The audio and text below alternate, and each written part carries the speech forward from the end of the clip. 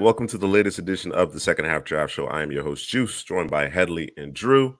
Mrs. C. Prasky, how's it going? Dana, good to have you. You guys are prompt and ready to go. We're going to talk about Headley and Drew's rankings. All right, we're going to talk about the top 10 quarterbacks, the top 12 tight ends, and the top 15 down linemen, defensive side of the ball here. So let's start with the quarterbacks. We won't belabor the point any further. We'll start with the quarterbacks. And at number 10, Headley, you have Jordan Travis, the Knoll, and Drew, yeah. you got your boy Devin Leary here. Right, transfer, played his last season here at Kentucky. I'll start with you, Drew. Your thoughts on Leary out of Kentucky? Yeah. Um. So, well, I'll wait. I'll wait in terms of the correction, and I'll take accountability for it. But um, oh, uh, appreciate about, that. Thanks. you know, I, I, from time to time, I'll take responsibility. You know, um, so I have here in my notes, and, and this is a guy I've been watching for the past couple years, right? I think he's coming from NC State. I think he, he um he got injured last year. I think it was an important game too. He got injured in, and then the season kind of kind of fell off the rails, or maybe started to fall off the rails. I think right before maybe he got injured, but uh, he plays. Excuse me. Uh, what did I write here, man? It's terrible. Uh, oh, okay, I got it. Uh, he, he plays. Uh, wait, what did I write? Hold on, give me a second. Give me two seconds. The handwriting, bro. nah, this this is typed up, bro. But I be typing fast. What? I don't reread my stuff, bro. You know, I need my guy spell uh, check. He he helped me out here, man. What's um, good, D Kit? Okay, what up, Dan Low. What's happening, Dan Low? Dan Low, data. So he uh he plays an offense that allowed him to turn his back to, to, the defense, right? So that's yep. something that you want to see from from all the quarterbacks coming out. Not not all of them got the chance to do that, especially not routinely. Uh, I thought that was something that he did very, very well in terms of turning his back to the defense, you know, play action, uh, t- turning around and being able to see, you know, the the be able to get it to the guy that's open or the one-on-one coverage. Uh, I thought that was something that he did very, very well. Uh, he's a cool customer in the pocket, uh, nice thrower uh, of, of thrower of the football down the seams specifically. Um, thought he had good pocket presence, goes through his reads consistently, but I thought he lacked some arm strength um, to squeeze the ball into those tight windows consistently. Uh, I think he he fits more in a, a, traditional style quarterback. You know, he's got he's got some legs, but it, but it's nothing um, that that compares to the guys that are going to be above him here uh, in terms of of keeping plays alive and, and doing something maybe a little a little special, right? Uh, I think he kind of lacks that from from that standpoint. And then balls that were thrown to the outside the numbers, not necessarily like a down and out, like like where I think um, JJ McCarthy struggles, but more of like down the football field. You know, uh, mm-hmm. uh, 18 the to vertical, 20 plus yards down the, the football the, field. Vertical stuff. Yeah, yeah, the vertical. Excuse me. Yeah, the vertical. I think he struggles with that uh, routinely. Like he just couldn't find, couldn't throw his guy open um, in those space and, and, and throwing it down the football field or just threw too far, threw too short. Just it was it was consistent from what I saw. Um, but, but yeah, that's what I got on Devin Leary, man. All right, Headley. What about Jordan Travis? Uh, you know, Jordan Travis, he's a guy that he put in the work. He put in the work. He improved every year uh, for Florida State. Uh, when he first came in, you remember James Blackman? He, he was out there starting quarterback. I like, we can't have this guy out here, man. So, you know, I like Jordan Travis coming in because he helped us uh, with his legs and helped us win football games. Florida State win football games. So, you know, I wanted to see him uh, play, but he, he wasn't developed yet. And every single season you saw it. He just got better and better and better. Got a really good understanding of that Mike Norvell offense. Uh, just throwing with anticipation, getting the ball out of his hands quicker. Because that's kind of what he struggled with early on in his career there at Florida State. But, you know, he was more of a, a run around quarterback. You know, he developed that anticipation, that timing with his receivers. Uh, he has the ability to make throws on the move. Uh, that's what he does uh, pretty good. Make those throws on the moves, uh, escape the pocket, keep his eyes down the field, uh, finding those wide receivers from Florida State. Um, and then, but with pressure, sometimes I think he tries to do too much. Uh, you know, call it the hero ball. And you saw it in the game, uh, the first game this season against LSU. Uh, he made some bad decisions. Uh, almost threw a, he threw an interception. Almost threw another one in that game. Uh, could have cost us, uh, but you know they, they put it on on LSU later uh, in the second half in the third quarter. But you know those could have been back breaking plays if they would have caught the ball, intercepted the ball, t- and took it to the house. So he, he just got to play more within himself uh, and uh, limit those turnover worthy throws. Um, you know, he's undersized. Uh, he's a smaller quarterback, but you know, he just gotta uh, you know, use his legs, uh, create uh, timing in the passing game, and he has that leadership trait. You know, from all accounts, I think uh, his teammates love him. Uh, big leader there for Florida State. And uh, you know, the only thing right now, well, not the only thing, but that, that season uh, injury, leg injury, man, that, that's big for him. So he needs to recover from that injury, come back, and just working through progressions, improving that in his game. Um, but at the next level, you know, we'll see with Jordan Travis, man. I'm I'm I'm optimistic because of how well he improved uh, throughout his four five years there at Florida State. So you know, and, and when he gets to the next level, he's not going to be a starter immediately. But if he can work it and, improve, and uh, we'll see, we'll see what happens uh, after that. Yeah, you know, ideally, ideally, you know, you, you, quarterbacks get an opportunity to kind of get an opportunity to to ultimately develop, right? They're not necessarily thrust into immediate playing time, and uh, I, I think Jordan Travis certainly could could benefit from that. You know, I I, I am to, your point, Headley, what he was when we first saw him debut at Florida State, having transferred in from Louisville, to what it was prior to the injury that ended his effectively his career at Florida State um, was day and night. It, it, it, was a huge change. He, he was not a NFL quarterback, not, not even in, in a reserve role, right? You wouldn't necessarily have used a roster spot on him um, in, in terms of what you saw the first, you know, year and a half, two years or so. But what he ultimately developed into was impressive. So hopefully, hopefully he gets the opportunity to continue to develop. And if if he gets his opportunity, he's able to take advantage of it. We move on to your ninth ranked quarterbacks here. And Headley, I'm going to start with you. You have Michael Pratt out of Tulane, and Drew, you have Jordan Travis. Uh, generally speaking, I would I would have Drew, you know, follow up on Jordan Travis conversation, but let's start with Michael Pratt, and then Drew, you can uh, finish the conversation around quarterback nine here on Travis. Yeah, Michael Pratt, quarterback for Tulane. Uh, he had the boy Jackson out there. Uh, they both were at the Senior Bowl. Um, you know, when I watched the tape with Pratt, I just want to see him make quicker decisions. Uh, just get the ball out of his hands quicker. Uh, sometimes he does a little hesitation, pumps it a little bit, because uh, he's very good when he has that rhythm. When he gets the ball out quickly uh, in, in a rhythm, uh, especially in the middle of the field. You know, I, I, like to see him in the middle of the field. Throws to the outside of the numbers or deep down the field, he struggles a little bit. Um, I see a lot of first read throws with him also.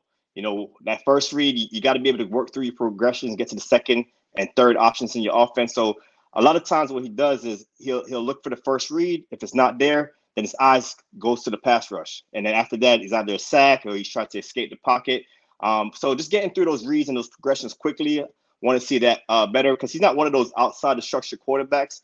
Uh, he's not making much plays outside the structure. Um, doesn't really have that plus athleticism like some of the other guys we're going to see in the top uh, top half of this uh, top ten. Um, he's a little smaller, so he gets the ball batted down a lot, and, and we see that in the league right now where the interior O line, man, it, they're, they're getting paid because it's very important. A lot of shorter quarterbacks in the league right now, so you know you got to be able to protect him, uh, especially with the guards and the centers up front. Um, I think pressure affects him a lot also. Um, sometimes I feel like he doesn't feel it as well. Um, so to maximize uh, Michael Pratt's potential, uh, you got to keep him clean and you got to have him in rhythm and have a good structure around him, have some weapons around him. Um, like I said, he's at best throwing uh, from a clean pocket because uh, he throws it like a beautiful catchable ball in rhythm. Like I said, preferably in the middle of the field, so it comes out his hands really nice. It doesn't really have the, the plus arm strength, but you know those intermediate, the short to intermediate throws, it comes out his hands really well. Um, and he has a lot of experience. You know, he's he's a guy like Jordan Travis. You know, they're pretty similar where they kind of improved every season as they're going along. A lot of experience, so you know that's going well for them. And uh, I also think he needs to protect the football. You know, no, I say he will protect the football. I'm sorry, I read that wrong in my notes. He protects the football really well, and uh, you know, I, I like his ball handling. It's, it's, it's little small things with him uh, where you know he does well on those little pump fakes or on those play action. He hides the ball well from the defense, so he does well on those kinds of things. So yeah, he's a developmental guy, uh, just like Travis. I don't see him coming in and, and starting, but he could work his way up to be a quarterback two, quarterback three on the roster, and you know come in sparingly and maybe make a starter two a season. I think coming into the Senior Bowl, we, we were expecting more from him, right? You know, the, the, the buzz around him, and and our he was actually part of that that preview that we did in terms of things to prove. You know what I'm saying? Guys, guys were expecting to to demonstrate and really make their way and, and perhaps getting that conversation of, of the first couple of rounds. And I just didn't see it. Just didn't see it. Just didn't see the, the consistency from him. I didn't see him, you know, rip it, push the football down the field, even in like the one on ones. You know, some of those passes were off target. They were behind. You know what I'm saying? We're not even talking about a pass rush here. So I thought he missed an opportunity. I, I do believe there are some organizations that still like him. They feel like, hey, if we can get him in to our organization, our system, he could be a plus backup, perhaps be a decent starter at some point. But I, I he, he left he left a lot of meat on the bone, uh, particularly with the senior. I, I think that's a great opportunity to really stamp, you know, and, and, and really buoy your pre-draft process. And, and certainly it was a missed opportunity there. Drew, let's talk about Jordan Travis. Yeah, DP. I mean, listen, um, real quick, since this DP on here, DP, um, my little one asked, is is the what did she say? Is the um the the famous guy coming on again? the celebrity. is he, is, the celebrity coming back yeah, on? yeah. I was like, not not tonight, babe. She said, oh, when he's coming back, I said, I don't know. We'll figure it out. so I just want to let you know. But uh, in terms of uh, Jordan Travis, I, get, I got here. I got six one compact frame, um, who's not easy to take down. It kind of reminds me a little bit of um, of uh, Caleb Williams. Um, I know I think Caleb Williams 6'1", 214, and uh, Jordan Travis 6'1", I think 200, if I'm not mistaken. Uh, has a nice quick release. Uh, when he sees it, he gets it out and gets it to his guy. Uh, when he doesn't, he holds it a bit a little bit longer than you want him to. Um, and then I think that's that's what Headley was talking about earlier in terms of th- then what he starts to do is, is trying to do a little too much. Um, you know, you want to make sure that he continues to protect himself, especially with the the injury he's got there. Um, I don't believe he has the top uh, top tier arm talent that you want from the position. Um, I do believe he's a leader of men. I heard Headley, Headley mentioned that. I mean, this is a guy who I kind of put him and Jayden Daniels in the same bucket in terms of guys coming in and it was deer in the headlights. Like I was, I told Headley, I was like, yo, first one, first time I saw Jordan Child, I was like, yo, y'all in trouble, bro. Like y'all, y'all going in the wrong direction with that guy because it was definitely a deer in the headlights where I, he just I, wanted I thought to... we were getting some Chris Rix, bro. I thought we were getting Chris Rix out here, man. Yeah, Chris Rix. That was James Blackman. Yeah, that was Blackman. It, it, that was Blackman. It, black, yeah, it, it, wasn't good. Um, and, and you thought because you could see some of the talent, man. But if he could just put it together in terms of going through his progression, staying in the pocket, and get get the ball out, get it out on time. Um, which is I think you saw um, this year. I think he kind of put it not not put it all together, but put it mostly together.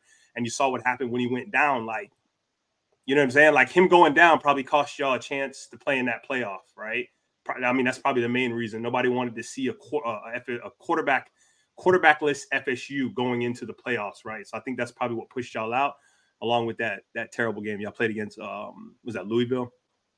Mm-hmm. Um, I, and then I have, I believe he he kind of lacks to lead the receiver consistently down the football field away from coverage or just to the end zone. Um, just kind of throws it up there. Guys go go up and get it like a Johnny Wilson, um, like a uh, like a Keon Coleman, right? Instead of you know leading your guy to to the open green grass. So that's that's kind of what I got on on uh, Jordan Travis there. You know, I, I, think the most impressive thing is about Jordan Travis really is his perseverance, right? Like I said, we talked about his his development over time. You know, you got to give Mike Norvell some credit there as well. I, I think what he did offensively, schematically, uh, and then Jordan Travis's ability to grasp and and lead that offense was impressive. What, what he did year to year. It, it's always the fact that Jordan Travis kind of keeps things alive. Now it could get him in trouble, as you mentioned, Drew. Right? You know, he could hold on to the ball a bit too long, take a, a bad sack, but his ability to kind of keep things alive, use his legs, not only to extend drives, but certainly to give the receivers an opportunity to uncover is something that NFL teams covet now, right? You know, it's it's as much as you want to see three step, five step, seven step ball out. Um, you, got you need guys who can make plays, who who can, you know what I'm saying, get you out of a bad play. So Jordan Travis, I, I think I think they're going to probably be a handful of teams. I know there, there are a number of fans who feel like, you know, day three, that's the guy that we're looking for. He's the guy that provides the most upside. Um, you know, he's played in some some fairly substantial big games against good competition you know that that's the guy we want to kind of bet on late. Maybe we catch lightning in a bottle. So we'll see. We'll see ultimately with Jordan Travis. We move on to your eighth ranked quarterbacks, and you have the aforementioned Devin Leary, and of course, Drew, you have Michael Pratt, who is actually Headley's ninth ranked quarterback. Drew, talk about Michael Pratt. Your your thoughts on him?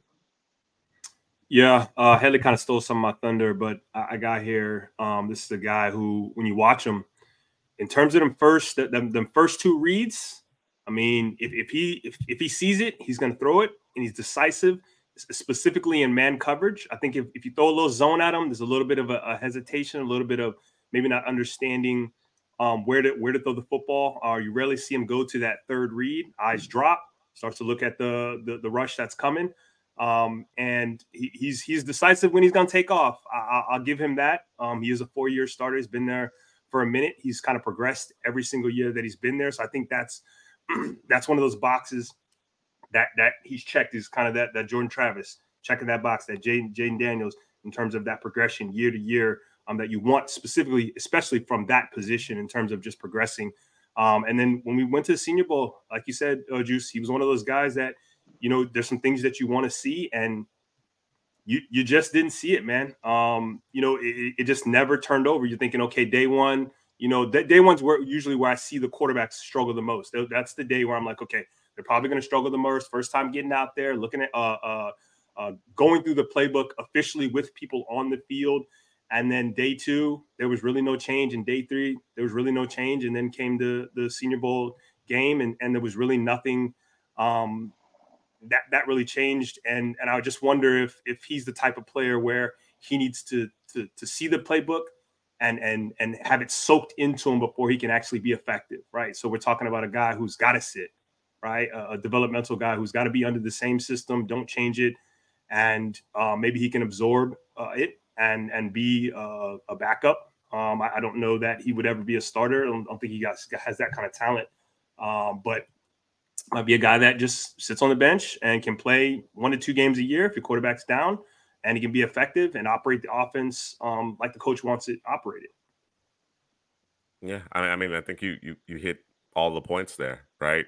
We we didn't see anything throughout the pre-draft process that would suggest starter or eventual starter. You understand what I'm saying? And that's unfortunate because again, um, you, you don't want to dismiss all of the film, right? You know, and he has quite a bit of film, but you're really you're really looking for him to kind of take that next step. This is a this is a perfect opportunity where you know non-power five group of five team here. Tulane's been a good football team. Don't get me don't get me mistaken here, but certainly um, the level of competition kind of increases position by position here, and didn't necessarily answer the bell. So we'll see how it all plays out for Michael Pratt here in the 2024 NFL Draft. Headley, your thoughts on Devin Leary?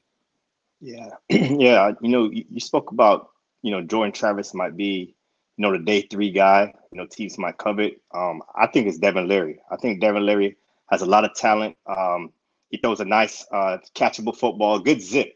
I think the arm talent. You know, when we talked about Pratt and Travis, they just don't really have the the requisite arm talent for the next level.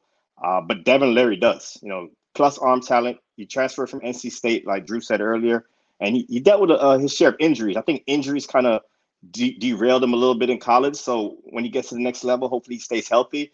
Um, because uh, he, I love the way he stands tall in the pocket. He stands very tall. He delivers. Uh, defenders can bear down on him, and that's what you want from your quarterback. The pressure's not going to always be perfect. Uh, you're going to have some free defenders, but you got to be able to stand tall in the pocket and deliver.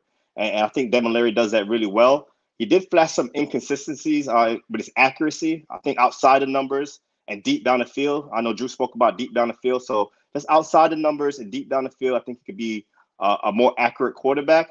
Um, but you know what I'd love to see from uh, a lot of the quarterbacks, and and uh, Devin Leary showed it was to be able to to go under the uh, under center, turn his back to the defense, snap his head around, and, and, and make the throw because it's kind of a lost art right now in the NFL because there's a lot of shotgun going on. But when I see that from a quarterback, man, it's so refreshing to watch. Uh, and Devin Leary has experience doing that.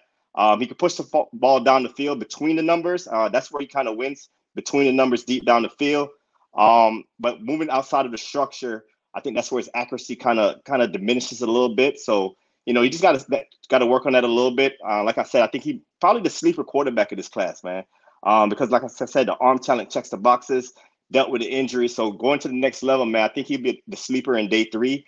Um, because he had a strong sophomore campaign before kind of struggling the last two seasons. His last year at NC State and then last season at Kentucky. Um, but you know what I do like about him also, he showcases not just the fastball, but able to, to do that changeup, man. Like we talk about pitchers in baseball, being they can hit your fastball, but you got to throw the changeup also, man. So if you have the changeup and the fastball, uh, at, at the quarterback position, you know, it just it just helps your offense out a lot more. So yeah, I like Devin Leary here at, at quarterback eight uh, in the NFL draft.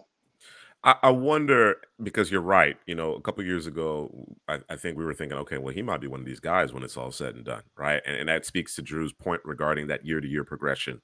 Of course, injuries played a role, but there was some inconsistency on his behalf as well. What's what do you see? What, what what's the issue mechanically? What come what jumps out at you in terms of his struggles outside the numbers? Yeah, a, a little bit of mechanics. Uh, you know, especially in the bottom half, uh, mm-hmm. with his feet and everything. I think he needs to uh, shorten it up a little bit and um, just just trusting it, man. Seeing it and trusting it and getting it out with anticipation. You know, don't wait a little bit. Just just get it out there. The guys, you know what route he's running, so you know just throw the ball out there. So I think he could develop that a little more. Um, but like I said, the arm talent is there, man, and so I, I like him. All right, we move on to your seventh ranked quarterbacks here.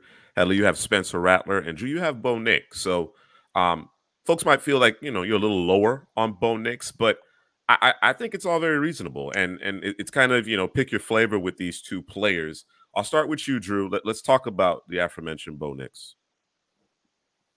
Yeah, man, he, he's he's come a long way. When, when you talk about a couple of these quarterbacks have transferred mm-hmm. to other teams, and and you know I, I think Devin Leary kind of went in the in a in a in the different direction than Bo Nix. It kind of flopped in terms of going towards that. You know, you want Bo Nix to go. You know, he's got to go from down to up. Devin Leary went from kind of up to down, right? Obviously, he's coming off the injury, but Bo Nix, um, super efficient, man. Um, that's probably probably maybe his tap his top um, attribute is that he's very efficient. Um, he gets the ball uh, ball out timely. Jeez. Um, I know that that you know that team ran a lot of bubbles and screens and you know very uh, what, what do we say um, high percentage plays right that were you know behind the line of scrimmage at the line of scrimmage or just beyond the line of scrimmage, and you can't really blame him for that. They're calling the play. He's he's uh, executing the play when asked. Um, when he does have time, and, and he had probably the most time in the country in terms of sitting back and being able to go through his progressions, get the ball out. Um, he did get the ball down the football field. I think he has a pretty strong arm. Um, and I thought he operated well when it came to the red zone as well to get the ball to his his playmakers. Um, he's got you know, he's athletic. Uh, he's got got the feet that you want from the position. Uh, but you know, it, it's it's you, you just wonder in terms of what type of offense does he need to play in? Does it need to be you know West Coast offense? Does it need, to be a uh, you know a, a two step drop, get it out type of offense where he has to get the ball out quickly? Um, I know he was out there at Mobile, and again, we we you know we were there, we saw it, right? There was some there was some struggles, especially day one. Day two was a, just a tad bit better, and I think day three is kind of where he kind of turned it around, or, or in, in, a couple of the drills, he's he had success, right? But um, you know, I, I just wonder in terms of you know he may be a system quarterback, and I hate to be throwing that that word around, but he may. There's a couple of these guys that just may be system quarterbacks because I don't think you can just put him in any system and that he would flourish, right? Maybe he turns it around three, four years after the fact, but you know, this is a guy that we're talking about going in the first round, and, and those guys usually per, play right away. So you want him to be super effective. And I don't know that Bo Nix has that in him um, if he doesn't go to the right system. I think we were talking about him going to to Minnesota, right? Maybe a, a fit for him there. So that's kind of where I sit with him.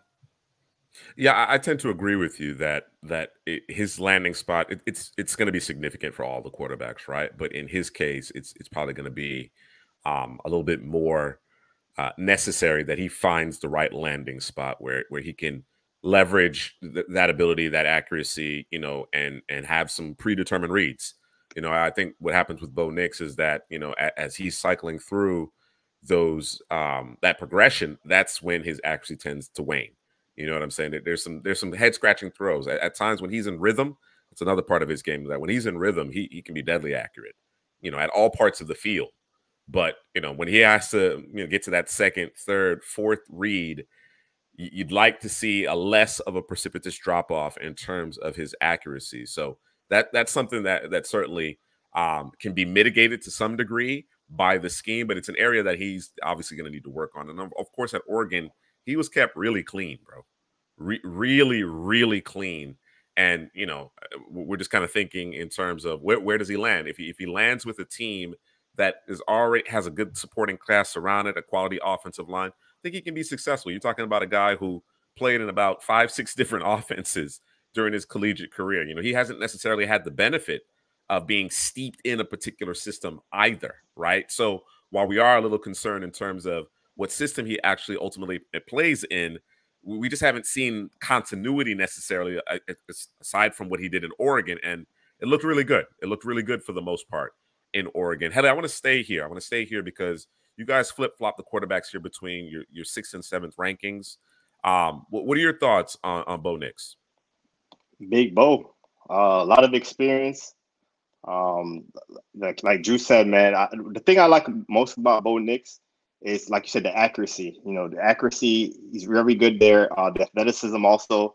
Uh, he'll stand in the uh, pocket tall. He's like a point guard.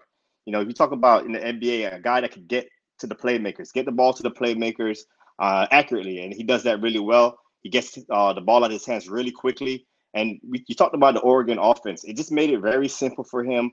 Uh, lots of first free throws. So, you know, going to the next level, if you don't get into an offense like that, I don't know if he's going to be able to uh, maintain that. Uh, he might struggle a little bit. So, you know, that's something to watch. But, you know, if he gets into one of those offense, uh, those rhythm offense, gets the ball out of his hands quickly, I think he'll be has some success there. Uh, arm angle, something uh, I see with Bo Nix, you know, one of those quicker throws, he, will change his arm angle up. He's a gamer. He's, he's tough. He, will play injured, injured uh, leader on the football field, um, athleticism, very fearless. I think those are his kind of his, his superpowers.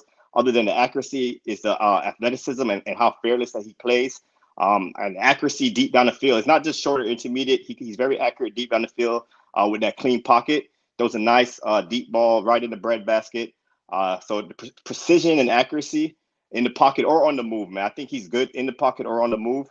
Um, and you know, he looks at a, a, real complete command of that, that Oregon offense. So, you know, I think an NFL coach would look at him and be like, hey, we put him in this system and and we continue to develop him and we have these playmakers on the outside, then you know, he could be a starting caliber quarterback for us. So, you know, a lot of people talking first round for him. I think he's more of a, a day two guy, round two guy um, because he doesn't have the, the elite talent as, as some of these guys in the top five, but, you know, very smart, very athletic, very accurate. So, you know, we just got to have the, the pieces around him for him to work at the next level. And again, again, I, I don't want to bury the lead as it relates to that for all these quarterbacks. I think that's going to be significant for all these quarterbacks. But but there is a difference between a guy being able to to raise the level of play and then of course needing to have certain things in place in order to be successful. I think in the right spot, the right landing spot, Bo Nix can be successful at the next level. There's some arm elasticity there as well. So as you mentioned, Headley, you know, dropping it down three quarter if he needs to to get it around defenders. There, there's talent there. there. There's there's there's enough there to be, you know, like like you said, you know, to be a top 50, top 60 pick here and, and perhaps give him an opportunity to to lead your team. But I want a proven commodity, at, you know, as play caller. I, I want to make sure that my my tackles are in place. I, I, need I need a couple, you know, receiving threats and, a decent running game here so we can work the play action as well. Because I, I'm not convinced that he has the ability to consistently raise the level of play of guys around him. Not many do. Not many do at the end of the day. Drew, your quarterback six here. Your six ranked quarterback is Spencer Rattler, and he's seventh ranked for you, Headley. I'll start with you, Headley. I'll start with you. What, what are your thoughts on Spencer? Oh, oh I, I, gave up. I gave up the sauce right down on QB five. What are your thoughts on Spencer Rattler? Uh, this, this guy that's been through the ringer. He played he plays a lot, uh, faced a lot of adversity uh, throughout his career. Uh, he, he, was a reality star at first. Uh, was a top ranked guy. Uh, a couple seasons ago, he, he, was the guy. He was supposed to be the, the number one quarterback. And then Caleb Williams at Oklahoma uh, took that starting position from him. Uh, so he transferred to South Carolina. And that South Carolina offensive line really let him down, you know, because you, you see it on film, man. It was just when a team plays South Carolina, they you put that pressure on them, man. It started in the North Carolina game. Uh, then you see it in the other games as well, the Missouri game. They just kept on coming after him over and over and over again. So I thought his offensive line really let him down. But you know, apart from the offensive line, I think he can make any throw in the football field. Um, I see him stare down the barrel and, and deliver bullets to his receivers. Um, and, and, his receivers have also let him down a little bit with some drops. I know he had big big XL out there, but you know he had some drops with, with other receivers on the football team. Um, and it got so bad, uh, they they moved the pocket a lot for him. They kind of rolled him out those half read rolls uh, to roll him out so he could actually get some time to throw it down the field. Uh, and when he throws the football, uh, very easy throw the football. It comes natural to him. It just comes out of his hands really easy. Um, he has the mobility to escape the pocket. And once he escapes the pocket, he keeps his eyes down the field uh, to make a play on the move. And like I said, a lot of arm talent with, with Spencer Rattler. And sometimes he plays that hero ball also. He has that gunslinger mentality. So he'll throw the ball in coverage at times. Uh, I want to see him clean it up a little bit. It, it just take the easy check down. Uh, it doesn't have to be a home run every time. Uh, and he could process quicker. A lot of back leg throws. I've seen the back leg throws a lot, but like I said, it, it's not all his fault because when, when the defensive line, the edges, are coming at him, he kind of had to make a play, man. He tried to do it, and he did it sometimes. You see him hit some deep passes to uh, Xavier Legette, but sometimes he threw it in coverage also.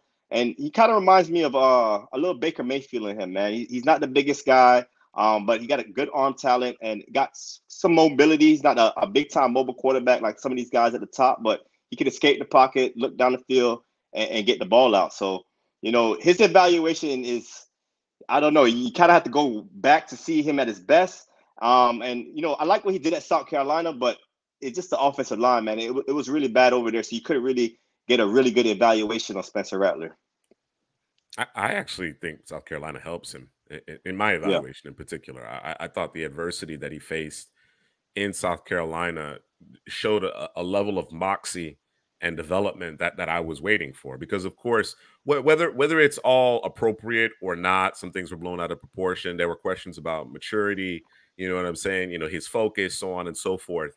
Um, and and whether or not the South Carolina experience humbled him or forced him to, to, to lock in a bit more, whatever the case may I, the, change was good. I, I, at the end of the day, the, the, the net result was that that change was good, and I actually appreciated seeing him dealing with the adversity of not necessarily having a great offensive line. Of course, it could have been that much better. Perhaps we're talking about him a couple years ago. We were talking about you know maybe the first quarterback selected when he was draft eligible. Now that's no longer the case. But in my mind, in my mind, that that change from or that leap from Oklahoma to South Carolina, what I saw this last season in particular, I, I came away impressed. What about you, Drew?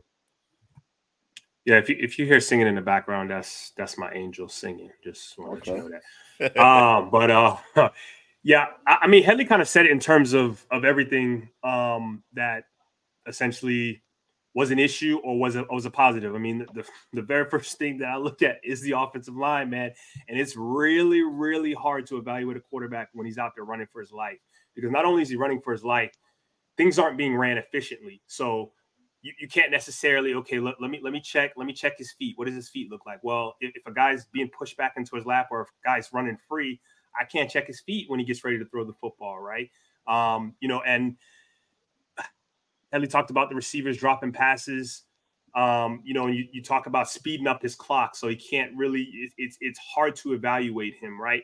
What what I can tell you is that he went to the Senior Bowl and he what was he not the quarterback? That didn't he not win the whatever? I don't even know what the award is, but the best he, quarterback. He was, he was the, the, the most consistent quarterback there, easily. And, and he was easily. running. He was running a system that was similar to what he did at South Carolina. So if you kind of can can kind of extrapolate, that's that's a juice word right there. Extrapolate, you know what he did at the Senior Bowl, and kind of can imagine what that should have looked like at South Carolina on a more consistent basis, right? Just protect him because he has all the tools that you want from the position right? This is a guy who said when, when he when he was at the podium, you know, I'm not sure what he was asked. Because I kind of missed that part of it. I couldn't hear whoever was asking, but he said I had opportunities to go to three or four of the schools that were better than South Carolina, but I chose South Carolina because of I thought it was right for me, and I thought it was going to be a challenge, right? And if they just could have blocked for him, this this team, I, I don't know if they stop anybody in terms of the sure. defense, but sure. offensively, they yeah. would have put up points, right? And you would have been able to see his his full gambit of, of his attributes at work. And this is the guy right here for me. This is the guy who, let me just look at my rankings, make sure I'm not missing anybody. This is the guy that could be the fourth quarterback coming, the best fourth quarter quarterback, maybe squeeze into third somewhere. If somebody somebody doesn't put it put it together, he could be that guy. And it wouldn't it shouldn't surprise you because the talent is yeah. there. It, it won't right? be for lack of talent. It won't it won't be for lack of ability. Sure. Sure, I, I, I agree with that notion. Th- these are two very intriguing quarterbacks here. You know, where where would you be comfortable selecting Rattler, Drew Headley? Ooh, I would say day two guy. Yeah, yeah, day, two, day, guy. two guy. End of the second, maybe. It depends on what what I got on the roster. Yeah, it, it, it, depends. Um, middle of the second, uh, if your team like uh with, with an older quarterback, uh, the Atlanta Falcons come to mind. Uh, when you got Kirk Cousins at, at the end of his career, a good spot. Sure. That's so, a really good spot. Yeah, team, t- teams like that that that has that older quarterback, and you want to give him like two to three years because that that's that's goal right now at the NFL, man. If a quarterback is sit behind a quarter another quarterback for two three years to develop, man, the star the stars are living, man. We've seen what Jordan Love did in Green mm-hmm. Bay, so a, mm-hmm. a, situation just like that for Spencer Rattler, I think that that'll be really good for him. Yeah, and, and I'll, I'll be the first to admit it that I, I was not big on Jordan Love coming out of Utah State, and, and we got a chance to see him live and direct in uh, Mobile, and and it was very underwhelming his his performance. But having the opportunity, not for lack of ability, right? We know he had the live arm, but his his opportunity to get steeped in that system, that LaFleur's system in Green Bay, and, and of course, confidence is a hell of a drug, right? You know, as the season progressed, you could see he he realized, you know what, I got this. You know, you know what I'm saying? I I I can certainly make all the throws. I can I can I can get in us into the right play. I can get us out of a bad play, and and of course that young team with a young receiving core on top of that. It's not as if you had these, you know, a Davante Adams out there, a proven commodity necessarily. The receiving position, uh, I, I, came away thoroughly impressed by by what, how Jordan Love has developed. So yeah, the, it, it would be that would be an ideal situation where where Rattler in particular, given his skill set, given his talent, would be able to sit for a couple of years behind an incumbent and then assume those reins. So we'll see how that ultimately plays out. We move on to the fifth ranked quarterback, and I, I, I gave it up a little bit early here, but you both have JJ McCarthy as your fifth ranked quarterback, and I'm gonna start with you, Headley. You know, you you were the you were the the, the leader in the pack among the JJ McCarthy um, faithful, and then of course what has happened since the national championship, everybody's on board yeah. seemingly at this point. What, what are your thoughts on McCarthy? Yeah, man. You, you, know, it's when you like a like a player and you're like, yo, I really like JJ McCarthy when no one's really talking about him, mm-hmm. and, and, then the roar gets louder and louder and louder, and you're like, wow, I, I never thought he was a, a top three uh, player in this draft, but you know, you know, I still like JJ McCarthy. I got him at quarterback five right here. I think um, he, he might get drafted higher than he should, but um, I, something about his movements in the pocket. You know, the 2022 tape is kind of the tape I focused on with, with JJ McCarthy. Uh, 23 tape, especially those bigger games, uh, they didn't give him much opportunities to pass the football. Uh, Michigan was more of a, a run-heavy team, especially when they got a lead. You know, that Penn State game, they were up a little bit, and, and they just ran the ball the whole second half. So you didn't really get to uh, evaluate him as well in 2023. But in 2022, man, the, the movements in the pocket is what I thought really stood out with McCarthy. It's very subtle too. Uh, those little movements in the pocket, uh, how he, the feet in the pocket, his pocket presence, uh, his ability to escape the pocket when uh, the pressure comes. Because uh, some of these quarterbacks, they have that innate ability to kind of feel the rush and kind of uh, move outside the structure of, of, the offense and, and, find guys down the field. You know, some guys like to run once they get break the pocket, but you know, JJ McCarthy keeps his eyes down the field. Uh, has plus arm talent. I like his arm talent to throw the football, especially against zone you know, if you if you run a zone against McCarthy, I, I think he, he, he could pick you apart. I think against man, he, he struggles a little more there. Um, but you know, it, it's very high highs and low lows with JJ McCarthy, man. Sometimes he'll make the greatest decisions under pressure, and you'll be like, wow, that, that Ohio State game in 2022, I think it kind of showcased it all where, you know, under pressure, he, he'll make those big plays and perform well. And then, right, the next play or the, or the next series, he, he'll make a boneheaded decision uh, throw the ball in coverage. So you know, just just being more, and he gets a lot of credit for being even kill, but I, I think he could even be a little more even kill um, from play to play. And um, you know, he has experience under center. You know, pro style offense. We talked about that with, with Devin uh, Leary prior, where he, he get under center, he could he could run the play action, he could turn his back to the defense, and he can find the guys down the field. So you know, those are the things I like about uh, JJ McCarthy.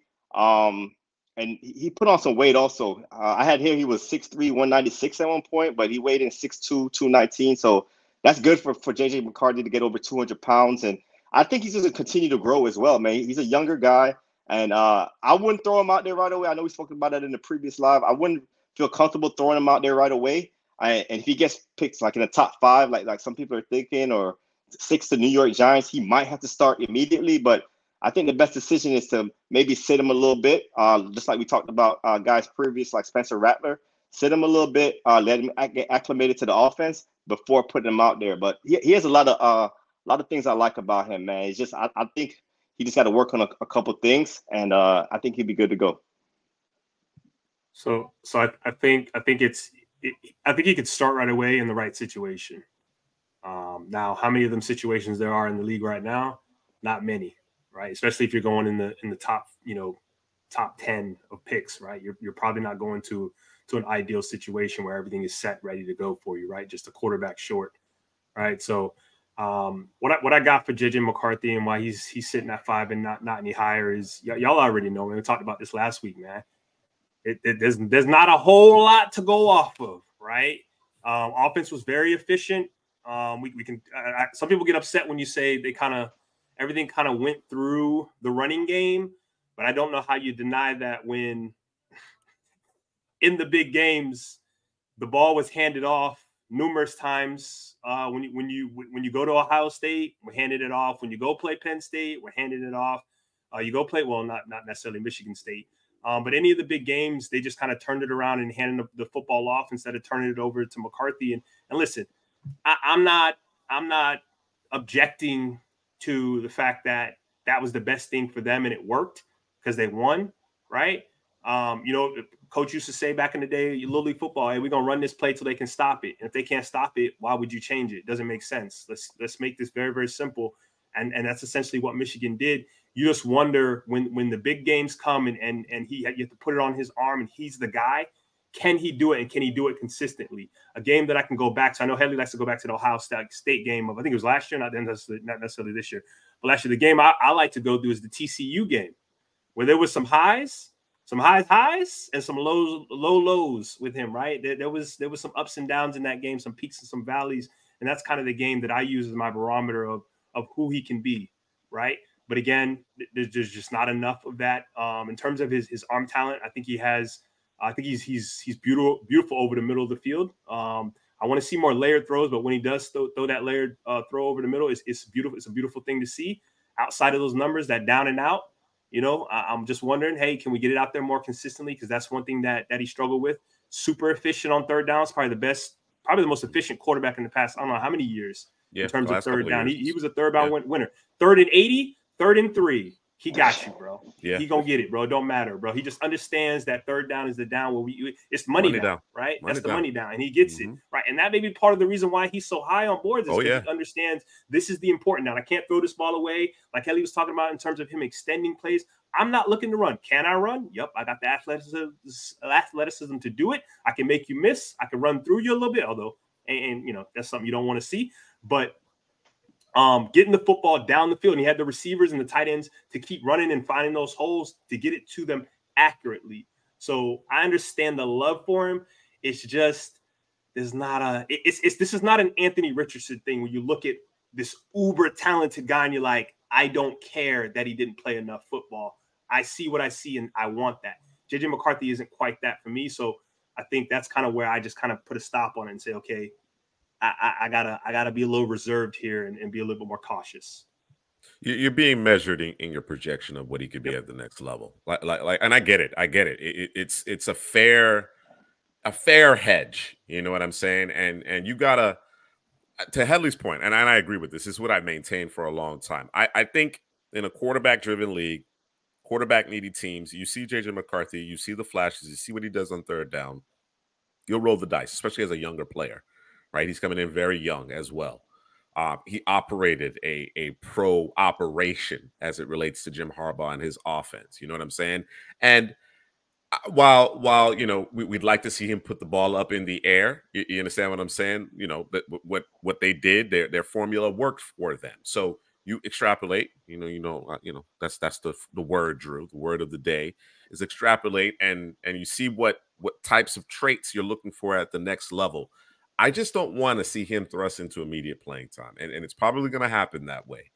I, I think he, being a younger quarterback, despite having a good head on his shoulders, being steeped in a, a bit of a prototypical offense, I would still like to see him because of and it's a catch 22 right you're saying that well he needs more experience he needs more more attempts right to get a real a true book on him whereas i i, I just don't want to thrust him into that level of responsibility because it sounded like he's a top five pick you, you understand what i'm saying i, I do not want to have to thrust a guy in as a top five pick where we did not have to lean on your arm on a consistent basis you know what i'm saying and and it, again that's what it comes down to in terms of the projection in terms of you know, are, are, we? It's a calculated risk. Is he the guy? Can we ensure that we have it built around him? Because again, you think about this Michigan team.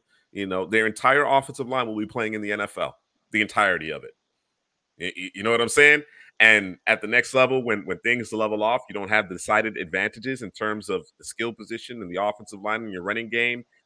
Is what we saw in terms of those flashes going to be enough in order to consistently raise the level. And of course, when you're talking about drafting a guy that high, you expect him, at least in spurts, to be able to raise the level of play of, of guys around him. So we shall see with with JJ McCarthy. He's, he's obviously a very intriguing prospect here in the 2024 NFL draft among the quarterbacks.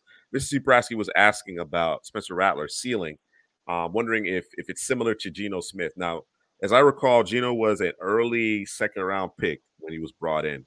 I think I think there's certainly some parallels there, Mrs. Brasky. Uh, Geno, I mean, there, there's few few who throw a, a, prettier spiral than than Geno Smith. The arm talent was always there. Um, I, what I would say is, I think Rattler could have a better outcome if he's if he's drafted into a better situation. I did not particularly care for Geno going to New York with a Rex Ryan led team. You understand what I'm saying? I, I want I want Geno to to get in a spot where he has a quality offensive mind, you know, taking him through his paces. And under those circumstances, I think he could actually end up being a better pro overall than Geno. But as far as talent is concerned, I think it's similar. And Geno, in terms of throwing the football, just purely spinning it, Geno had a first round talent as far as his arm is concerned. So, and, and I agree. I, be, I believe it's the same there with Rattler as well. All right. QB4. You guys are split here a late audible from Headley. Um, Headley, you actually have Drake Maye as your fourth ranked quarterback, and Drew, you have Jayden Daniels. Let's talk about Drake Maye, Headley. Yeah, I had a, like you said, it, it was a late audible, and the thing with Drake Maye, I keep going back and forth with him, man. To me, he, he's the hardest evaluation in this class at the quarterback position for me, because um, you, you don't want to miss out on, on, the next. You're on mute, Juice. You, you said something, Juice? You talking to me? Yeah, my bad. I, I pulled a Drew.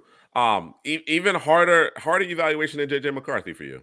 Yes, yes, okay. because right. y- you know what it is.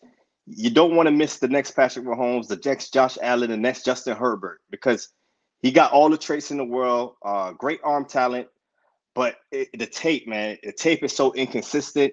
And with the accuracy, uh, it's inconsistent. Uh, the lower uh, body mechanics, the footwork is very inconsistent. So you see all the inconsistencies with, with uh, Drake Maye, but but you see what teams will like. You know, the arm talent, the size, uh, the, the big throws that he can make. So it, it's such a hard evaluation for me, man. But right now, I, I moved him down the board to, to quarterback four. I, I just can't ignore the tape. If I'm wrong, I'm wrong. Um, but I think he's a he's a projection. I think uh, a lot of people is not saying that, but I think he's a big projection. And the people that have him like quarterback one or two, like Drew, I, I think it's more of a projection. I think they're looking at the body, they're looking at the size, my bad, Drew. I threw a shot at you, but I, I think you're just looking at the body and the size and saying, hey, and you could be right because look at Justin Herbert. Herbert had some inconsistencies in college with accuracy. I remember Herbert missing uh passes like easy passes a lot and with, with his accuracy, and he's turned into a good quarterback. Josh Allen, his completion percentage was really low. He turned into a good quarterback, and and, and Patrick Mahomes had so much turnover worthy plays at Texas Tech, and he's the best quarterback in the league right now. So I understand the projection with, with Drake Maye, but I'm just going going off the tape right now uh, with him. Um, but you know the, the positives, uh, he's a, he's able to throw in those tight windows. He throws across the middle of the field, but I think it's a lot of first read stuff. It's a lot of first read stuff for him. Uh, he, he takes his eyes off. It's kind of like uh, was it uh Spencer Rattler? No, no, it was Michael Pratt we are speaking about where you know, if that first read's not there, he kind of takes his eyes to the pass rush next. And like Spencer Rattler, the offensive line w- wasn't good at North Carolina, man. So I know that's where Drew's going to go. Where if you have a better offensive line for him and better receivers, because he lost Josh Downs last season, you know what would it looked like with that uh, for Drake Maye in college? Uh, so you know you know, that's that's that's the thing with Drake Maye also. But the arm talent, I think, could improve. Uh, not the arm talent, but the um lower body mechanics, man. Uh, a lot of back leg throws, a lot of hero ball in his game also with with those back leg throws. Um, he'll make throws late across uh, the middle of the field. Uh, in, in the big games too, you know, you see the, the game against uh, Syracuse, he balled out. I thought that was one of his best games in the season. But when you throw on like the Clemson tape, uh, you throw on the, t- the games against those harder defenses, I see him struggling a lot more. Um, but you know, he has athleticism to get yardage with his legs. So that's where he kind of has. Uh, they compare him to Josh Allen, but I think Josh Allen was a more niftier runner. Uh, you know, he can make a guy miss. Uh, he, Josh Allen's a bigger quarterback. Even Herbert, they're both bigger quarterbacks than Drake Maye. Um, but Drake Maye is at best when he's in his rhythm. He throws across the middle of the field. He does that really well. I think him and JJ McCarthy does that really well, where they have uh, a clean pocket or a rhythm throwing across the middle of the field. I think he does good there. Um, like I said, he's a size traits guy, um, but the tape was it wasn't that good, and it kind of he kind of took a step back in 2023. Also, mm-hmm. he had a better 2022 season. So, and then struggling with pressure, you see it a lot where you know you got to identify pre-snap. Okay, that's my hot read. This is a free rusher coming here. I need to get the balls out my hand quickly. And sometimes he struggled with that, man. You see, he he does good sometimes with it, but it's inconsistent, man. I think the Syracuse game, like I said earlier, was where he saw it and he threw the ball down the field. He had a great game, but you know, against those uh, better echelon teams, man, he struggled with it, got sacked, threw the ball in harm's way, and, and didn't perform well. So, yeah, right now I got him at, at QB four, but I could see the ceiling for him, man. He could be the quarterback one or two. Uh, but as of right now, coming into league, uh, I don't think he has better tape than the three guys ahead of him. All right, Drew, you you get your opportunity to talk more Drake Maye here. Let's let's talk about Jayden Daniels. Hey, real okay. I just gonna put the disclaimer out there. I actually would have flopped flopped. Um, me and Headley would have been on the same page in terms of Drake Maye and Jayden Daniels. Um, but if that's who you got quarterback three, I don't know if that's who you got quarterback three, but that's that's who I should have had quarterback three. Well, we're on Jayden Daniels. I'll get to Drake Maye here in just a second. Jayden Daniels, I talked about earlier in terms of when he first came out there, it was deer in the headlights. The only difference between him and Jordan Travis is that Jayden Daniels was actually dangerous with his legs, super dangerous and scary with his legs. If, if you in the open field, you saw it last year, you saw it this year. Go watch the Florida tape. Uh, big, big arm may have the strongest arm. Uh, maybe, maybe oh, it might be between him and him and Penix. Would you say, or maybe Drake? Penix. throw those three guys in there. Penix, you go Penix. Penix? Yeah, Penix, strongest arm. Yeah. Okay. All right. Okay. Who, who. Who's your three? Penix, me, and who? Uh, you talking about my top three? No, I'm talking about strongest arms. arms. Oh, I, I said Maye. Uh, I got. Uh, I'll probably go Penix, Daniels, then Maye, maybe. Nah, Caleb. Caleb got a Caleb. I know arm. Caleb got an arm, but I don't know if he got the arm that these these guys got. But either way, okay, either way. Okay. Um, yeah, Daniels, Daniels and his progression, man. Um, in terms of of what he came into and what he is now, what how he came into and what he is now. I know he had those superstar receivers. Um, he works very well out of structure. Um, he can extend plays. Uh, he and and I know they they kind of ran a, a limited route tree in terms of um, what they asked the receivers to do, but he can throw it all over the yard from the short to the intermediate to, to the deep part of the field. Um, he's he's very accurate.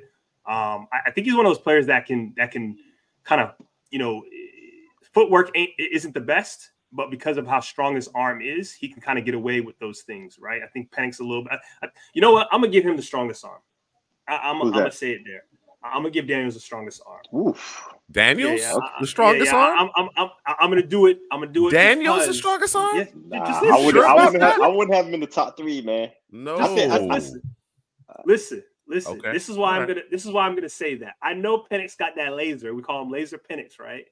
Yeah. But he can miss though, doing too much with with his arm, bro. So I'm just. Well, I, I, think Daniels, Daniels, I think accuracy deep down the field is impressive, but as far as arm strength, no, his accuracy deep down the field is very uh, impressive. Uh, Jayden Daniels, uh, listen, bro, listen. bro, shoot, shoot the wings off the fly, bro. That's not Daniels, bro. That's, That's not Daniels, bro. Maybe in terms of the accuracy deep down field, but okay, yes, okay. in terms All of right. the, the, the the pure arm strength, no, no, I can't, I can't abide by it. I can't abide by All right, it, man. Bro. Well, well, I'm a, I'm a fight to the death, man. Yeah, fight it. Gingerly, G- gingerly, because I know what. Now he's now it's gingerly. gingerly, I gotta gotta hedge my bet, man. I gotta hedge my bet. Uh, but um, but yeah, man. Uh, Daniels, he's he's he, they're talking about him going number two to um to to the Commanders, Commanders. Mm-hmm. and and I can completely understand why. Um, you know, the the the warts that he does have, he hasn't played a, a lot of football when you compare it to the other the other quarterbacks. Um, so there's a lot to learn in terms of going through his progression because a lot of his throws, you know, were an A. They're not his so, fault. So, you know, so I, clean that one up for me. Clean, clean that one up for me because he he he has quite a bit of starts under his belt. He's a six. He's a super senior at, at LSU. Years, oh, Arizona State. Arizona State. Arizona got a lot of experience. That is correct. Yeah, you got a lot of experience. See, mm-hmm. see, see, we hold we hold each other accountable here on this podcast. that is correct. I uh, can't just be talking crazy. Um, was it? Caligulus. Pugilist ready. Said we fighting, right. bro. We fighting now. Gotta here. fight, bro. Gotta fight. Gotta fight. Um, what was I saying? You you just you just you just interrupted. I, I just, what I was I just, saying. You well, yeah, you, you, were you were indicating that you'd like to see you know more more experience more from him, but, but, he certainly has that. that. He certainly he has that. that. I'm not sure where you're going after that. Um, I forgot, man. I lost it. Uh, it's, it's, it'll come back to me. It'll come back to me when Helly's talking. Well, you know what? You know what? I, I want to talk about the the arm strength conversation, and of course, we can mm-hmm. we can we can wax about arm strength, and arm strength is is significant. Don't get me wrong, right? You know, arm strength is a good thing, but it has to be tempered. I like the way he's developed from that perspective. A season ago, we, we just didn't see those whole shots consistently enough, right? And, you know, trying to get that ball in between the corner and the safety in that cover two.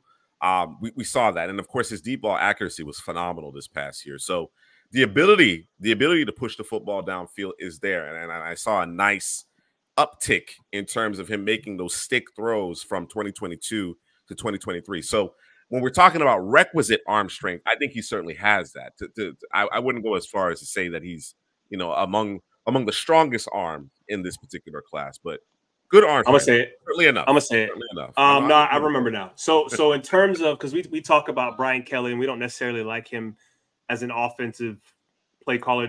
We, we feel he, you know, in terms of, of talent, just in, in terms of a general coach, we feel like he leaves a lot of meat on the bone. Sure. College coaches tend to do that. Um, and, and I, in terms of the offense that they ran and what they were asking the receivers to do, I think it's very limited. So this is something that you know the, the progressions were I think a little little easier than normal, and I think that that's something that he's going to have to um, that that's a hill he's going to have to climb and get over in the league because defenses are going to make things very very difficult. You're not going to be running around with a Brian Roberts and a Malik Nabers that can just dominate um, all over the football. Brian field, Roberts, right? the second baseman. I mean, Brian Thomas. Dang, bro. bro, let me breathe, bro. Let me have it, bro. Let me have it. The Orioles right there. that is the Orioles. Um, yeah, so um there is a hill he's gonna have to get over when it when mm-hmm. it comes to he may have some stars, but there's stars on the other side as well. So you're not playing um UF every week where you can just run past everybody and and throw it to your superstars because they're wide open, right? So strike two. Damn, I got to. Oh, you keep him count. You down 0 2 right that's, now, bro. Nah, that's because Angel, that's Angel Hernandez is back there. You gotta protect right now, you know bro. What I'm saying? you gotta foul. You gotta foul off some pitches, bro. you gotta quality at bat. I'll work it out. I'll work it out. I, I, think one of the, one of the main things, and, and Dana made mention of it, is is his ability oh, yeah. to actually protect himself. That that's going to be a big question mark at the next at the next level. Like you can't be getting you know the fade. You, you, you can't be you know, we talked about the running backs not too long ago about guys making themselves small and avoiding, you know, direct hits. Daniels doesn't. He, he he's like Bambi, full, bro. He's like a dare out bruh, there, bro. Full brunt of the car coming. crash, bro. The full brunt of the car crash, bro. So definitely gonna need to tighten up from bro, that perspective. I, I remember, bro, in high school, there used to be this this safety, bro and you know you're supposed to lower your shoulder, head up. You know what I'm saying? Mm-hmm. Nah. This man will come in chest high and be rapping, bro. Just be. I'm like, bro, you, you chest, chest first, bro. oh, chest first, bro. I've never he never got hurt. Never got hurt, but I know he was going. Oh, that's a just, beast, bro. That's a did, beast. Did he, he make a tackle though? Daniels, did he make a tackle? He made a tackle. Yeah, tackle. yeah you know, he dragged him down, on the ground. get ran over and whatever. Just you know, hey, get him on the ground, bro. That's all that matters, bro. That's all that matters. Let's move on to QB three here. And Heather, you have Michael Penix, and Drew, you have Drake Maye. So, uh, Drew, I'll give you opportunity to speak about your guy here. I, I, think for the most part, you've had him as QB two. Um, he mm-hmm. settles in at QB three for you. Yes, 6'4", 223. Nice, uh, strong, thick frame. Uh, what's that? No Diddy. Um, Come on. I thought he works well when the, when the play breaks down uh, to find his open guy. I think he's decisive once the play breaks down what he's going to do. You have some quarterbacks who will kind of run back there, not sure what they're what they're going to do, um, looking for the open guy. I think he's a little bit more decisive when it comes uh, to that. Uh, he's another guy who doesn't protect himself. Now he's he's I think he's thicker than um, than Jayden Daniels, so maybe there's a little less worry. But he's a guy who doesn't protect himself. Need to see more sliding from him. And I got here while the offensive line was better than last year, the receivers got worse. So so the offensive line wasn't it wasn't you know world beaters, but the receivers got worse. And I think you know Headley kind of talked about it earlier, and we talked about it with Spencer Rattler in terms of you know eh, how do you how do you evaluate a guy where things aren't the, the the the positions that help that position aren't where they need to be now there were times where things those guys did their job and he didn't do his job in terms of right. going through his progressions in terms of seeing what he was supposed to see you know it it, it, it was inconsistent right so so he y'all hear yeah. that he had to come he, he had to come down off my rankings because i listen brother always says i, I want to see consistency and at this particular position you got to have it there's no mm-hmm. excuse there's no you and and he didn't have it part of it was on him, part of it was on his supporting cast, but um, he had to come down off my rankings just a tad bit, man. I probably put him at four, put Daniels at at three. You know, I, I my biggest concern, my biggest concern, ultimately going in, and I and I chalked it up to inexperience. Right, was a pre-snap recognition. You talked about it, Headley. Like there, there were just a couple of times where it's not like the defense is hiding it. They're not disguising it well. You have to recognize it and understand where to go with the football. And he didn't have the answers to the test. I thought with more experience, you know, another year under his belt, another off season to prepare, study film, we would start to see a little bit more um, development from that perspective. There was incremental development, not necessarily to the degree that I wanted to see. The the the, the sporadic nature of some of his play is is what really concerns me the most, though right? I, I, think good quality coaching will, will be able to help him recognize things better, and at least pre-snap. Now, post-snap things change. That that's up to the quarterback at that point, right? But in terms of his preparation, we can we can flesh out, iron out our issues pre-snap. The the inconsistency in, in terms of the ball placement, you know, uh, that that that is something with improved, albeit you know the, the the the talent that the receiver position wasn't quite as good as it was a season ago. With improved offensive line play, I expected more out of him. So I can understand why people are are maybe push him down a little bit. But as you mentioned, the, the traits are excellent. He, he and there's some wow throws in there, right? You know, th- throwing it through a couple of different windows in one in one pass. You know what I'm saying? Like there's some really impressive stuff there from a, a, still a relatively young quarterback. So yeah, you, you at this point you're betting you're betting on those traits, and and that's that's a lot of what the draft has become is betting on the traits. We we talked about Josh Allen, and of course he had his warts coming out, but you know Buffalo bet on the traits. They they coached him up. They they made sure that he had you know at least equality enough supporting cast, and then of course when that confidence started to take over, you see the player that he's developed into. Now, of course, his arm, his confidence, overconfidence gets him into trouble sometimes, and I, and I think you might get that with a Drake Maye, But you know, you, you kind of weigh out those pros and cons, and generally, you know, most most coaches, most teams are going to take that. So, um, interesting to see if he does go as high as number two. Again, as you mentioned, it, it seems like the the momentum has shifted to Jayden Daniels going second overall, but that that third maybe even fourth quarterback off the board. I, I, don't expect him to, to fall any further than that. All right. Michael Penix, Headley. Laser Penix. Laser Penix. Three. Now you got some explaining now, to do, bro. You got some explaining to do, bro. Let's let's hear it. Let's hear, let's it. hear it. Hear it, man. Uh, Laser Penix. Uh, he he's been my QB three uh, from last season. Uh, if he was in that draft class, he's about he was gonna be my QB three, and he's been my QB three all year. And, and then I moved into QB two for like a week, mm. and then I was like, you know what? I like him at QB three, man. So let me let me put him down there. Uh, the QB two, we're gonna talk about him later. I rewatched uh, his tape, all his throws, and I, I, see a lot of things I like, man. But we're gonna talk about Laser Penix here. Uh, perseverance. That's that should be the number one word for, for Laser Penix. Uh, Michael Penix Jr. uh, the injuries, dealing with all those injuries he dealt with in college, uh, the transfer uh, from Indiana to, to, Washington, the leadership ability, man. That, that's the second thing we want to talk about. So he has those intangibles, the perseverance, the leadership abilities. So he has that in spades. On top of that, he's the best pocket quarterback in the entire class. Uh, you know what he does in, in the pocket is is amazing. He has the strongest arm in this class as well, and you know what he's like? You know when you talk about uh, the running back position and, and you got to hold your breath every time, like a Dalvin Cook, you hold your breath every time he touches the football. Well, Michael Penix, you got to hold FSU Dalvin, FSU Dalvin. Come on, F- Minnesota F- Dalvin too. Mm-hmm. Come on, nah, Vikings nah, Dalvin. Nah. I, we, we, weren't. People weren't holding their breath. Now, come on, now it was different at FSU. No, it they was were. different. They it was were, different at FSU. Minnesota bro. too, bro. But um, but but Michael Penix does that from the quarterback position where every time he drops back, you got to hold your breath because it might be six, man. That that, that strong arm, he does it deep down the field, uh, just across the middle of the field. Um, like Michael Vick. Remember Michael Vick? They're not the same prospect. They're not even close to the same prospect. But Vick had that same thing where every drop back, you don't know uh, if it's going to be it a touchdown or not. It could go, it six, go six. Right. Yep. Yeah. And, and yep. he makes those throws that that 95% of quarterbacks can't make. Those hole shots in between the cornerback and safety, opposite uh, hash lasers to the other side of the field. It, it, it just you know, it's, it's it's really nice to watch, man. You watch uh, Michael Penix. You seen in that Texas game. I know the national championship game was a little rough, and and that's where his, his struggles come sometimes uh, with pressure, escaping the pocket. Uh, he's not the super athletic guy. I know they said he ran a four, what five. I, I I don't really think he's a four or five guy, but you know, I think escaping the pocket and just getting squared up. Sometimes I think he does all upper body sometimes with his yeah. throws he doesn't get squared up with that lower body. So I think he could improve from that standpoint. Um, to me, he's a he's a time and a rhythm guy. You just got to protect him. If you protect Michael Penix at the next level and he oh, gets oh, yeah. his time and the rhythm, uh, to me, he's a plus two Tua. I, I call him the strong arm Tua because uh, Tua was the same way too. He needed an offensive system that you got the weapons and you can protect him. He can get the ball in his hands quickly and uh, a pocket quarterback just like Tua. So I, I think there's a lot of similarities in their game.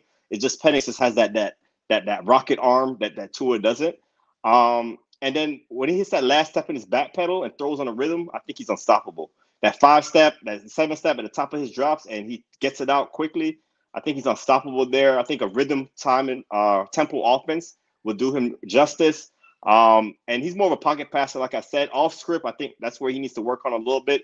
That's why he's my quarterback three. I think it's the top two guys in this class. Is just a lot better outside of structure, uh, off script. They just perform really well there, and and that's something Michael Penix doesn't have in his bag at this point. So you know that's where I knock him a little bit, but you know he looks comfortable on the center. I see him turn his back to the defense, play action. Uh, nice touch on the deep balls. Like I said, the opposite hash lasers. Uh, I like that he'll check down because he's a, he's a strong arm quarterback and he'll take his chances sometimes and, and, throw into traffic. But he also checks it down a lot in that Washington offense. So I, I did like that he did that a lot in that offense and and uh, limiting those turnover worthy plays. And he could look off defenders, snaps his head, throw darts uh, in the next progression, uh, and he gets gets the ball out quickly on a rope. So in terms of the arm talent, all of that, man, I think Penix is the best in the class in the pocket, and you just got to protect him at the next level, like I said, man. So he's my QB three right now. I think in terms of functional mobility, he he absolutely has it. I, I think he absolutely has it. But to your point, it, it's still being a accurate passer when he's moved off of his spot, right? I think the requisite athleticism is there in order to step up, slide. If if he so chooses to to run and get you five six yards, you know, extend the drive. Um, but he's keeping his eyes down the field. But I, I just want him to be a more consistent passer outside of the pocket. Now, within the pocket, as you mentioned, within rhythm when he's protected, uh, it's hard to argue with with his ability. And and I've I've seen a number of throws. You mentioned the opposite hash laser where it's opposite hash. It's about 35, 40 yards downfield, and the safety, the safety is already outside of the hash, and he still can't get there. That's that's Jay Daniels don't have that arm strength, Drew. I'm sorry. Mm-hmm. He, he don't he don't have that kind of arm strength. So th- that is special.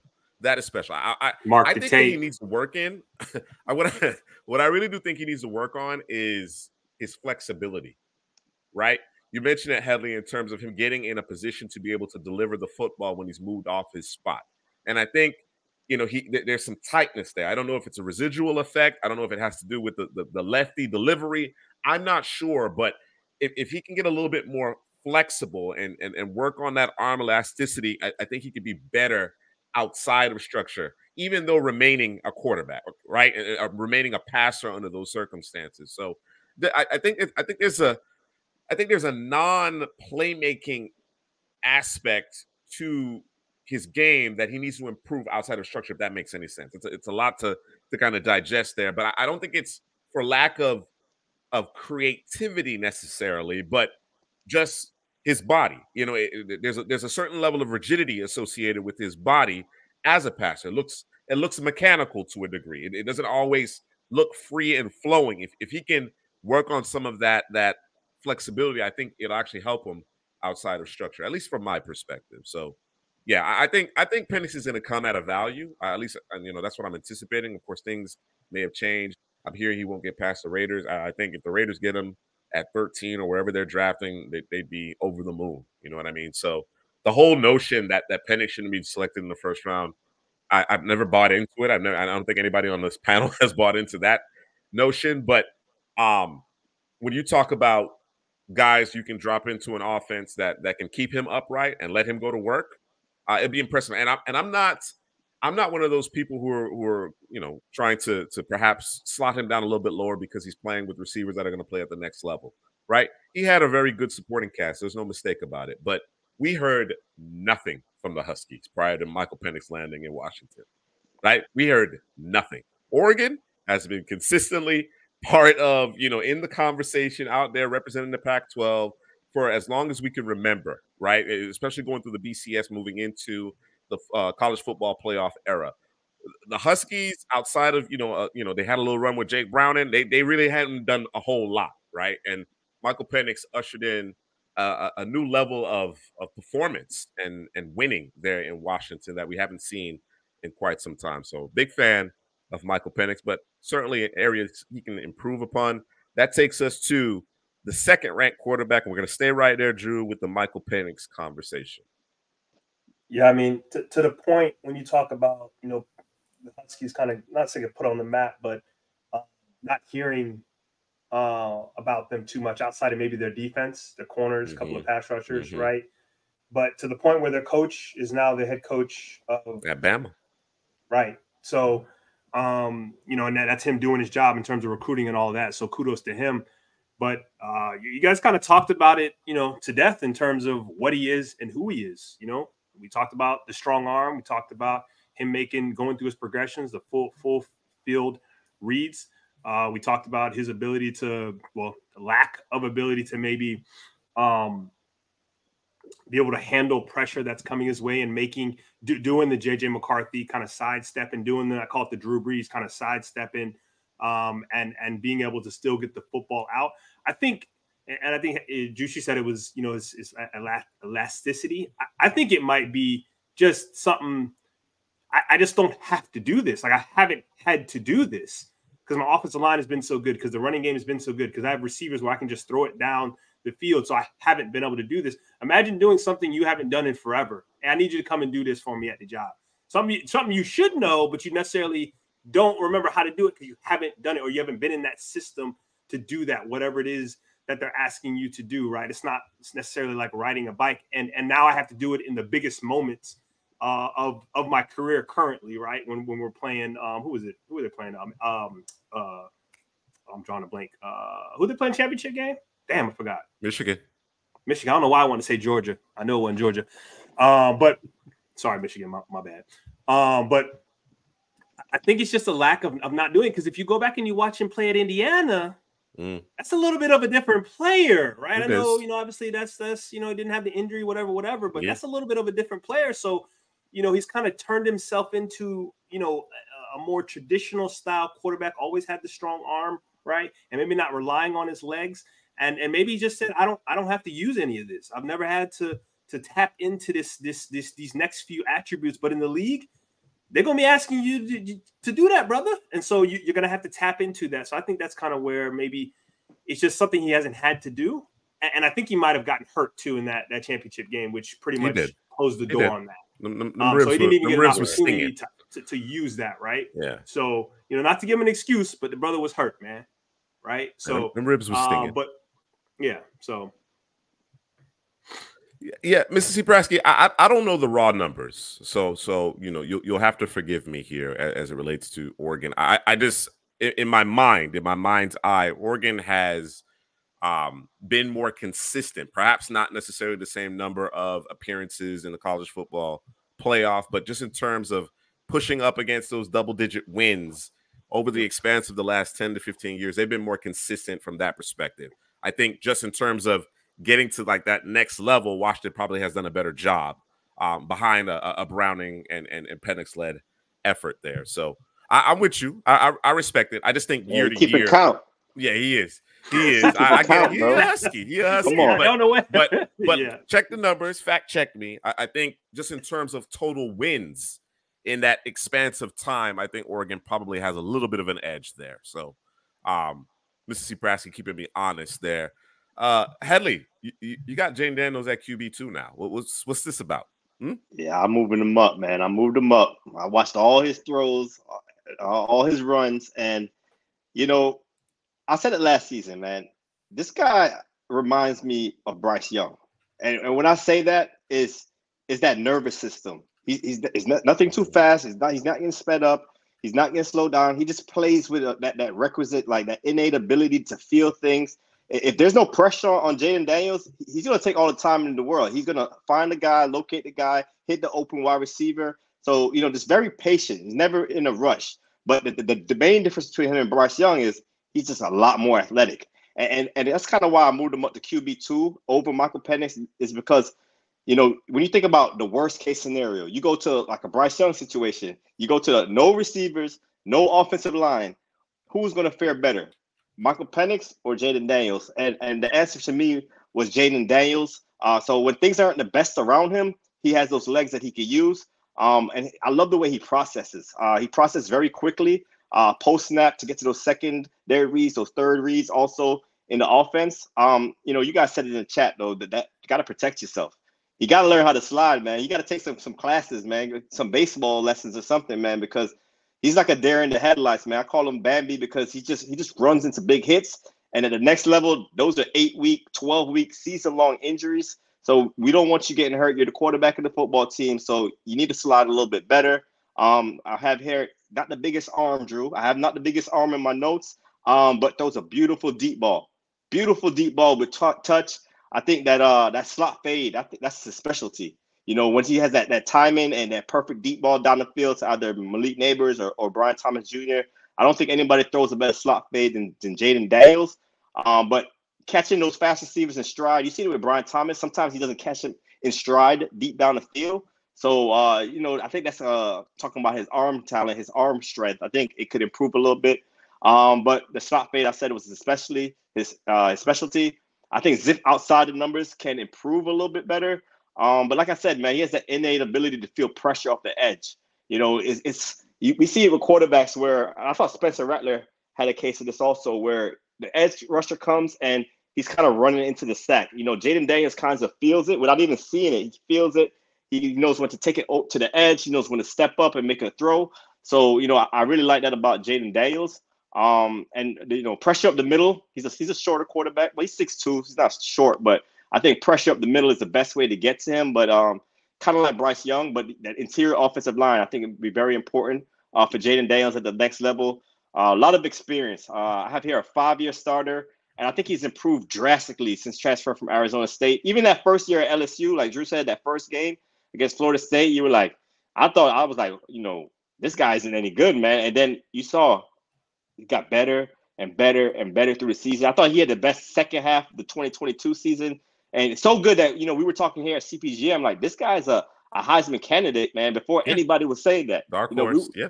Yeah, we yeah. were saying that before uh, anybody was saying that. And he eventually won the Heisman. He took that strong second half of his 2022 season, had an incredible 2023 season uh, with the LSU Tigers. And I think he reads the entire field, man. I think not a lot of quarterbacks can say that, how he can read the field and process quickly and not be uh, sped up. Like I said, that nervous system is big for Jayden Daniels. That legs are big for him. So I think going to Washington, if he goes to number two to Washington with those receivers, with Dotson, Terry McLaurin on that roster, uh, I think they can have a. They just got to protect them. That's going to be the thing about the, the Washington Commanders' offensive line. But if they can protect him, especially up the middle, I, I think we could see him catch uh get there quickly and have a, a good season. Now I wouldn't say CJ Stroud rookie season, but I think he have a big year year one uh with the Commanders. Dana was asking about uh, Daniel's mechanics and and you know her, her challenge in terms of evaluating. I thought the mechanics were fine. Daniels, yeah, D- DP, DP compared to other these other quarterbacks. Yeah. You yeah, yeah. talk about Drake Maye mechanics, um, yeah. especially uh, Michael Penix uh, mechanics outside the pocket.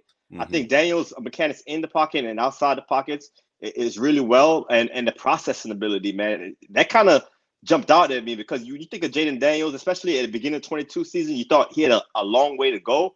And, and, watching the 23 tape, I was like, wow, this guy processes quickly. He has great legs to escape the pocket. He's a, he has very a lot of experience, so he has a lot of uh, pluses for me, and and that's why he's QB two.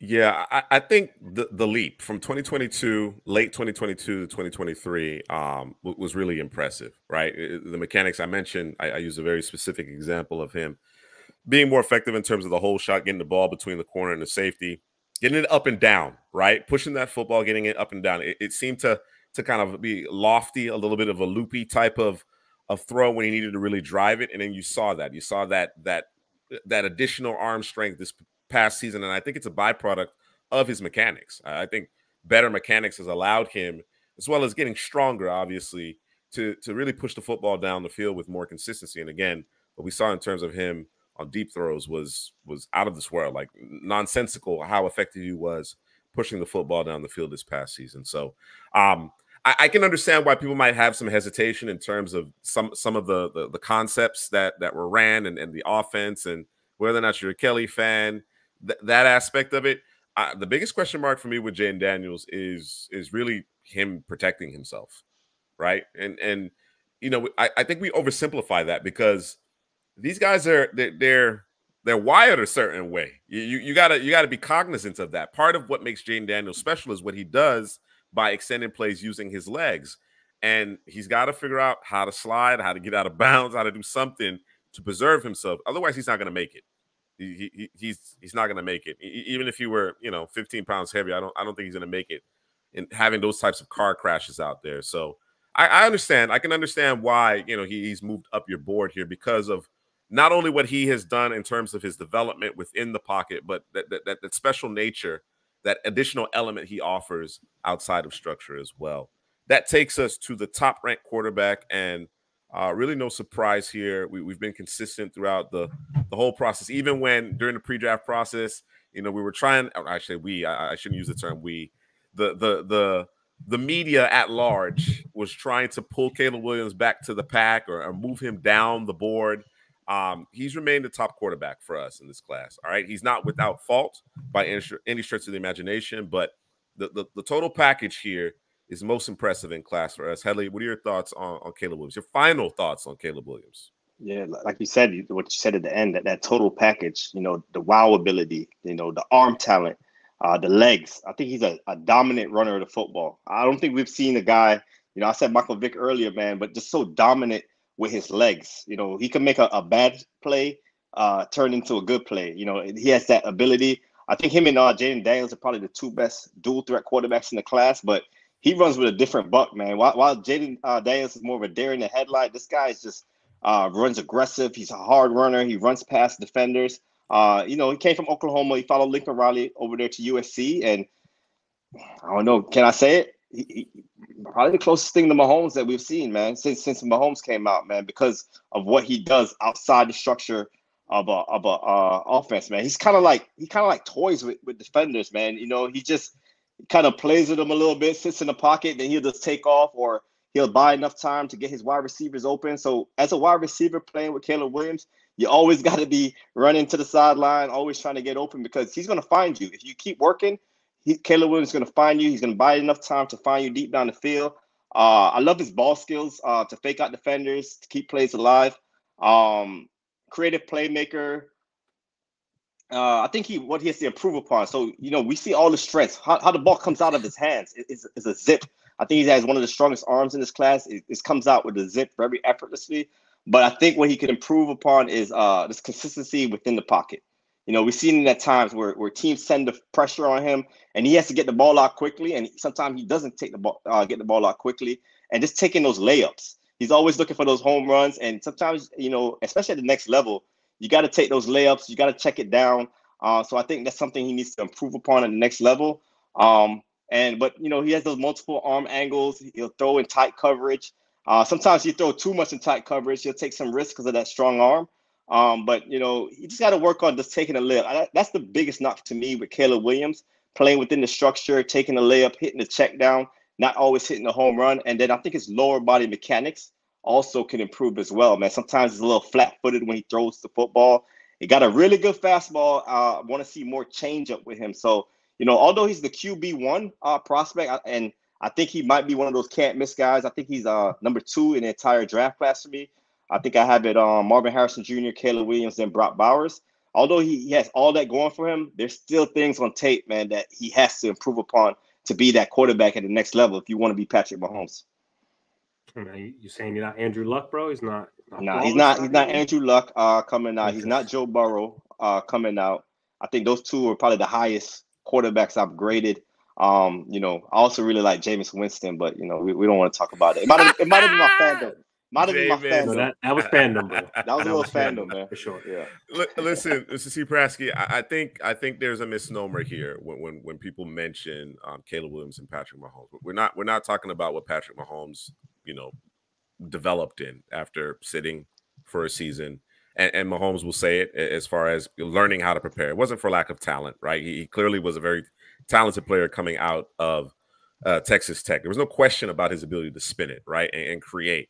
But landing in Kansas City with Andy Reid, who's never had a quarterback who hasn't been successful, um, I, I think just the evaluation of Mahomes at Texas Tech, when you're looking at it, and you're juxtaposing that against Caleb Williams, that's where you you're drawing the parallels.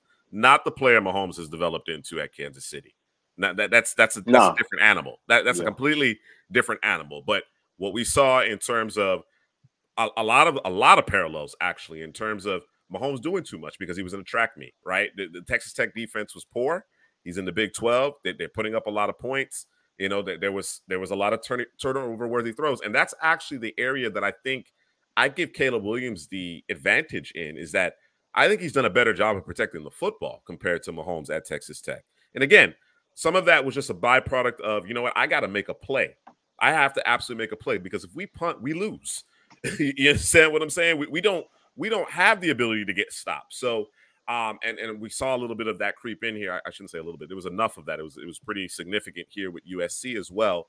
Uh, one of the areas that I don't think people talk about enough as it relates to Caleb Williams, um, and, and of course he's developed some bad habits because of what was going on around him, uh, and he's going to need to correct that is the, the, the offensive line play at USC wasn't good, bro. We, we we talk about the defense and, and not getting stops and it being a track meet, but I, I thought the offensive line was giving up pressure way too quickly on the regular. It, it was a swinging gate of, of, an offensive line. So so now you know you're talking about him not necessarily playing within structure. It's because he's been sped up. He's been sped up. Now the what the challenge is, and what you what we need to see from Caleb Williams is that it does not translate moving forward because we've seen that play out as well, where you've picked up some bad habits because things weren't great around you and you never break out of that. You get hit one too many times and you start looking at the rush as opposed to keeping your eyes downfield, that type of thing. So um, that that's the concern there. That that's the concern there. What about you, Drew? What are your thoughts on Caleb Williams? Yeah, man, he's he's been number one. Uh, he's going to stay number one in terms of the in terms of the the I think Headley, called it in terms of how we have them stacked in terms of Marvin Harrison being one, him being two, but in terms of the quarterback position, um, never wavered. You know, I, might have, I might have, um, I might have uh, steeped in a Michael Penix a time or two, or or a Jayden Daniels a time or two at quarterback one, just to you know, just to be different. But in terms of of what he can bring to the table, um, I think he's he's the entire package. Uh, you know, he's he's a guy who can extend plays. Uh, he's a guy. He, he's not necessarily looking to run. Um, he's looking to get the ball down the football field, um, and if he needs to run, he can run. I think sometimes he can. To me, sometimes I, you know, I, said this earlier in the in in um in summer scouting in terms of the, the different quarterbacks in terms of their ability to get outside the pocket and make plays um, with their feet, and he does it differently than everyone else. Um, he can make you miss, but he can also break a tackle if you're not coming to, coming at him, you know, with, with some heat, right? Because I think he's strong enough, nice compact frame to break through whatever tackle's coming, unless you know it's, it's Ray Lewis out there. But um, his ability to want to throw the football down the field, to throw it down the field accurately. Um, you know, I, Headley talked about in terms of his, you know, wanting to work within the structure of the offense. But again, this is one of these quarterbacks. It was kind of hard to to evaluate um, at times because it was a swinging gate, right? Or you had receivers dropping. Well, I guess you could still read that out. You had receivers dropping passes. So what does that do do for him now? Now he has to press, right? Now he's got to play hero football right? It's all on me. It's all on, on Caleb. It's all on 13, right? I'm, I'm, I'm in California where I got, you know, it's always exciting and, and, and the sun is out and, and, and, you know, it's like camera action out there, right? So I always have to perform and, and that, that can wear on anybody, bro, especially when you know your defense is terrible, bro. Like we thought, okay, last year, you know what? You know what, you know, it's his first year there. Got to got to kind of work them some things out. Got to get the defensive players in there. And you thinking this year, I didn't think it was going to be, you know, uh, you know, we're going from like a one to a to a to a ten. I was thinking, okay, they, they might be sitting like at a five. That that's serviceable, right? Because USC is going to put up points, and and they probably improve to a two in terms of defensively. So what does that do to your quarterback, man? It just puts more pressure on him, and and you know, they were losing the teams they had no business losing to, right? So it, it was just tough for him to to you know drop back consistently and throw the football out and get it out in time to to be that quarterback. I know I'm making excuses for a couple of these guys, but I, I just got to put it out there because I don't want people you know running around here talking about you know he played outside of structure um, on purpose, right? That that wasn't that wasn't necessarily the, the case for him. Um, but he's he's got the, the the strong arm, can get it anywhere on the football field. Uh, I, love his ball placement.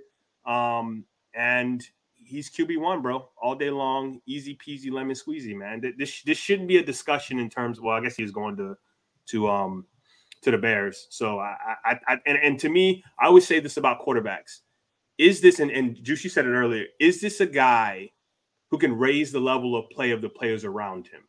That's exactly what he is, and yep. that's why he's going to go number one. End yep. of story that that's that's what it comes down to when when it's all said and done for for the the, the handful of awards that he has. Um, and, and like I said, I, I, think he has some things he needs to work on, and, and some of it was, you know, you know, it, it really kind of mushroom clouded because of some of the circumstances around him. But that's that's what you see from Caleb Williams. He he he gives you a fighting chance because he has the ability to raise the level of play of guys around him. The, the I, I want to see him coached hard right? I, I, think you know again we, we were talking about Mahomes. I, Mahomes got an opportunity to be Coach Hardy. You know he had the good cop bad cop situation with Andy Reid and, and Eric Bieniemy. You, you understand what I'm saying? I, I think I think there's so much on top of Mahomes' prodigious ability and his competitiveness, which I think is really truly the the what, what separates Mahomes is his competitive streak, right? That innate, you know, I, we're never out of this thing. Um, th- that's going to be the biggest question mark with Caleb Williams. I, I, he certainly strikes me as a competitor, but he, he he wants to win. But but does he have that that Terminator type of mentality? You understand what I'm saying? When the chips are down, right, with with a little bit of defense, you know what I'm saying? Or can we can we stay in this thing? But if we're struggling, you know, we can't get out of first gear. Um, are, are we going to be able to dig deep and, and, and put that drive together to put us over the top? That that's that to me is what it comes down to from a coaching perspective and and again, you know, when when the chips are against the wall, can you get the team over the top? That that's what I I'm I'm waiting to see here from Caleb Williams. But yeah, I'm definitely investing the first overall pick in him. We, we talked about it with the Chicago Bears. If there was a lot of conversation as to whether or not they would move off of Justin Fields, this was a guy that unequivocally I would have moved off of Justin Fields for. Everybody else, you know, it's conversation at that point. But if I had an opportunity to select Caleb Williams, that's the direction I'm going to go in. So Caleb Williams is the first overall quarterback in your rankings here. Wanted to uh, address Dana's question here before we move on to our next position group. Um, and it's with respect to Jayden Daniels. It's actually with respect to Jayden Daniels in terms of him struggling on a few of the shorter routes that he threw. And, and I, I just happened to look, I was curious, just looking at the raw data. Um, PFF, you take that with a grain of salt, obviously. Um, his the, the, the number of drops LSU had when the throws were, you know, at the line of scrimmage or, you know, nine yards in depth was almost twice as many as anywhere else on the field. Right. So um I, I think it's maybe a combination of of you know some some bad luck to a certain degree. But I, I wonder, Dana, in, in, in, terms of your evaluation, are, are you seeing a, a, lack of accuracy there, a lack of timeliness, ball placement being an issue? What about you guys? Any anything did you notice when when the ball wasn't traveling, you know, past the the, the first down sticks? I might say it might be um I call it um the temperature of the throw, right? If if mm. you know I, everything don't got to be Brett Favre, right? Everything sure. don't got to be a Brett Favre throw. Like if I'm, if I'm, two feet from you, I don't need you, you know, breaking my fingers, right? So I think that may be maybe part of it, right? Just okay. understanding where where your player is on the football field and what kind of throw needs to be made to that particular player. What about you, Headley? Any thoughts on that? Mm, yeah, I, like I like what Drew said right there. Um, like we always talk about fastballs and changeups. You, you got to have that changeup also. Um, I, I didn't put it down in my notes, um, so I, I don't think I've seen it that much. Uh, mm-hmm. but I did see those drops though. I saw those drops. So I think it's a lot of times those receivers trying to get running before they catch the football. Mm-hmm. And Brian Thomas Jr. because those I'm guys are explosive after the catch. So right. you did see some concentration drops from those guys. All right. Uh, Mr. C had a good question right here. With, with oh yeah, let's get to it. Let's get to it. Before we um yeah, what do you where, where you got him, Drew? If he came out. Speaking speaking of bad offensive lines, speaking speaking oh, of poor, and, and, and Shedeur got a little Terminator in him, bro. Yeah, he does. He, he got some yeah, Terminator in him, bro. Um, I would put Shedeur. Let me just look. Um, he would definitely be one, two. You got him over McCarthy. I know that much. I know you got him. Yeah, yeah it's two through four for me. Um, yeah, yeah. And I'm he looking at four. it. He might be four for you. I'm look. I'm looking at it because he has a lot of the same uh, nervous system stuff that Jayden Daniels have. What I like in Jayden mm-hmm. Daniels, Shedeur has a lot of that also in him. He's never sped up. Uh, you know, so I, I don't know if I'll put him ahead of Jayden Daniels. I probably maybe Michael Penix had an arm. It'd be three or four for me with Michael Penix Jr. Um, and I probably put Penix Jr. three, Sanders four. But Sanders has another season, man, so he could he could move up uh even further than that uh for next year's draft class. All right, let's switch gears here. Uh, let, us go to the tight end position. All right, I, I think we can motor through that one pr- pretty quickly. The, the, the, tight end position obviously is it's not as fabulous as the quarterback position. Obviously, not sexy, bro. No, no, it, it, it isn't. Yeah. But you, you talk about the utility of the position. You got a lot of teams carrying four, maybe even five tight ends. Can play in line. You can split them out wide. Can do the H back, lead blocker, special teams. There's just so much utility associated with the tight end position. Now, not every – player in the position group does all of those things, but it, it's one of those positions where you know you, you see guys get drafted early, early day two that don't even have a role, you know, the first couple years that, that they're in the league because of course they're trying to learn a, a number of positions. That's just the nature of it. So the NFL obviously puts a lot of stock into this particular position group, and, and I'm interested to get to your uh, rankings here. Right at number 12, and we're doing a top 12 here for the tight end position. Headley, you have Tip Reiman, and Drew, you have Jaheim Bell. Let's start with you, Headley. Yeah, you know, now you're talking about the tight end position and not being as strong. Uh, and it's just like any other position, but when you have a strong class from last season with Michael Mayer, Kincaid, uh, Sam LaPorta, the next season might not be as strong. I think the running back class is kind of similar to that.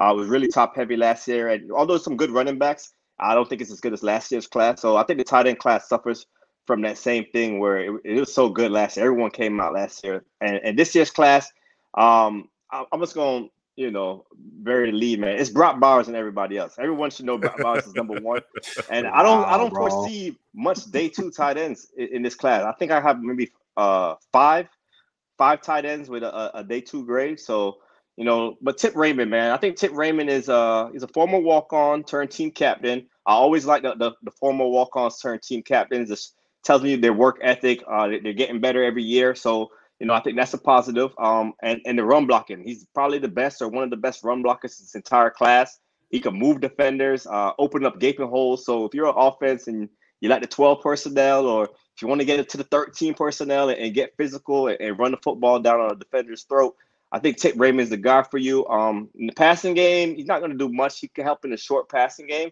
Um, once he catches the football, he does have power to break through tackles for additional yardage. Um, but he's not going to get much separation. He's one of those tight ends you kind of have to scheme open uh, on your offense. He's like that prototypical Y inline tight end that can make a uh, NFL roster as a blocking tight end too.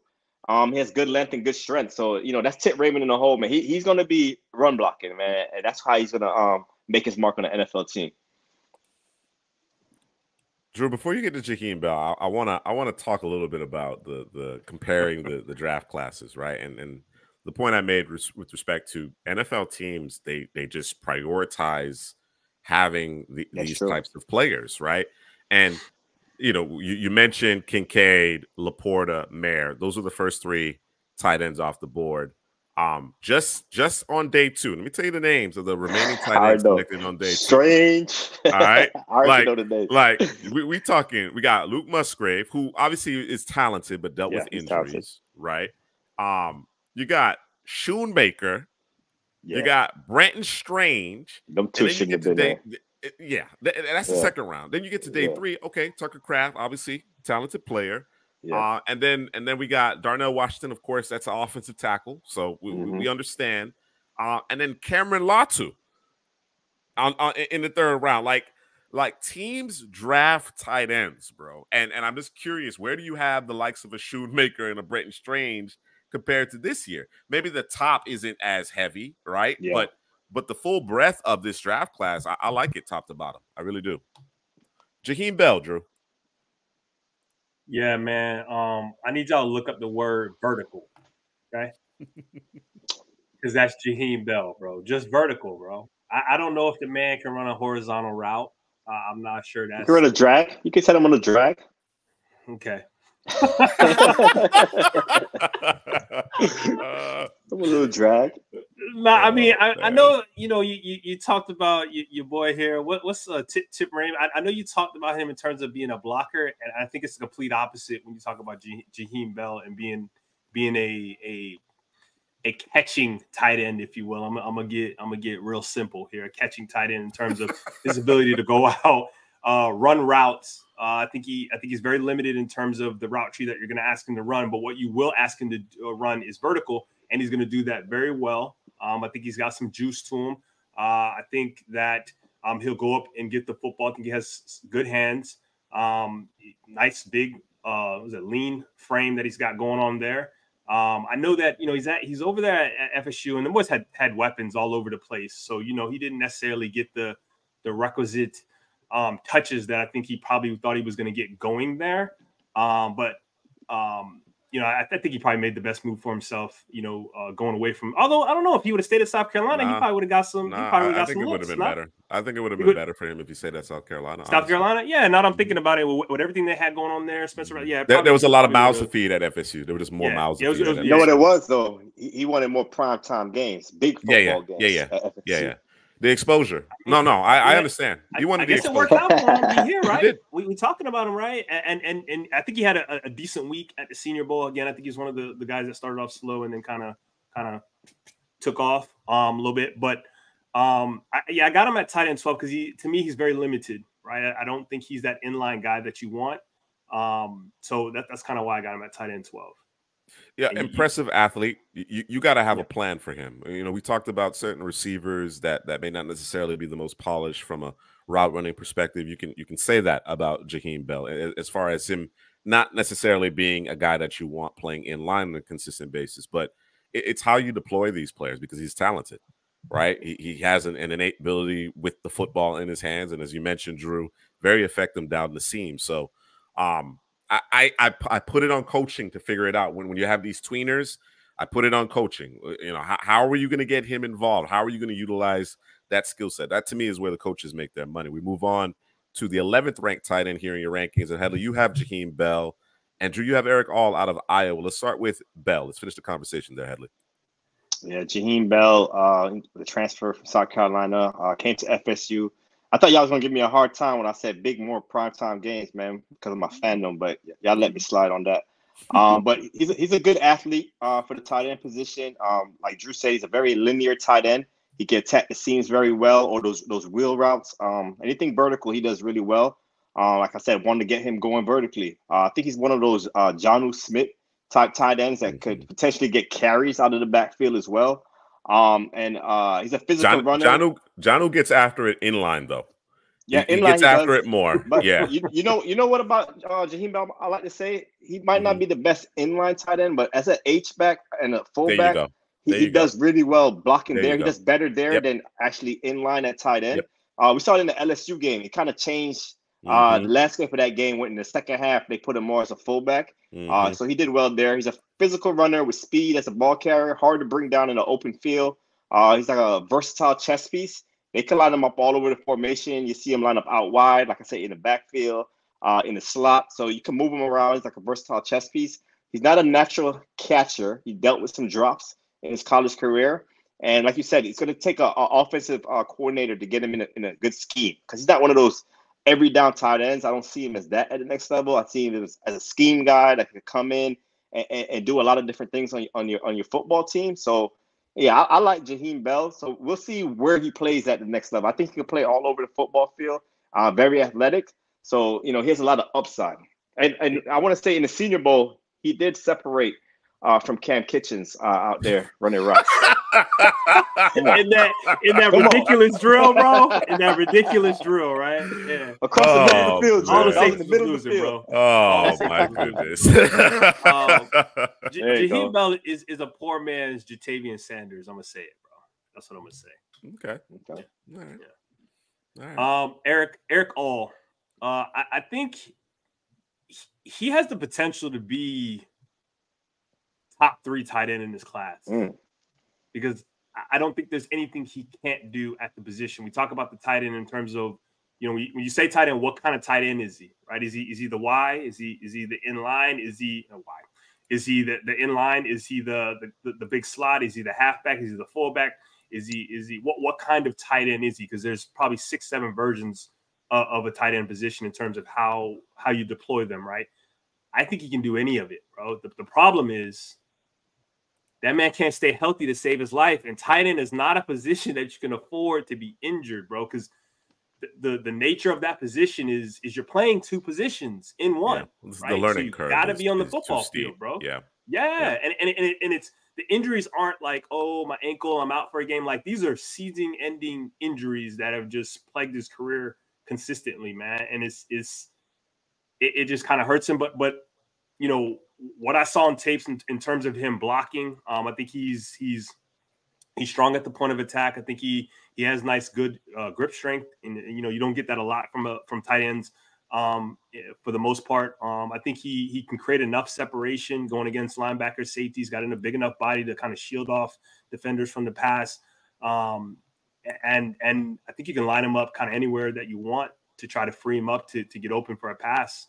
Um, but again, it's, it's, it comes down to the injuries, man. So I, I, I wanted to put him at 12, but you know, I had an opportunity to put State at 12, so I did that. Um, so I got Erick All here at 11 right here, man. You know. I like it. All right, let's go to the top 10. as you guys get into the top 10 here, Brevyn Spann-Ford, Cade Stover, uh, respectively, uh, let, let's address fearfully confidence questions here.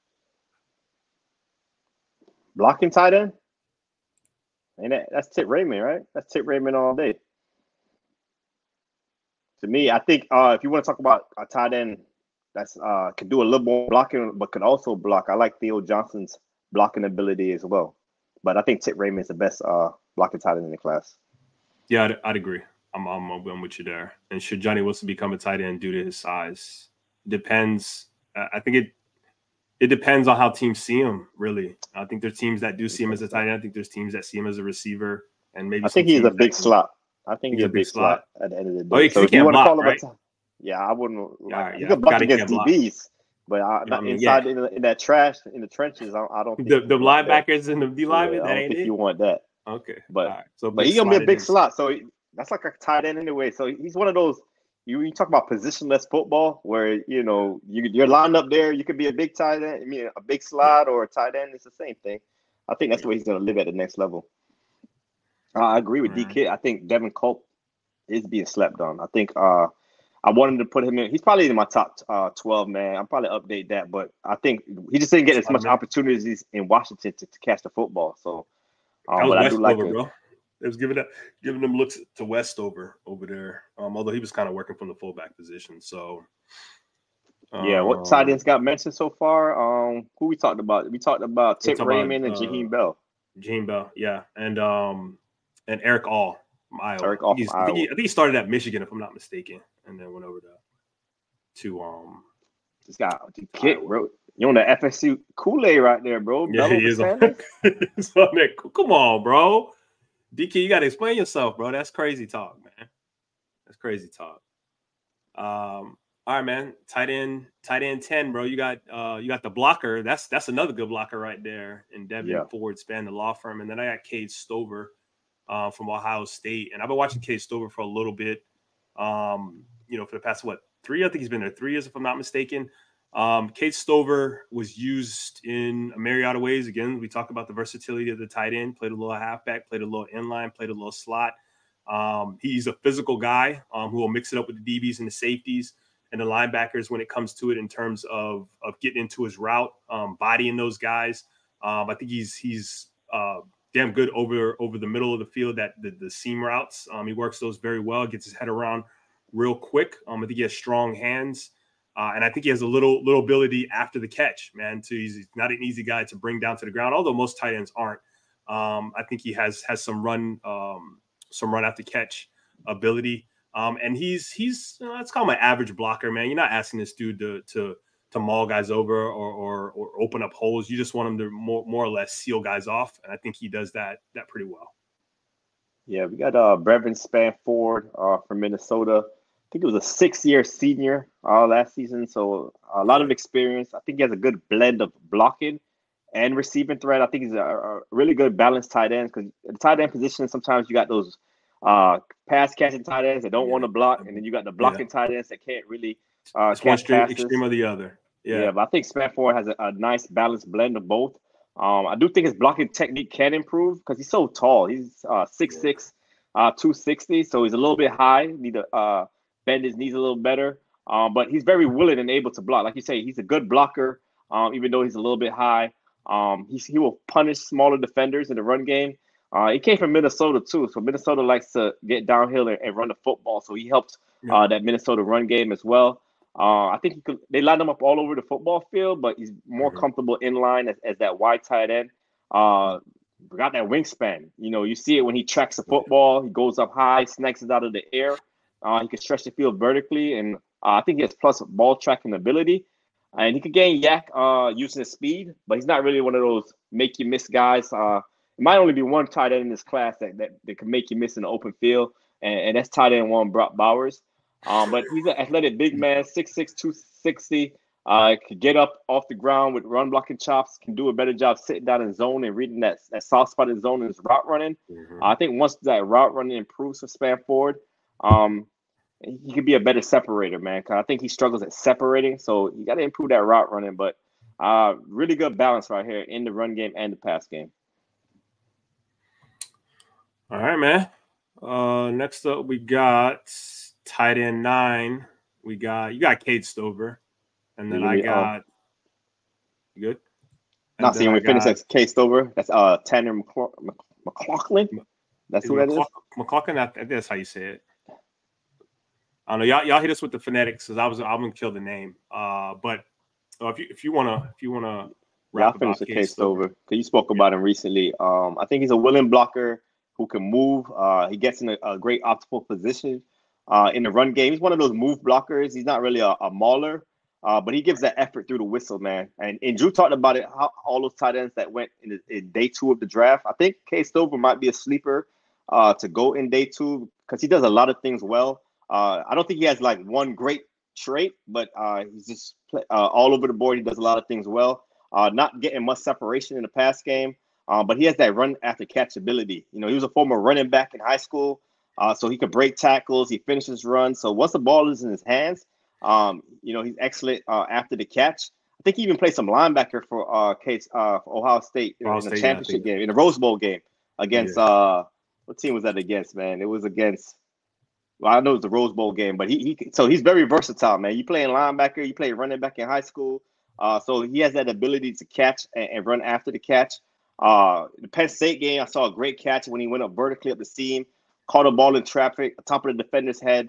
Uh, he showcased very good concentration ability to make those tough contested catches. I think he has really natural hands. So kind of what I was speaking about with Stover, where he has a lot of things that an NFL team would like at the next level. Good hands, good run after the catch ability, hands in traffic is really good. Uh, he does whatever it takes. So I think he's a he's gonna be a, a coach favorite, man. I think that's uh, how I describe uh, Cade Stover. But he's gonna be older though. He's gonna be an older prospect. I think he's 24 years old and he lacks the big time athleticism. Uh, but you know, I, I think you know that I spoke about it. That, that 24 age, he might not be day two because he's an older prospect, but you know, he does a lot of things well for a football team. Yeah, Tanner, Tanner. I'm gonna call him McClack, McClack, McClatchin. That's what I'm gonna say. McLaughlin. McLaughlin. All right, Tanner McLaughlin. Um, when given the opportunity, gets down the field quick, fast, and in a hurry. Gets uh, gets his head around quickly. Uh, clears defenders in coverage, man or zone. Uh, I think he's really good at finding the holes in the zone, sitting down. Uh, I think he has strong hand, st- strong hands, and he catches with his hands. You know, a lot of guys like the body catch, but he catches with his hands. Um, I got here. Uh, let me see. Yeah, a- anything with power in terms of the blocking game. Um, not he could handle, but any. Let me see. Here. Let me write. Let's see. Blah, blah, blah, all right, I got it here. All right, so anything with power in the blocking game, I thought he struggled um, with. I was watching him go go uh, go against Washington, and it didn't really matter who the defender was if, if they had any type of power to their game. Uh, Bralen Trice, um, mm-hmm. uh, uh, uh t- both of the linebackers for Washington were kind of coming off of the edge, and and it was it, it's I don't know, man. It didn't it, it didn't matter if it was it was the power came later in in the in the in the play or if it came early in the play, he he struggled with that. Um, you know, or if the guy had heavy hands, right? If, if it was a finesse guy trying to get cute, trying to turn the corner on him, something like that, he was able to kind of shut that down, get his hands up, um, and use his power versus versus that guy. But if a, if, another, if the opposite guy he was going against had power, um, I think he struggled um, there. So I think he, to me, he's more of of a uh, pass catching tight end than he more of a blocker. Um, I think he's, he's high effort guy though. Um, so I, I, give him a I give him a uh, I give him a shot in in the running game.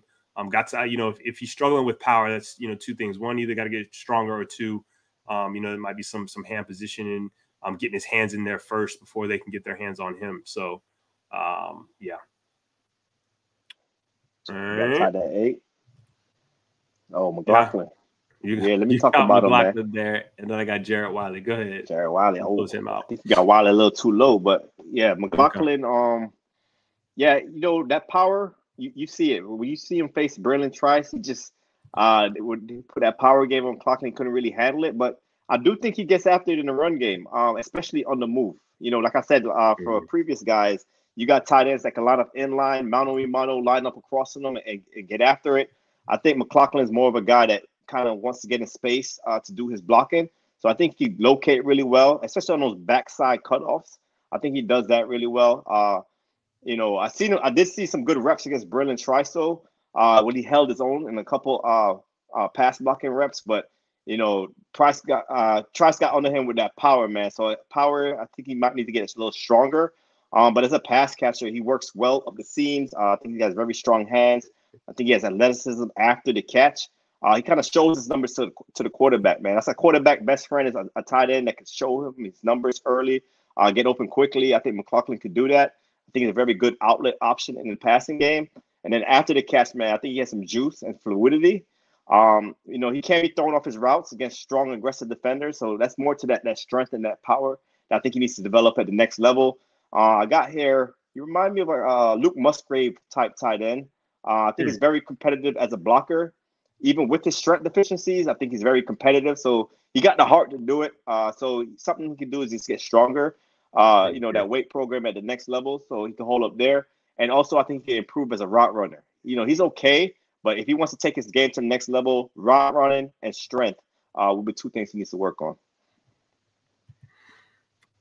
All right, for uh, Jared Wiley out of TCU, I got a uh, got here a big wide receiver playing tight end, moves well in and out of his breaks, tracks uh, the ball well uh, down the football field. Uh, he, he's the type of guy who can turn poorly thrown balls into catches, uh, shields off defenders um, when making uh, make, making himself an easier target uh, for for the the quarterback to kind of squeeze it in the, in that window if it, if it is a, a tight window. Um, uses his size well, um, and he will get physical um, with the defender. Defender wants to get physical. He'll use his body. Um, you saw it at the Senior Bowl in terms of guys wanted to get physical with him. He got physical back um, and used that that physicality against the defender to to create the separation. Um, you saw that routinely from him, especially in the one on ones. Um, where, where he, you know, kind of lacks, and I talked about him, you know, being a receiver playing tight end, is is that he lacks it in the um in the in the the blocking game, in the, in the run game, in terms of blocking. That's not his cup of tea. Um, so if you're asking, if, if you're drafting him, you're not drafting him to, to block, right? Is it something that he can improve on? Sure, but I don't know that he'll ever have the chops to do it consistently. Um, you might want to set him up to seal guys off, um, or if he's on the move, um, that may be better for him. But if you're telling him to straight up just block the guy in front of him, I, I think you're you're asking too much of him, depending on who that um, defender is. I think you might be asking too much from him. So all right, moving to tight end seven. And we got this uh Holker uh for US seven. Holker. You said you said what? You said Dylan? Dallin Holker? Dallin Holker. Okay, yeah. I was about to say. Um, and then I got AJ uh Barner uh from Michigan. I, I think you, you high on uh, Barner or you moved him out? Uh, I, I, I, like him. I think he has a okay. lot of uh, upside at the next level. Um, you know, Michigan they had that beast tight end or uh, Loveland over there. Yeah. I think that's the yeah. guy. But I think uh, AJ Barner got a pretty good skill set to be uh, one of those day two tight end that, that sneaks in there. Yeah, I got him here. Um, thought he was uh, a good mover for his size. Caught a few few of those seam layered passes that came from JJ McCarthy that we saw a lot. Um, you know, and and obviously he was he was asked to block a ton because that's you know just just just the nature of that offense. And I don't know that he's necessarily a guy that you want to he can line up and straight just move people out the way. A lot of the blocks that I saw that came from him were you know kind of crash down side blocks, trying to trying to give him the advantage. So I wonder if that speaks to his ability to just straight up just block people in front of him, moving a guy out from directly over him and moving him out versus moving him into the line of scrimmage um, you know, and moving from from player to player. I, I, just I'm not sure in terms of his strength or his ability to, to do that on a consistent basis. Um, and then in terms of his route running, um, I think he creates a, a, little bit separation. I think, he, I think he's got some subtle moves um, to do that. You just didn't see it a whole lot. All right, I got Dallin Holker from Colorado State. Uh, he burst on the scene in, the, in that Colorado game, man. Uh, you know, against uh, Coach Prime, that prime time game, everybody watching. I was like, who, who is this number five guy, man? Because I think he's a sleeper in his class, especially as a, a pass catching tight end. I think that's his uh, superpower is catching the football. Uh, you know, he moves well. He's a loose route runner. Um, as far as blocking, I think that can improve. Uh, I think he just lets too many guys beat him as a blocker, especially in space. You know, breaking down, uh, locating. I think he struggles a little bit as a blocker. Um, but you know, I did have more consistent hands. But when he went up and got it and tracked the football, he made some wild catches. Uh, they'll light him up outside. They throw him a screen pass, so that shows uh, his ability after the catch. He can break tackles. He kind of weave through defenders and uh, vision. You know, open field vision as a tight end, man. That, that creativity. Uh, not a lot of tight ends have that. A lot of tight ends are more straight line, but you know, Dallin Holker has the ability to to be creative, uh, running after the catch.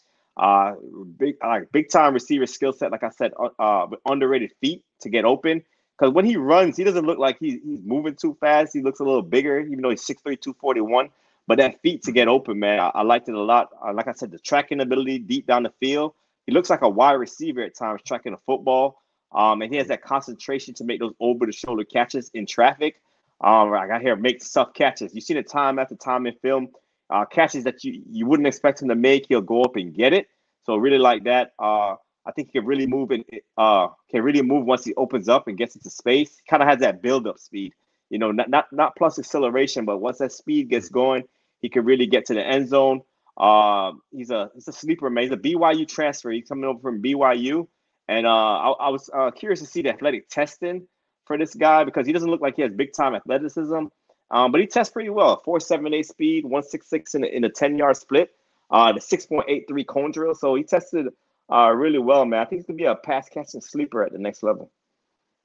Yeah, I'd agree with you. I like I like him a lot, man. Um, all right, next up, there go, there go your boy AJ Barner, six. tight end six for you. And you got Tip at, at six. Yeah, I got Tip at six, bro. You like Tip? Yeah, yeah bro. tip, tip, listen, um, I think Tip, Tip serious, bro. Uh, and I know, I know you, you talked about him in terms of his blocking ability, and you know, I got I got really good at uh, using defender speed against them when blocking. Uh, consistently wash folks out of the play. Really good at positioning himself. Uh, let me see. Here. I can't see. Uh, really good at positioning himself on the block um, and setting folks up. Can block at any manner defender, big, small, fast, strong. Uh, even works well uh, in space in slot while moving at the snap. You know, um, I, I, think he's this, this, is a Madden term. Uh, he, he's the blue route king, bro, because he blocks mm. so well, right? That he can go out on that delayed route, you know, whatever it is, and and you know, leak it out safety valve or, or whatever it is, and and be wide open. Um, uh, he's not necessarily an, an, attacker in terms of a blocker. He's more calculated, right? So he's kind of sizing guys up before he goes out and he, he gets his guy right. Uh, he can play a little high at times at the point of attack. Um, it didn't it didn't phase him a lot, but I think in the league that's going to catch up to him. So you know, I know he's what I know he's six five, if I'm not mistaken, six five and some change. But you know, he's he's got to be able to. Actually, I think he's taller than that. I think he might be six six. Um, let me see. No, I got six five, two seventy.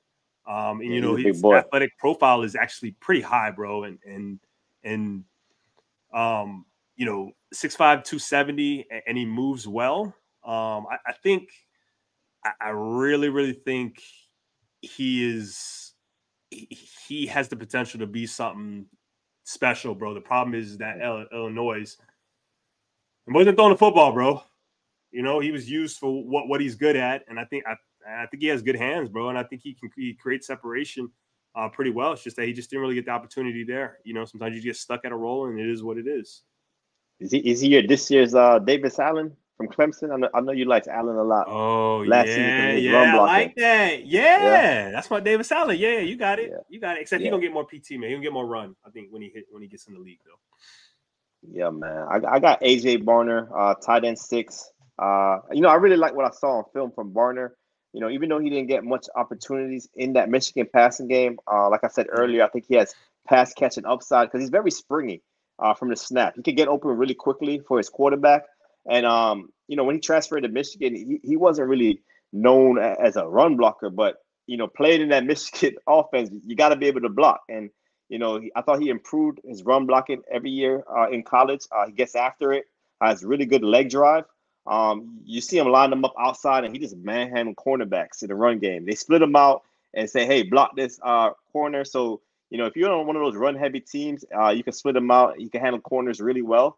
Um, he was an extension of the outstanding Michigan offensive line.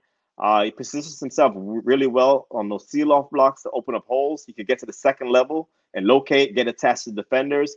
And, and that's what kind of makes those those five yard runs 20 plus yards, man. It, it's a blocking down the field for your tight ends and your wide receivers. Uh, so I think AJ Barner does that well. Uh, he can make tough catches in traffic. Uh, we see we seen that from JJ McCarthy throwing those balls in traffic. Um, and like I said, he wasn't a big time pass catcher, but uh, I think he has pass uh, catching upside if given the opportunity and that work ethic, man. He, he's trying to get better every day, which he's done through his college career. And I think once he gets to the next level, um, you know, he's just going to get better and better, man. I think he could be one of those tight ends that can help a football team out. Theo Johnson, Dynasty. Yeah, I, I like Theo, man. What he did at the senior, but we're going to talk about Theo in a little bit, man. We'll talk about him.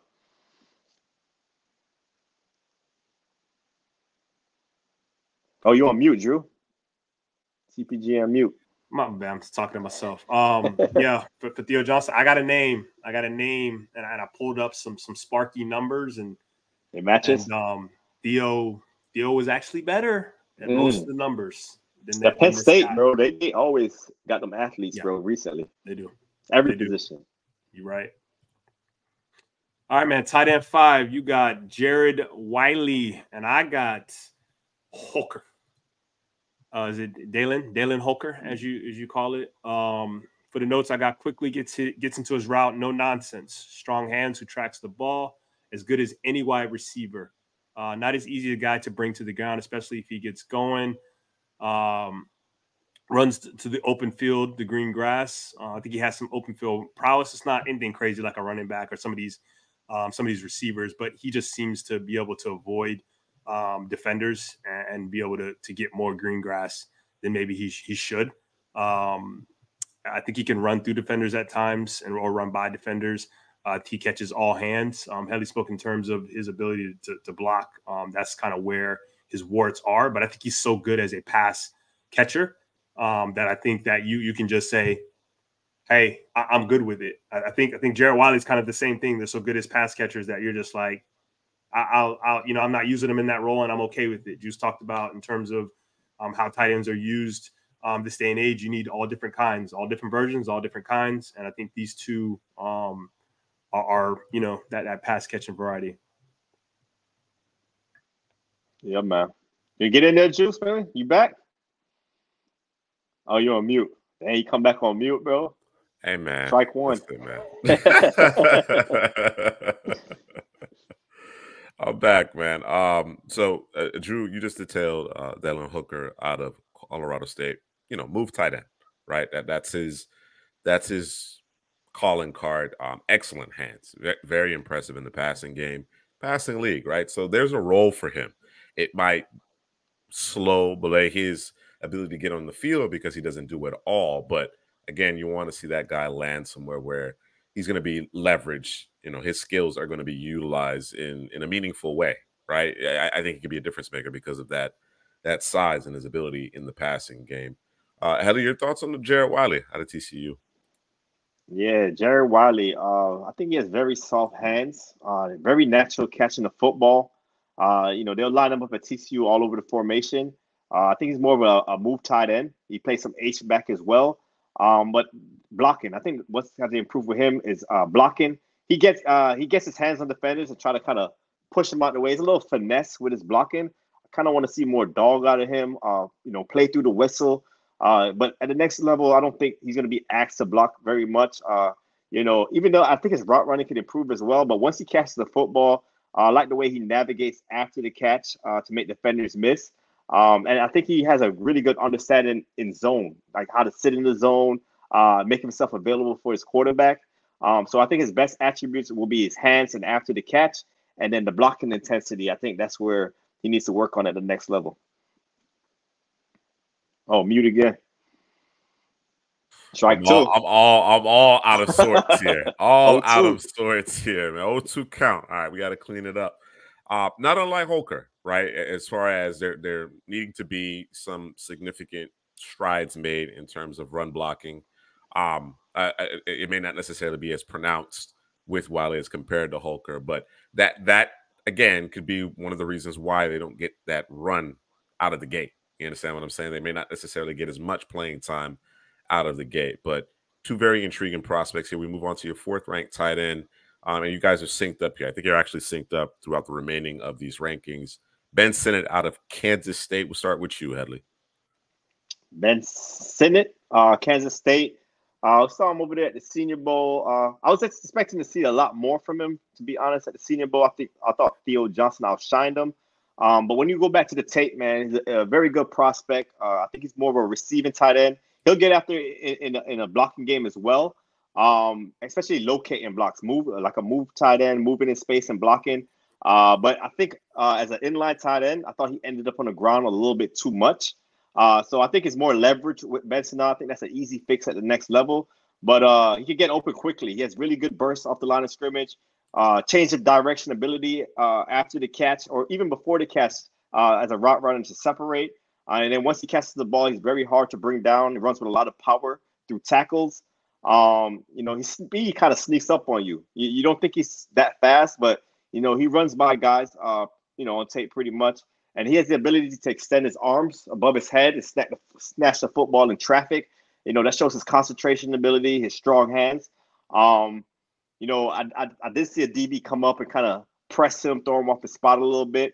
And I think it's I think it's more leverage with, with Sinnott, man. Um, but You know, he'll put his body on the line on those wham blocks. You know, if you want to run power, eh, you get those wham blocks inside. Um, and like I said, I think he's better as a move blocker, uh, but he tends to dip his head a little bit, which limits him. Um, even at, at, the route running, man, I think it limits him as a, a, a route runner because of uh, how he kind of a high running style. You know, we're gonna talk about another tight end that has that that high uh, route running also, but um, just just having better leverage. I think that will like once we fix that with Ben Sinnott he, he could be a problem at the next level. Get that pad level under control. Drew, your thoughts? Yeah, uh, problem. Uh, problem is is correct, bro. He's gonna be a problem at the next level because coach is looking at that and saying we're gonna fix that uh, immediately and quickly so he can be effective. Man, I said it last week because I think um, DP was talking about it um, in terms of um, his ability after he made the catch. Headley spoke about it. Uh, but that man play hockey, bro. So you on them skates. So you know if you if you think you're gonna take him down with an arm tackle or you know some some guys like to throw their body at a, at a guy, um, he's gonna walk right through all that um, guy who can run past you as well. Um, I, I, thought he was actually a, a, a good blocker. Um, I know he was using in a, a very uh, using in a couple of different ways in terms of of blocking, whether it be halfback, fullback, in line from the slot position, all the positions uh, of the tight end. Um, and I thought he fared um, pretty well. He is a guy who gets his head around very quickly. That's something I look for immediately from um, tight ends is is when they're running that route, do they get the head around? Because usually they, they're you know it could be the safety valve for the quarterback, right, or the hot route, depending on what what the defense is trying to do. So um, I thought he gets his head around, does attack the football in the air. Um, but I, th- I, think he's definitely going to be a problem um, once he fixes the leverage issues. Um, that that's going to turn him around. I think he's going to surprise a lot of folks. Um, you know, they're going to have to go back to draft uh, draft coverage on him and be like, damn, I missed I missed on this guy. I didn't I didn't know he was this good. And obviously because he's playing for for um, for Kansas State, you know, and getting too much love out there. He's getting he's got a bit of a hive though. I, I will say that in, in the draft, he, he, certainly has has a hive there. What's going on? I love weed. Shout out, get home safely. Uh, tight end number three in your rankings here, Drew Theo Johnson. You, you and Headley are synced up here as well. Yeah, this, uh, is what the, I was talking the, about. The guy out of Penn State here that that really turned heads.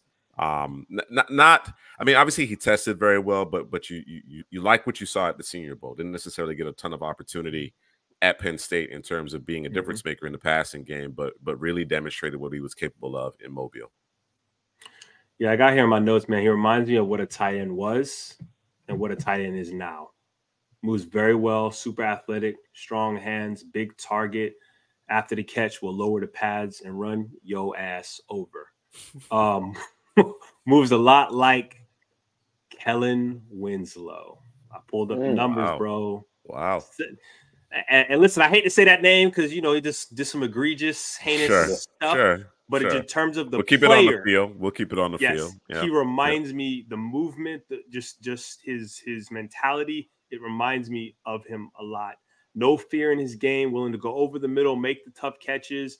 Um, what I got here is it, I got here because oh because of his ability to be physical, um, can line up anywhere, including and not limited to fullback, halfback. Um, he's an athletic, smooth operator. Three fourth cups of physicality. I got here, man. I believe he gives you the best both best of both worlds. I'm at the tight end position. Just to clarify, Winslow Jr. We, we don't want to. Yeah, we don't want to yeah, disrespect Senior. Senior's yeah, a Hall of Famer. We don't want to. We don't want to disrespect yes. Senior. My bad. Headley, what do you have on Theo Johnson? The U. It's, it's the Senior Bowl. It was a Senior Bowl standout. You know, I, I didn't know much about him because, like you said, he wasn't used that often at Penn State in, in, the passing game, and he went to the Senior Bowl and showed that you know he was the best tight end out there. And I like the ability at the Senior Bowl to be physical at the top of his routes. And next level, you might want to watch out for offensive pass interference because he's kind of throwing uh, defenders off of him uh, at the stems and, and separating that way.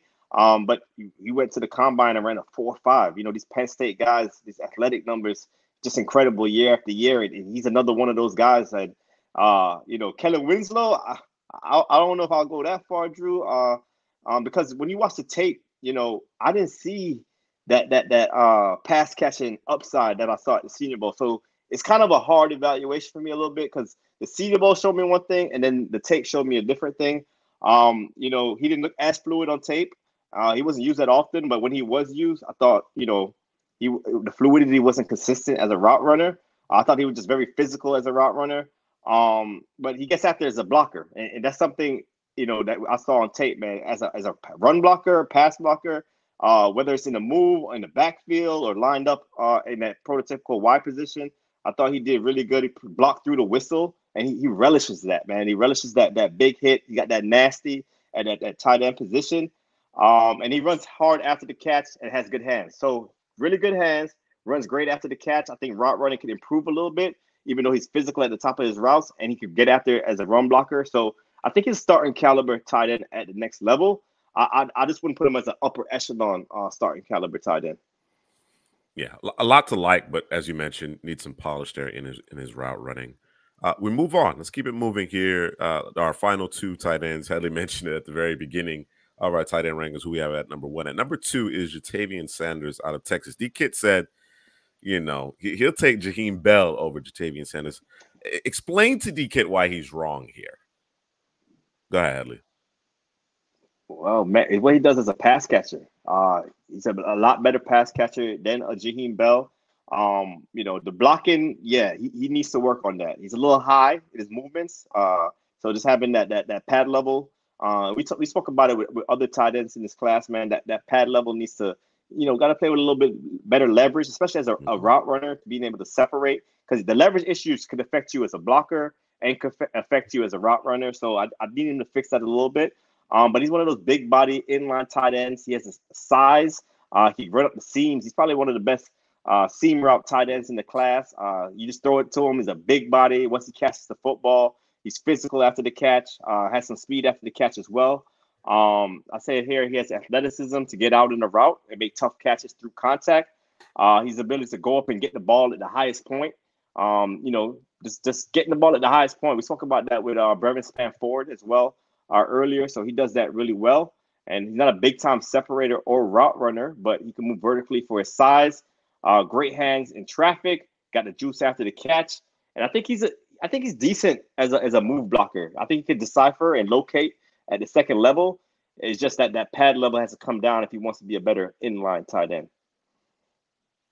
All right. Yeah, you, you, you you ask yourself why why did Texas not you know because like like Headley said is it's, it's, a leverage thing in terms of his his blocking, but uh, he, he's willing to do it and he's willing to do it consistently, and he did it from all manner of the field, bro. It was the wing back, it was fullback, it was halfback, it was tight end, it was slot. Like he did it all over the place.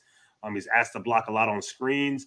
Um, and, and he is a big body, um, you know, and and and he gets down the field. That this the seam is is where he kills. He made he made his living a lot to go up and get the football. He is a big target, so it made it easier for Ewers to get the ball out to him.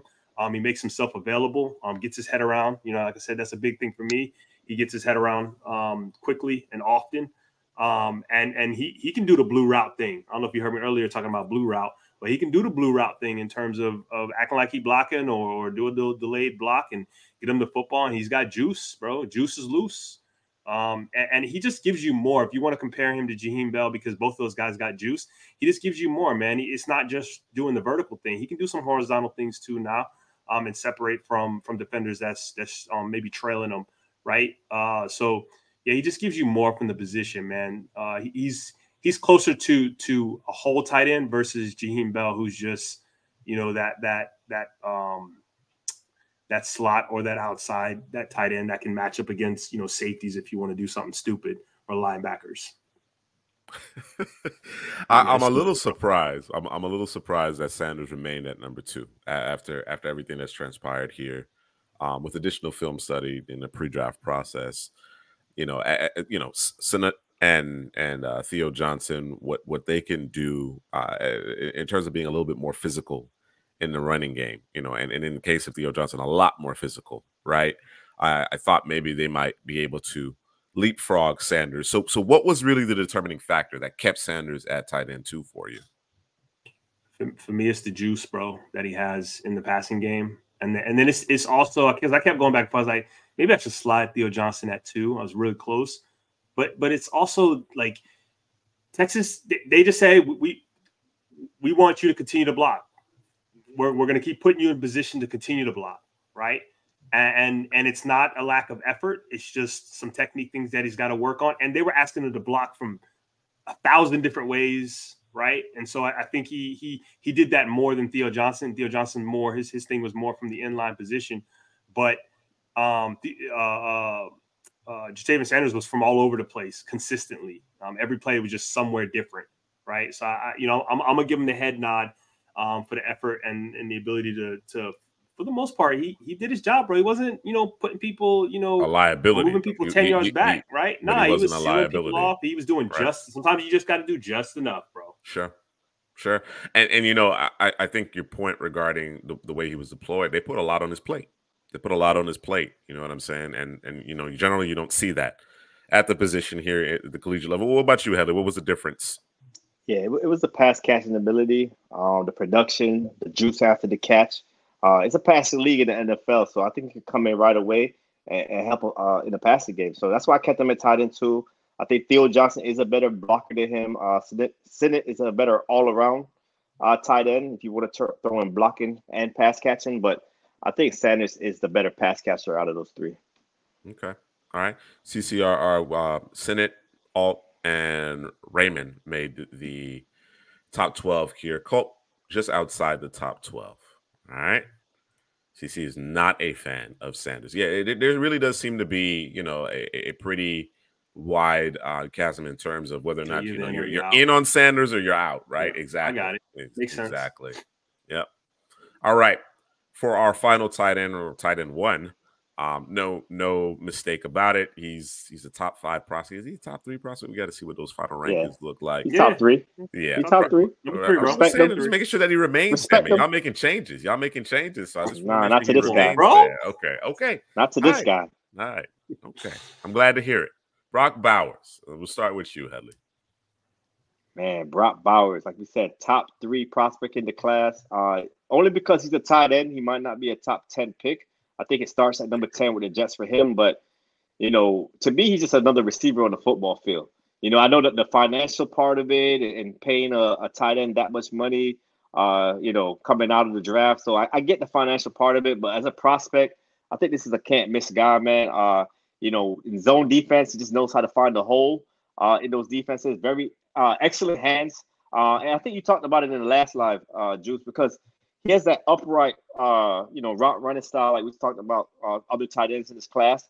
And the separation, he's not as clean. I think he's very subtle, so he can separate in man. Um, but at the catch point and after the catch, he's elite. You know, he's the type of guy they can line him outside, run a fade. He could go up and get it. And uh, YAC, YAC, he, he, you know, he's a yak god. You know, uh, we call Malachi Corley the yak king or yak god. I forgot what he called himself, but I think uh, Brock Bowers is that. He catches passes. He turns upfield quickly. He got the speed and the power. Uh, you know, after the catch, uh, to me, I think he could be a returner. I know you don't want to put your tight end at returner, but he I think he can do that re- really well, and that, that, just speaks to his open field prowess. Um, as a blocker, um, he's not an upper echelon blocker, but he's willing and able. You know, as long as you have the you're able and you're willing to block, I think he can hold up well there. Um, also, he comes down with tough catches across the middle. Uh, he has very good concentrations. I think his hands are top notch. Hard to bring down uh, in the open field. Um, I say he's one of those rare tight ends that can line up outside. I already said that. Um, and you know, tight ends in college don't really ball out. You know, the production is never really there for tight ends. But Brock Bowers, man, talk about production from his freshman season. The first time he stepped on campus, he was the guy. He was so much the guy that wide receivers transferred out of there. Adonai Mitchell, uh, is one of those receivers. Uh, Jermaine Burton. Jermaine Burton went to Alabama, so you know that just speaks to how great Brock Bowers was in college at the tight end position, Mackey Award winner. Um, so you know the ball tracking ability deep down the field is there also. And uh, to me, man, man we're speaking hyperbole. Man, let's talk about he, it. He, he's the best tight end to come out since. who, who, I, said Tony Gonzalez last time, and, and that's a long what? time ago. Ooh, that's that's a, long time. Ago. That's a minute ago. Yeah, so I, I, don't know. I have him hired in Kyle Pitts. Mm-hmm. Uh, I had him hired in Hockenson, even though I was a big George Kittle guy. Um, had I have him hired coming out in George Kittle. Yeah. So which other tight ends is there? Kellen Winslow Jr. I think he's better than him. Aaron Hernandez. Ebron. Gronk. Ebron. Yeah, hired in Ebron. Yeah. I'm not saying. I mean, it obviously didn't work out with Ebron, but I, I was pretty high on Ebron. I, I, got Bowers over all of them too, bro. So yeah, Tony Gonzalez is probably the last guy for me, man. And that's that's crazy, man. If y'all got any other names out there, uh, let us know in the chat, man. But he's a beast. Yeah, I, I think he's special. Um, so so much so that, like you said, receivers transferred out because everything was operated within Jeremy. Come on, bro. Not even Jeremy Shockey. Not even Jeremy Shockey. Shockey. What, what about Vernon Davis? Vernon Davis. Vernon Davis uh, had the wiggle. Vernon Davis was like a, just a yeah. speed guy. Yeah, he, he, was a straight yeah, line guy. guy. This guy had wiggle. Yeah. yeah. I, am gonna look up some names as as Drew waxes about Brock Bowers. I'm gonna look up some names. All right. He he's like I said, he's special, elite. Um, and the things that he's elite at, uh, there's no one in the country that can do it better than him. Um, so much so that the offense went through him. Right. You you. So how does one player make other players transfer out at a position he does not play, bro? How does that happen? Right at an elite program that is Georgia, right? Them boys worked inside out, and he was the inside, and everybody was on the outside, bro. Right? This was this isn't a guy who were just peppering targets. This is a guy who we're handing off the ball to in motion and jet motion and sweeps and getting cute, right? Um, this is a guy they schemed open at times, but if he was open, throw him the football, and it was lights, camera, action after he got the football in his hands, man. Like he was leaping folks, running through folks, running by folks, stiff arming folks. He, he was a running back with the football in his. He was a play. I'm not going to say running back. He was a playmaker with the football in his hands, and Georgia knew it from the minute he stepped on the football field. Even with Darnell Washington, the the the the, the, the offensive tackle slash guard slash tight end that was Darnell Washington, this was still the guy, right? And he and he's extremely dangerous in the open field, man. It, it's it's some scary stuff. Like he's the type of guy you hold your breath. When I first started watching, I was like, man, I hold my breath for this dude, bro. Tight end, ain't that good. Every single time, it, it, was the same thing every single time. I'm like, how can they not get this guy to the ground, bro? Like, why is and and and if he was covered, he's not necessarily covered because he'll go up, extend, and get the football, man. So he, he's a special talent, um, an elite talent, um, and he's prospect three for us. I don't I don't think that's going to change here. I think the top three are actually locked um, in terms of their position. Um, and, and, I know, you know, like Kelly said, in terms of his his ability to run the routes and, and create sep- and, and create that separation, that's something he's going to have to improve on. And he's not, you know, I don't I don't begrudge a guy because he can't um, block like you know you want your tight end to block. You know, you want him to be uh, elite at uh, all aspects of it. But if, if you're so elite at two or three of the aspects that I need you to do, then you know we'll, we'll, worry about the other stuff later. And as long as you're giving the effort, especially in the blocking game, I'm good with it because we'll figure it out. We'll put you in a position to where you don't have to, you know, uh, put somebody in the stands in terms of blocking. We can seal guys off. We can we can we can adjust to make it work for you, so that way you're doing the job that we're asking you to do, man. Especially from the tight end position. All right, let me throw a few names out here. Let's let's let's talk about it. Let's talk about it. And and and it, I guess it'll really just put things in perspective in terms of how high we are on Brock Bowers. I, I, can go back to 2000. Got Bubba Franks. All right. Bubba, Bubba. Bubba, just did not have the athleticism the prowess, yeah. that, that yeah. Bowers had. Um, Todd Heap, intriguing, certainly, but again, one. not not necessarily the same level of athleticism. It's the guy that we mentioned earlier. Jen, there was Shockey. Mm-hmm. Shockey was a bad That's boy now. Shockey was. was a good one. Um, Dallas Clark, Kellen Winslow and Ben Watson. Just in terms of athleticism, right? And then to be and the ability to make, you know, body control, make plays above the rim, uh, run after the catch. Again, I don't I don't think they're approaching, well, Winslow's not necessarily approaching Bowers after the catch, but certainly when you talk about route running and being able to create separation, I'd give Kellen Winslow the edge there. I'd give him the edge there. Ben Watson was a blur in terms of that straight line speed. You know, we're talking about Vernon Davis and his linear speed, but yeah, man, I, am going through the names. You got Heath Miller. We mentioned Vernon Davis, Greg Olsen. It's a lot of it's a lot of Hurricanes, bro. I'm just, just saying. I like I like Greg Olsen. Greg yeah, Olsen. Like too. I, you know, but I think Bowers has better hands than Greg Olsen. Yeah, I think. I, but but that's a that's an interesting comp though. I, I think that's a that's a, a, a fair comp there. Pettigrew. You know, I was a fan of Jermaine Gresham. He wasn't a good athlete though. Uh, let's see, Rudolph, Fleener, Eifert, mentioned Ebron, Maxx Williams, Hunter Henry. Yeah, man. OJ. Howard. I gotta ask you, OJ Howard. Who you hire on? Who are you hire on? Oh, be no, honest, no, no, we, no, no, we, be honest. We don't take, taking taking Brock Bowers, bro. Okay. Because because here's here's the thing um about OJ Howard and like OJ Howard did a lot with a little, bro, mm. and a lot of a lot of his lots was like him just being wide open for whatever reason. Whether he busted did something coverages. or the scheme yeah. or busted coverage, he was just wide open, bro. So, you know, and I, I think that kind of showed out in, in the league. I got a guy. How about um? I'm trying to remember how he was when he came out, but Marcedes Lewis. No, you, you, know, you know who the comp on Bowers that's, that's, that's, that's like a tackle right there, bro. That's like an offensive tackle. Okay. Right I, I, know he's like a blocker. I just don't remember how he was in the pass up.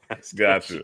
I think we said it in a previous live. I forgot who gave us a name, but uh, Aaron Hernandez, uh, when he was coming out of Florida, was a yeah. guy kind of like Bowers, where you could give him a, a handoff, and he was skills. great after the catch, yeah. the movement ability. Yeah. Um, Hernandez might have been a better route runner than Bowers, mm-hmm. also. So it, it's but, like a cross between Greg Olsen and Aaron Hernandez, bro. It's it's, it's like a a hybrid of those two players, I think, is what you're not not necessarily devastational in line. Although I think Olsen was was pretty good there, but just their overall ability with the ball in their hands, in particular, um, is, is pretty impressive. And then, of course, the the, the straight line speed. Um, Kittle, I know that was yeah. your guy, Headley. That that was, was, your guy. I was big on Kittle. Yeah. Uh, you know, it, it, was what Kittle did as, as a, a, blocker. You know, yeah. he's a way better blocker than Brock Bowers. Uh, physical through the whistle, and then once he catches the football, uh, just that that speed after he catches the football, I think Bowers has more wiggle than him. He can make guys miss. Um, but uh, yeah, I, I, like Kittle a lot, but I give the edge to Bowers. I think he has better hands, uh, tracks the ball better. Uh, I don't think Kittle is a guy that you can line up outside, throw a fade to. I don't think he has that type yeah. of versatility. Throw a back um, shoulder fade at that. You know what I'm exactly. saying? Or stop fade. Yeah, yeah, exactly. Yeah, I, I think Bob Brown is going to be a problem, bro. I, I, the, the, the and we talked a little bit about it um, during our last stream with with DP and wanted to get a sense of you know are, are, are those are those concerns in terms of what he does in in the stem of the route early on in the route are are they blown out of proportion? I i think there's certainly room for improvement but um dp dp mentioned that he was higher on kyle pitts in terms of his movement ability within the route. You understand what i'm saying? I don't know that he would necessarily debate uh the, the player that bowers becomes once he has the ball in his hands but um I, I i'm I, I have to believe. I have to believe that he's going to continue to improve in that in that regard. And as I mentioned, uh, I'm gonna put it on the coaches. That's a special talent right there, man. Get him open. Short motion, stack releases, get him open. You understand what I'm saying? And then once you get him open and get the ball to him, now he's going to reward you. He's going to reward your creative play calling, your ability to scheme things open as he becomes a better route runner, more polished route runner. So, uh, Brock Bowers is our top tight end in these rankings. Uh, shout out A1.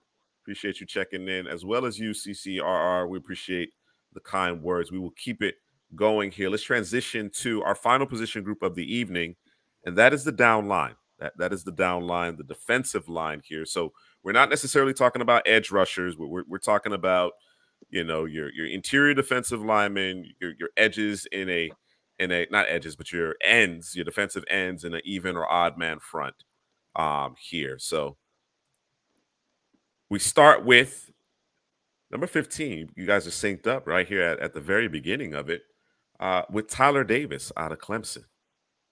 Drew, that's your guy. Let's start there. Yeah. yeah I thought you would have him higher.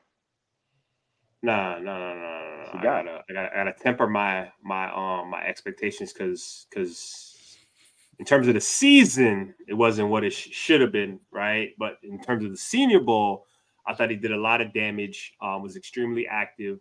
Um, he's he's a a he's a disruptor um, at the line of scrimmage. Um, and I don't know, watching that Clemson tape, bro. I just I just felt like something was missing from them boys, bro. Just just that that I think they were missing that one guy that could scream off the edge and make a play on a consistent basis. Xavier Thomas, yeah, Xavier I, Thomas. I mean, I mean, was he healthy? I mean, was he there? Like, you know what I'm saying? So but in terms of Tyler Davis, um, quick first step.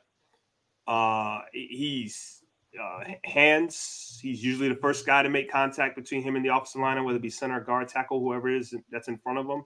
Um, creates penetration. It's usually through power, not through his quickness. So he has that that that quick to power, as I like to call it.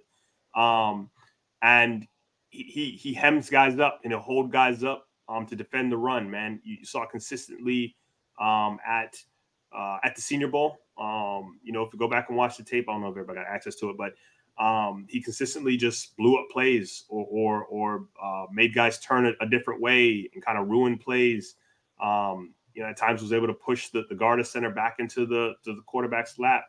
Um, you know, consistently. Uh, you know, at, at, Clemson, watching the Clemson tape, um, I thought he did a good job in terms of the games that they play up front with the twists and the, and the, and the stunts and different things. Um, you know, has some timing and variation in terms of of, of trying to set guys up or uh, setting his guys up or setting the offensive alignment up um, to get that one on one so he can get that penetration or or um, become the free man or be able to make that one move um, that frees him up with his hands um, from the offensive lineman, man. But I think this is a guy who's probably not going to do a bunch of damage in terms of stats. He's just going to be a guy that consistently frees other guys up um, and and is consistently a problem for offensive linemen, man. Yeah, Tyler Davis is going to clear the runway. I, I can't tell you how many times I saw him make a play, you know, get get two gaps over, create a, a lane for Rook for him to go and actually get the tackle, get the tackle for loss, get the sack, whatever the case may be. So, yeah, as you mentioned, his value isn't necessarily going to show up in the box score, but but on film, you, you can obviously see him be a difference maker, particularly on those early obvious rundowns. Yeah, Tyler Davis. Um, I was a lot higher than him uh, in the 2022 season. Uh, I thought the 2023 tape was a little down for him. Um, but the 22 season, you saw that that physical from the snap from start to finish. Uh, you saw that quick first step uh, to shoot the gap. I thought he played with good hands, like like Drew says, plays through contact on the way to the quarterback. Um, you know that Wake Forest game in 2022, I thought that was one of his best games in his college career. He just flashed time after time. I think his strength. He's very strong to hold up. Um, and I just think he just got to get more consistent from snap to snap. And uh, you know, the Senior Bowl surprised me because you know when I first thought about him, I'm thinking, okay, he could get uh, a penetrator, one gap, get after the quarterback. But he showed that he's a, he's a run defender. He's a physical run defender. You know, he's 300 pounds. Um, I do think he's a little high in the run game sometimes, but you know, he showed it the Senior Bowl. So I had to kind of take the tape uh, from the 22 season, which I liked, the 23 season, and then the Senior Bowl, and kind of put it into one. And I, that's why he's probably not higher on my list um, but I got him here as uh, interior defensive line 15. All right. Let's move on to your 14th ranked interior defensive lineman here.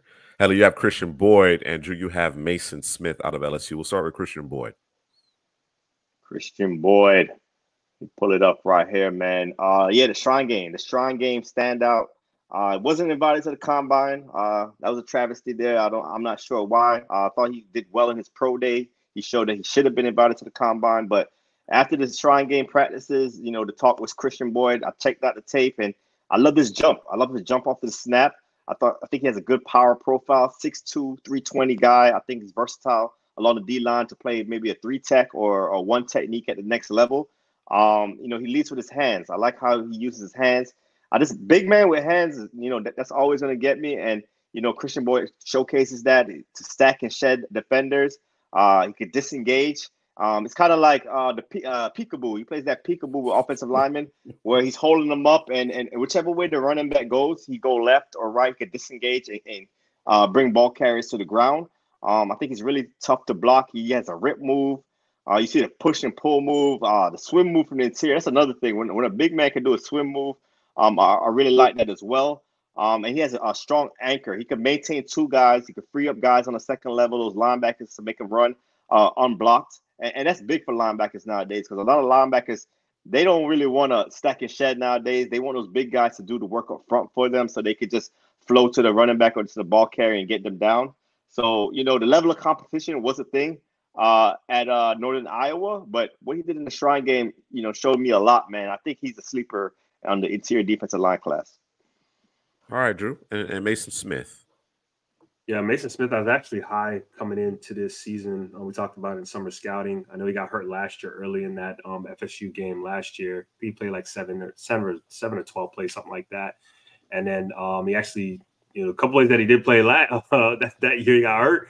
Um, I thought he was, you know, like, oh, this this was a rising star, man. Um, he's I know we could talk about Mekhi Wingo, you know, with, with, his speed and that first step. Yo, Maason Smith was usually the first guy at the snap off the ball. Um, the issue that I had with him um, is that he didn't necessarily use his hands.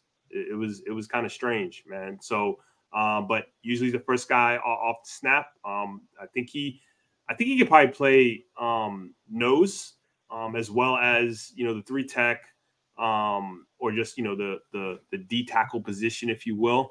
Um, I, th- I, think when he uses his hands, um, I think he's he's uh, a, disruptor at the line. Um, I think he can be a penetrator. But th- one of the issues I got with with Maason Smith and why I don't see a lot of people talking about him, um, and I hate to say this about players, man, but I don't know. He's playing every play, bro. I, I don't know that he was playing every play. All right. So and and and that defense for LSU was not good, right? And I think we had talked about this in terms of you know us messaging. I, know the defensive coordinator or, or, the defense in general, in terms of what they were trying to do on defense, um, was terrible. Um, in terms of what they thought they could do with Harold Perkins and not do with Harold Perkins instead of just letting him do his thing. Um, so I think there might be some coaching issues there, right? And, and eventually you hit a wall when you realize things aren't working out for you um, at, at the defense level, especially when your offense can put up points, right? So um, I think there might be a coaching issue there at LSU, but I, I think Maason Smith, um, big body, wide body, he's physical. Um, when he uses his hands, um, he just he causes disruption all along the the um, the defensive line. He does he can free up your, your second level players or, or, a safety coming down downhill to, to, to blitz or come right behind him. Um, but it's just it's not consistent enough for me and again, that just could be a coaching thing. That could be a quick fix. To answer your question, Mr. C. Prasky, I, I think I think there's there's obviously some legitimacy to to your, your, thought process, and I think it coincides with Brent Venables leaving. Right, he he was the architect of that defense. You know, D- Dabo's recruiting it. You know what I mean? But the architect of that defense was Brent Venables, and, and him moving on to the to Oklahoma. Um, that you could see, you could see, you know, some of that bite uh, leave Clemson from a defensive perspective along that defensive line. So that that that that's an actual. I, I think you're an astute observation there, but I would suggest, I would posit that Venables has a lot to do with that. We move on to the 13th ranked defensive lineman here. We're going to flip flop it. Let's flip flop it right here. Give Headley opportunity to speak about Maason Smith and Drew you Christian Boyd. Let's start with Christian Boyd. Yeah, um, I, I, think this is a guy who can play anywhere on the defensive line um, because of his ability to move, uh, his ability to use his hands, ability to be uh, uh, strong at the point of attack, as Headley talked about earlier. His ability to to, to play the peekaboo, or, or I don't know. Can, can you say a stack and shed? Can you can you call it stack and shed at the mm-hmm. at the line Why of scrimmage? You know, Why not? Okay, we're, right. we're gonna do it. Um, we're gonna, I'll allow we're gonna, it. We're gonna do it. All right, he, he can play the stack and shed game and engulf the, the running back that's coming through the hole, thinking he got a he got a, a hole that's wide open. Um, he keeps the the offensive lineman off his chest, um, which is you know that, that's that's big as a defensive lineman, especially if if you're asked to to kind of hem things up. Get those arms extended. Get them yes, extended. It's like a bench press, bro. You got a bench mm-hmm. press, bro. Mm-hmm. That's why we do the 225 and, and figure out what, what, that strength looks like. Um, but yeah, I, I think he, he, again playing at the at the lower level. You know, what does that look like in terms of you know if we were to if we were to bump him up to to to, to the D1 ball, what does that look like, right? Um, maybe in a power five somewhere. What does he what does that look like? Does he does he drop a couple levels? I don't think so. I think he I think he dominated at his his level of play. Um, you know, and, and who was the guy? You know, he, he reminds me a little bit of um from Bowling Green. Is it last year, the year before? Oh no, Karl Brooks. Year. Mm, Karl, Karl, Brooks. Brooks. That, that's yeah. that's who who, who he kind of reminds. He's not as um bull in a china shop as Karl Brooks, but but it's it's something similar, right? So um, but yeah, his versatility is going going going to have him going higher, and it's a damn shame that he wasn't able to go to the combine. Just unacceptable. Yeah, bro, three twenty playing three technique, bro. That's crazy. That's insane. But he he has that ability. He he does. What are your thoughts on Maason Smith, Headley? Um, you know, I, I don't want to disrespect Maason Smith, man, but the phrase that I heard was looks like Tarzan, plays like Jane. Was that um, D Kit? Was was some, that D Kit? Somebody said it. D-Kit. I'm D-Kit. pretty sure it was D Kit, bro. I'm gonna, I'm gonna put you, it on D Kit. I will put it on him. Got it from D Kit. You hear so many things, you forget where it comes from. But I, I heard someone say that, and that pretty much sums up Maason Smith because he was a former five star recruit, had a lot of uh, potential. He was looked at as the guy, but on tape, man, it's, it's so inconsistent. Um, but you know, when it looks good, it looks really good. When he uses his hands, I think that's the biggest thing with him. Uh, Because I look at him as a one of those three, four defensive ends, the five technique, four eye. Uh, because when he uses his hands, he can extend them and, and, work his way to the backfield. He can control a lot of scrimmage in the run game and disengage. Um, but you don't see it on film a lot, man. Uh, it's very inconsistent, it's spotty with his play. So he just got to be uh, be more consistent. Um, they also would play him on the edge at LSU, but I think his home would be more inside at the next level. Uh, 300 pound guy, he's a big guy. Um, I do think he does well in uh, his assignment in that zone read game. I think zone read, he kind of, uh, you know, he has that composure to stay and do his assignment and make the play out there. But uh, as a pass rusher, I think he developed more of those secondary moves. Uh, you know, strength through contact. You know, if that strength through contact doesn't really get him there, he kind of gets stuck on blocks. So developing more hand moves, like like Christian Boyd. Christian Boyd is a guy with a uh, exceptional uh, hand usage. I think Maason Smith could improve there. Um, but when he has those twitchy, violent hands, uh, he wins. Uh, like I said, he holds it well at the line of scrimmage. Uh, and he could be a good edge setter at the next level with more consistency. And he's, he's very athletic. Like I said, he looks like Tarzan. He's one of those big, bulky, long guys that has all the traits. So he's a trait-based prospect. Just got to get uh, get it out of him at the next level. All right, let's keep it rolling here. Your 12th ranked defensive lineman, respectively. You you have, and, and Headley, I'm gonna, I'm gonna allow you to to pronounce his name. It's not that hard, man. I thought yeah, it was hard too. Boygby. Boygby. That Boygby. Justin Boygby out of Alabama. And, and Drew, uh, you have Leonard Taylor from Miami. Let's start with you, Headley. Let's talk about a Boygby. Gotta find my notes here, man. But I don't have my notes, man. But off the top, man, I remember when I, I was watching um Dallas Turner and I kept on seeing 92. I'm like, who's this 92? 92. He keeps showing up. And, you know, that's what he does. He shows up for 60 minutes out of the football game. I think he has a, a good initial uh, burst off the line of scrimmage. He uses his hands really well. Uh, he offers a, a, versatility along the defensive line. Uh, you know, I think he could be a three tech at the next level. Um, but you know, I, I, I just like how he plays, man. I like his intensity and I like his motor, and uh, I think he could be one of those rotational interior defense alignment at the next level. Get in there, Drew.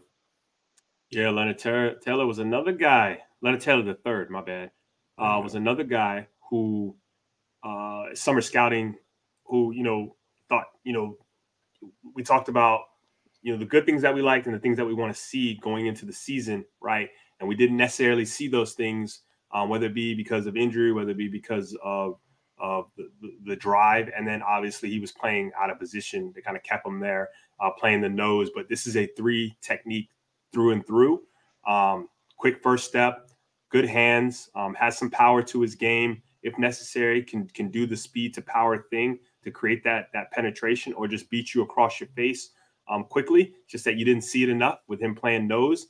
Um, and, and, I'd say he, has got some some strength if that's what they were asking him to do to play some nose, right? But that's not where his home is. Um, and I hope hope he gets the opportunity to actually show what his true potential is. And I think someone's going to end up getting a steal because he was misused at Miami, right? Um, and plus, you know, there's that thought of, you know, is he, you know, is are we putting in full effort on, on every play? You know, that that's that's a big thing. I don't like to say cats is loafing, but sometimes, you know, you're just not in a in, in an advantage state for yourself and, and you don't like it, so you don't necessarily play up to your your full ability. Not that you can because you're, you're playing be playing out of position, but um, I think that's going to hurt him. Um, you know, coming out. But yeah, man, he's a, he's a true uh, three technique uh, uh, through and through. I, I, think before we move on, as it relates to Leonard Taylor, you know, you, you mentioned him being played out of position. He was. He's, he's not a nose. Miami had some depth concerns in terms of the interior defensive line and, playing that odd man front, that 335, he was the best fit for it. You understand what I'm saying? Now, of course, when you're playing the nose, you're not going to get a full complement of snaps. You're going to be rotating quite a bit. You're going to get worn down, especially when you're undersized playing that role. My my biggest concern with him was the the apparent lack of preparedness and, and effort throughout the pre-draft process. This is your interview. This is yeah, your interview, right? The NFL teams recognize that you're being played out of position. NFL teams recognize that, right? You know, the, the vast majority of them aren't going to necessarily hold that against you because they, they view you as a four, uh, a, a three technique, maybe perhaps even a five, but certainly not a nose, a one or zero. You understand what I'm saying? So, you know, put your best foot forward, show them that twitch because you want them to, to understand that you have the pass rush upside. That's going to move you up the board. And we just didn't see it. We, we didn't see it. I, I heard reports of him just kind of giving up on some of the drills. You, you know what I'm saying? You know, just not not taking it seriously enough and understanding that no, this is going to play a factor in terms of my my long-term prospects as far as my NFL career, at least in terms of where it gets started. So that that was disappointing. That that was disappointing. I, I can I can certainly excuse certain things in terms of what was happening between the lines over the course of the last couple of seasons.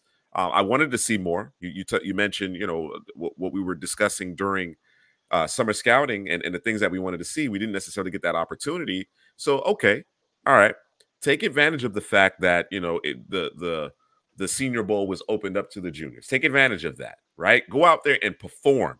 Combine, pro day, do your thing, best foot forward, and, and it just didn't happen. So it, you're right. There's a chance that someone's going to get a steal here, but we don't want to have to question, you know, work ethic, drive. You know what I'm saying? Dedication to your craft. We, we, we certainly don't want to question that, and and that's a lingering question mark right now for for Leonard Taylor. All right, we'll keep it going here. Your 11th ranked defensive linemen. You, you're both in agreement that Mekhi Wingo is the 11th best interior defensive lineman in this class. Drew, what are your thoughts on Wingo? Going back to LSU here. Yeah, um, when it wasn't Maason Smith, this was the guy that um, kept flashing for, for that uh, for that defensive line. Um, I think they played a. I'm not playing. They played a three four, um, and uh, I, I, I want to say, man, he he probably should be playing um, a three technique because of his speed and his ability to to get off the football, and not only when he gets off the snap his ability to okay, you're gonna put your hands on me. I'm gonna hit you with a with a chop suey. I'm gonna hit you with a swim.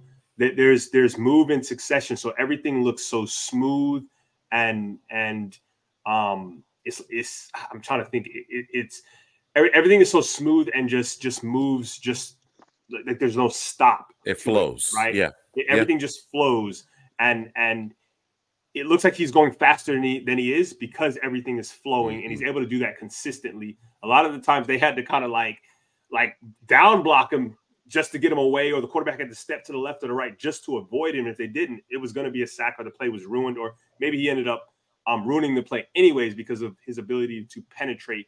But he's also another guy who didn't use his hands. Like his first contact was his shoulder pad, his helmet. Like, what the hell is going on at this school, bro? That we don't use hands when we make contact with the offensive lineman. And when he didn't do that, there was no success.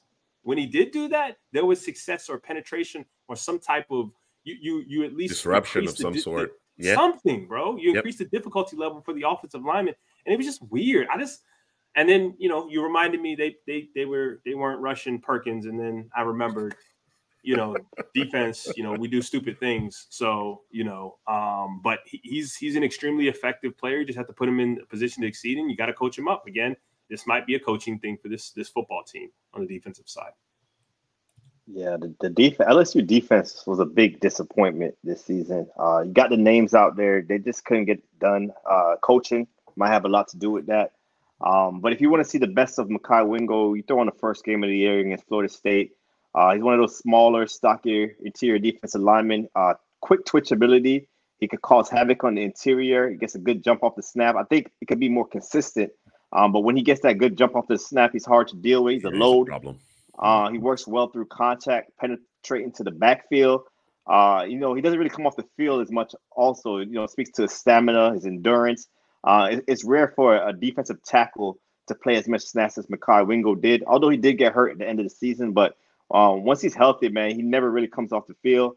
Um, and in that FSU game, FSU kind of tried to move the pocket because he was so effective. and they tried to get creative up front, but it didn't really work against Wingo um, due to that quick acceleration in, in his game. Um, strength and hand usage to hold up against the run. I think against the run is, is where uh, the issue is with Wingo. Um, you know, the guys, offensive linemen with uh, longer arms could really uh, wash him out of a play, kind of like Braden Fiske uh, for Florida State. Um, but you know, I think he just needs to develop more pass rushing moves because uh, that speed to power. I think Drew spoke about it. Once that speed to power doesn't work, or the acceleration, or that that one gapping doesn't work for him, mm-hmm. he, he he gets uh, stalled out, man. So just working on those, those hand usage and and get a chop in there, get a rip, you know, do something with your hands so you could uh, free yourself up and get into the backfield. So if that doesn't work, uh, you know, he's really must stall. So he needs to work at that at the next level. All right. I like it. Mekhi Wingo checking in at 11th in your rankings here. Uh, at 10, Headley, you have Leonard Taylor the third, and Drew, you have Justin Eboigbe. Let, let's start with Eboigbe first, Drew. Yeah, a, Eboigbe, you know, the, and Headley said it earlier in terms of he's going to be a really good rotational piece. He's going to take the pressure off of guys. Um, I think he is is um, a, a, a five technique. Um, I think that he has really good power. I think he has heavy hands. Um, I think that I want him to develop a couple more pass rush moves in terms of being effective as a pass rusher. Because I think as a run defender, I think he's he's very stout, strong at the point of attack. Um, I think he can hold up against um, guards, tackles, um, whatever comes his way. I even think he can handle some double teams. Um, I just think he lacks the the the the, the pass rush moves to become a, an effective, um, more consistent pass rusher. And and and again, at Alabama, I don't necessarily think that's what he was asked to do. I think he was asked to be stout and strong and let the linebackers do their thing behind him or the safeties to do their thing behind him. So that may be that that may not be his fault. Um, but but I think he he as a run defender, I think he's outstanding. And I think, you know, I guess if he plays that that that five technique, um, I guess, you know, hey, let the linebackers do their thing, let the edge work, the edge guys do their thing, and, and he can he can hold up and take up space, take on double teams. Um, he does that well. So and I guess you, you got to kind of have a role for him, but I but I like mm-hmm. him. I like him a lot though. Go ahead, Heather. Let me tell you. Let me tell you, Junior. Uh, I think it's similar to Maason Smith. You come in as this highly touted five uh, star prospect, and the tape was very inconsistent with him. Um, you know, when it looks good, you got a, a really nice burst from the snap uh, to penetrate to get to the backfield, uh, elusive, uh, lateral moves to shoot gaps. Um, but he got to improve. It's the hands for him. It's, it's kind of like Maason Smith, man. You got to improve your hand activity to take his game to the next level. Uh, I've seen him a lot run with chest into blocks, uh, which you, are never going to win at the, at the, next level. Because um, if he doesn't win with uh, his agility, um, he, he's going to get stymied, man. Because the hand technique's not there. It needs improvement. Um, you know, but you see times on film where he took games over. You know, I've seen it on film. So he's a trait based prospect, man. He got he got the traits, uh, the athleticism that a team will like. But once they look at the tape, they're gonna see inconsistency with his hands. Uh, you know, inconsistency with his technique. Period. Yep. So you know, he's one of those guys that a lot of people thought was maybe a first round guy, but he's slipping out of the first. Well, he's not going to be the first round, and he might not even be a day two prospect day two. If, yeah. if, if, a team doesn't like what he showed on tape uh, his last year at Miami. Yeah, and, and again, it, it, might not even be the tape. It, it, might not even be the tape that that really forces him down the board. It, it could be the mm-hmm. interview process. It could be it could mm-hmm. be just just the performance, right? I'm not I'm not I have no insight in terms of how he's performed throughout his interviews and his visits, but it could be that workout, right? That that that's kind of the lasting impression that some of these teams have, which could be enough to force you out of rounds two and three. So we'll keep an eye on it here now inside your top 10, we have DeWayne Carter and Ruke Orhorhoro. Let's go with DeWayne Carter here, Headley. Oh, this guy's physical, power player. Uh, I love the film there at Duke. Um, I think he has versatility to play, uh, you know, five technique. I think he plays some defensive end at times in the even man front. Um, but the interior, I think he's going to live on the interior. I think he'll be a three tech at the next level. Uh, even though he's, he's a bigger guy, I think he's over 300 pounds, but you know, he just had that versatility to play along the line. Um, because they they'll line him up all over at Duke from edge to the interior to the three technique. Um, you know, he has good motor. He's always fighting, man. You got a guy that plays with 110% motor. You know, just sign me up on, on, on, for him on my football team because you can't teach that. You can't teach the heart. He has active and violent hands, uh, closes quickly to the ball carrier. Um, and I think he's effective in the pass game and the run game because he works well through contact and he's active, always moving forward, man. He's a dog, man. You know, you want dogs at the next level, and DeWayne Carter is a dog. Rook, yeah. Uh, Rook, I got uh, when he uses his hands. Um, he's he's much like uh, Wingo was talking about in terms of of using his hands, linking those moves together um, with that first step uh, to keep offensive linemen off him, keep him clean and clear on his way to to the penetration, whether it be you know in the run game or in the pass game. Um, he's usually the first one to make contact with the offensive lineman. Um, he's not a guy. He's not a guy that's easy to move. Um, he's strong at the point of attack. Um, and, and, we talked about that that bench press, keeping those offensive linemen off of um, off his chest, um, so he can operate in terms of playing the peekaboo peekaboo game that Headley talked about.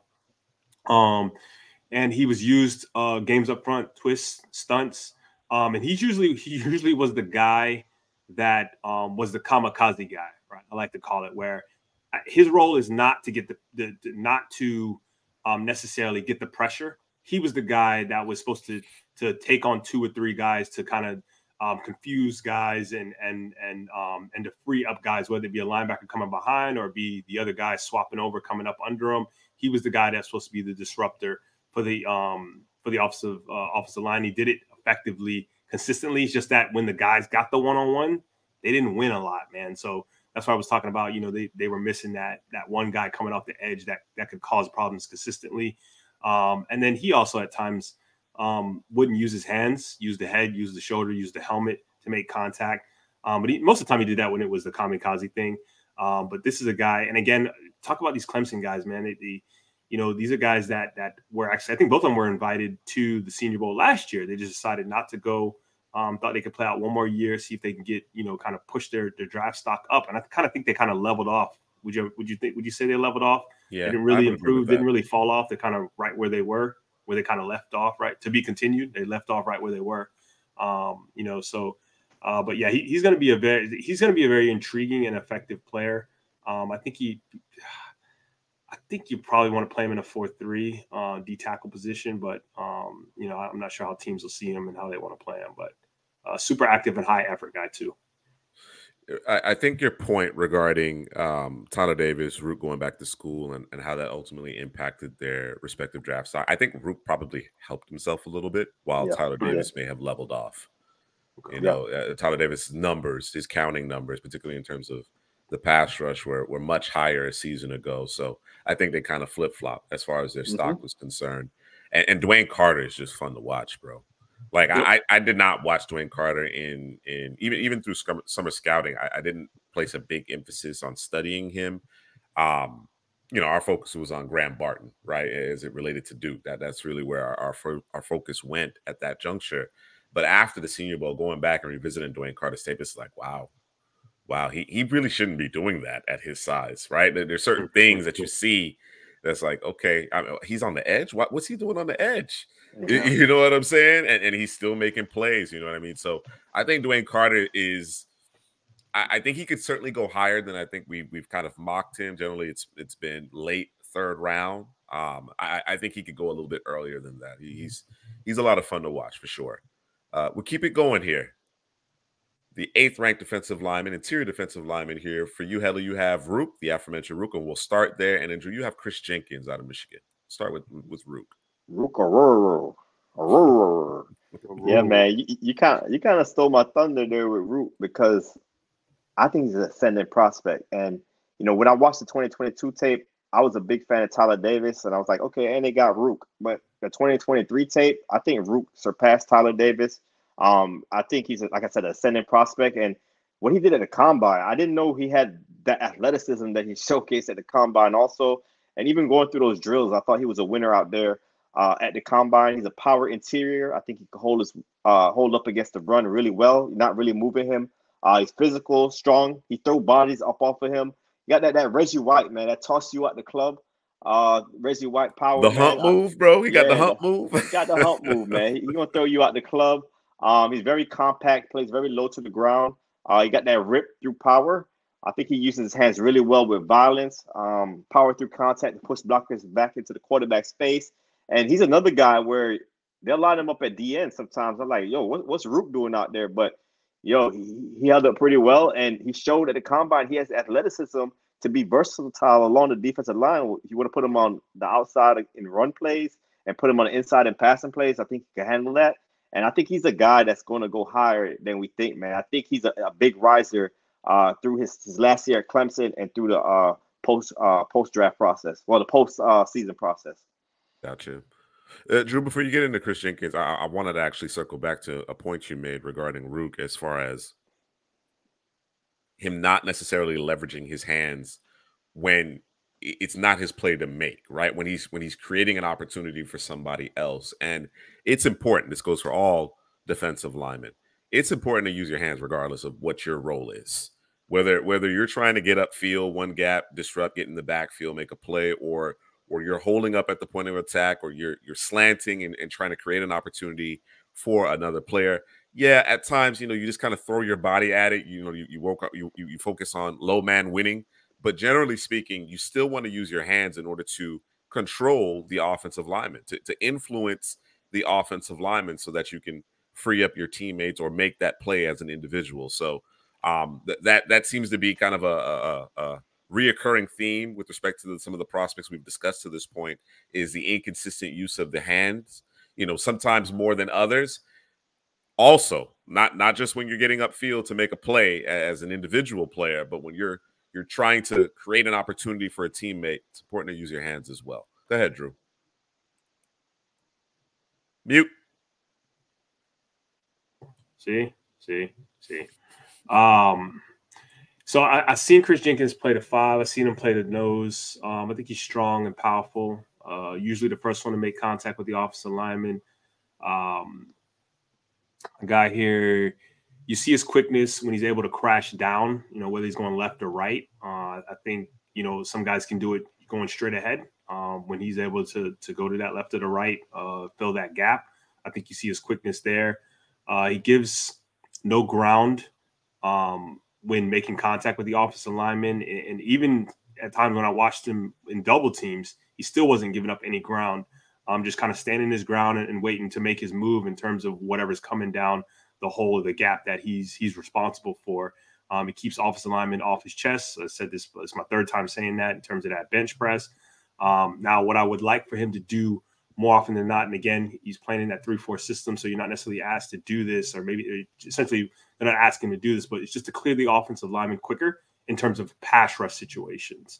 Um, so I think that's that's where um, that's probably the separator for me from the next guys that that that we have coming up is just his pass rush. And again, he may not have been asked to do that um, at Michigan. It was more of keep keep guys clean, uh, make sure to to have your, your gap integrity, and then um, you know uh, pass rush second. Let the other guys eat behind him, right, or beside him.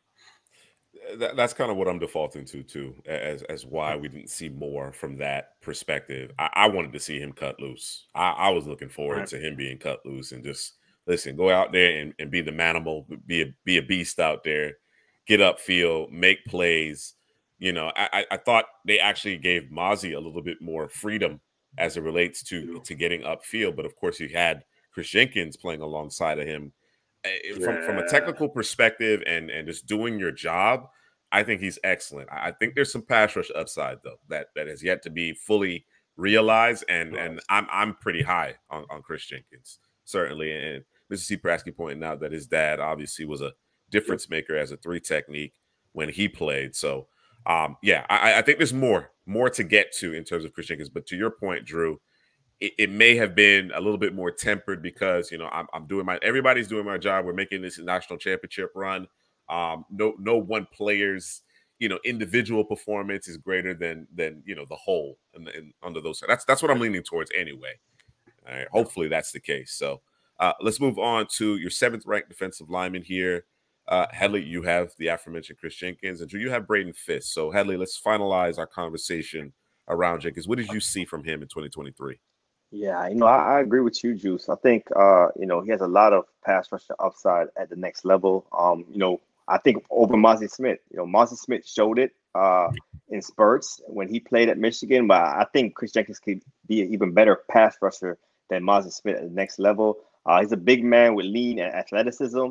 Um, uh, you know, I put in my 22 tape. You know, he fill out that frame even more and get stronger. And uh, he he knew exactly what to do. He put on weight. Uh, he's up to around 300 pounds now. He's gained weight every single year over there at Michigan. So you know, once looked as a kind of a tweener type of prospect, I think he's filled out his frame really well now. And he has that motor and tenacity. You see him chase down plays 20 yards down the field. You know, that's something you really can't teach. Uh, I like his initial burst from the snap. I think he plays well through contact. I think he has versatility also where you can line up over the tackle as a four eye five technique. Uh, but I think his home at the next level would be three tech. Like you said earlier, you just kind of want to let him loose, let him get after the quarterback uh, you know, I would love to see it at the next level. So hopefully, a, a coaching staff sees that and puts him in there. Um, but I think more pass rushing moves, you know, to really unlock his potential, I think he could improve upon some of those pass rushing moves. But he got upside in this game. He could shoot the grab. He could uh, penetrate quickly. Um, you know, and I love how he uses his hands. You know, yep. he uses his hands really well to stack and shed. Uh, I think he has a really good blend of power uh, and extremely athletic for his size. And uh, in a stunt game, when you want to play uh, gangs up front, the tie, uh, TE stunts, he could come uh, the defense end position inside to tackle, tackle defensive uh, tackle position. Oh, let me say it again: from tackle to defensive end and defense end to tackle. You know, TE stunts. He does that really well. So you can let him loose, man, and let's let his athletic abilities uh, show. So I, I like him at the next level. I think he's gonna be a better pro than college player.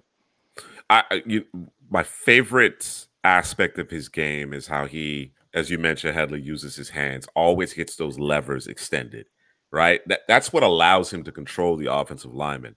And, and of course, you, you mentioned Drew, he, maybe not necessarily getting upfield and making a play, but because he's able to get those arms extended, he plays with great leverage. You can't move him. You, you can't move him. He, he's always holding up, even against the double team, because he, he gets those, again, hands on and arms extended and locked, right? So that that's part of the reason why he's so effective at the at the point of attack there. Braden Fiske, uh, he represents a lot of pass rush ability here, quickness off the ball, getting upfield, quintessential three technique. He's a bigger player, but he he he looks he, he looks and plays like you know the small feet type of situation here. But from a defensive lineman, what are your thoughts on him, Drew?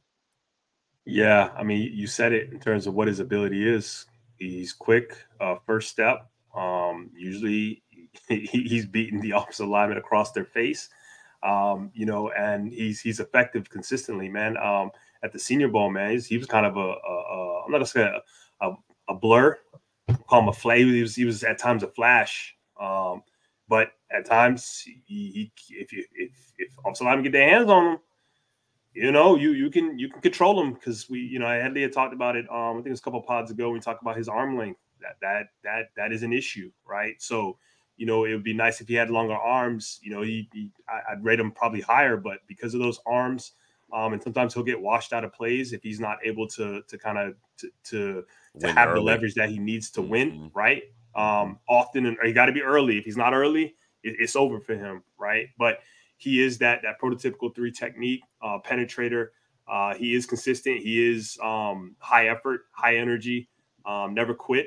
Uh, and he's he's made himself some money in the, this offseason um, because before before this offseason started, you know, it was kind of okay. Well, let's let's see what he does at the Senior Bowl, and he kind of took the Senior Bowl and ran with it, man. So, um, you know, he can't can't change his his um his length or anything, but but I think he has some other things in spade in terms of that that speed and that that first step quickness, man. So, he, he definitely was a welcome addition to Florida State's defensive line. I, I, I thought the the way he finished the season was very strong. So he he was already on a bit of an upswing towards the end of the season, and he just rode that wave into the all the way postseason and a pre-draft process. So I, I think in terms of just taking care of business, uh, unlike a, a, Leonard Taylor, for example, uh, Braden Fiske has, has done a, a yeah, remarkable yeah. job. You've actually seen him when you look back at Washington when he was at Western Michigan. You can see him playing, making plays at edge. You know what I'm saying? He, he has that kind of athleticism and of course, that bared out in terms of his testing.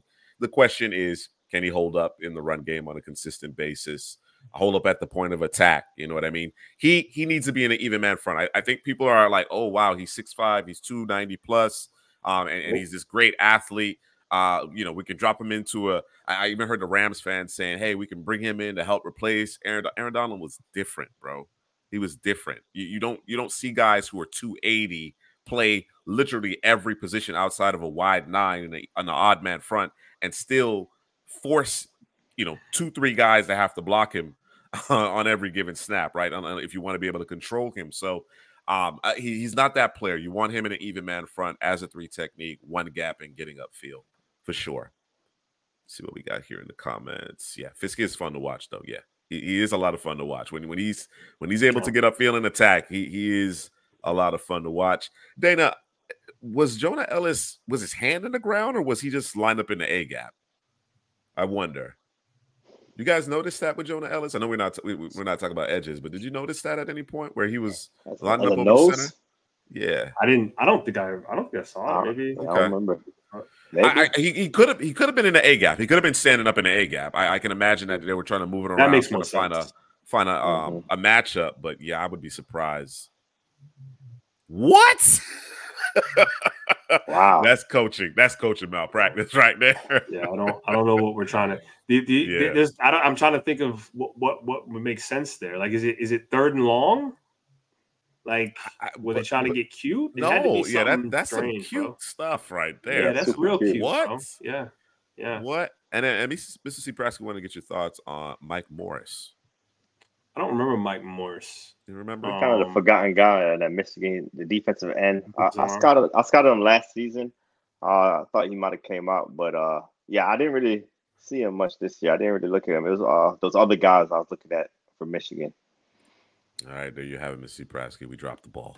Yeah, we, we dropped the ball. I got to pull up my notes short, last we season. The ball. No, it, it, it's all right. It's all right. Um, he he he certainly. Um, I think he lost some ground this this past season, as far as his draft prospects are concerned. The injury is really what got him. Um, oh, he came out right. last year. That's why I scouted. Yeah, yeah no, no, yeah, yeah, he did. Okay. Okay, I thought he stayed in school and I just didn't see him out there. But um, mm, yeah, I scouted no, him did. last year. I think we spoke about him last season. I just don't remember everything. Um, you're six ranked interior defensive lineman here. Michael Hall Jr. for you, Headley, and DeWayne Carter. So Headley had an opportunity to speak about Carter earlier. You have him a few spots higher here, Drew. Your thoughts on him? Yeah, listen, um, D- DeWayne Carter.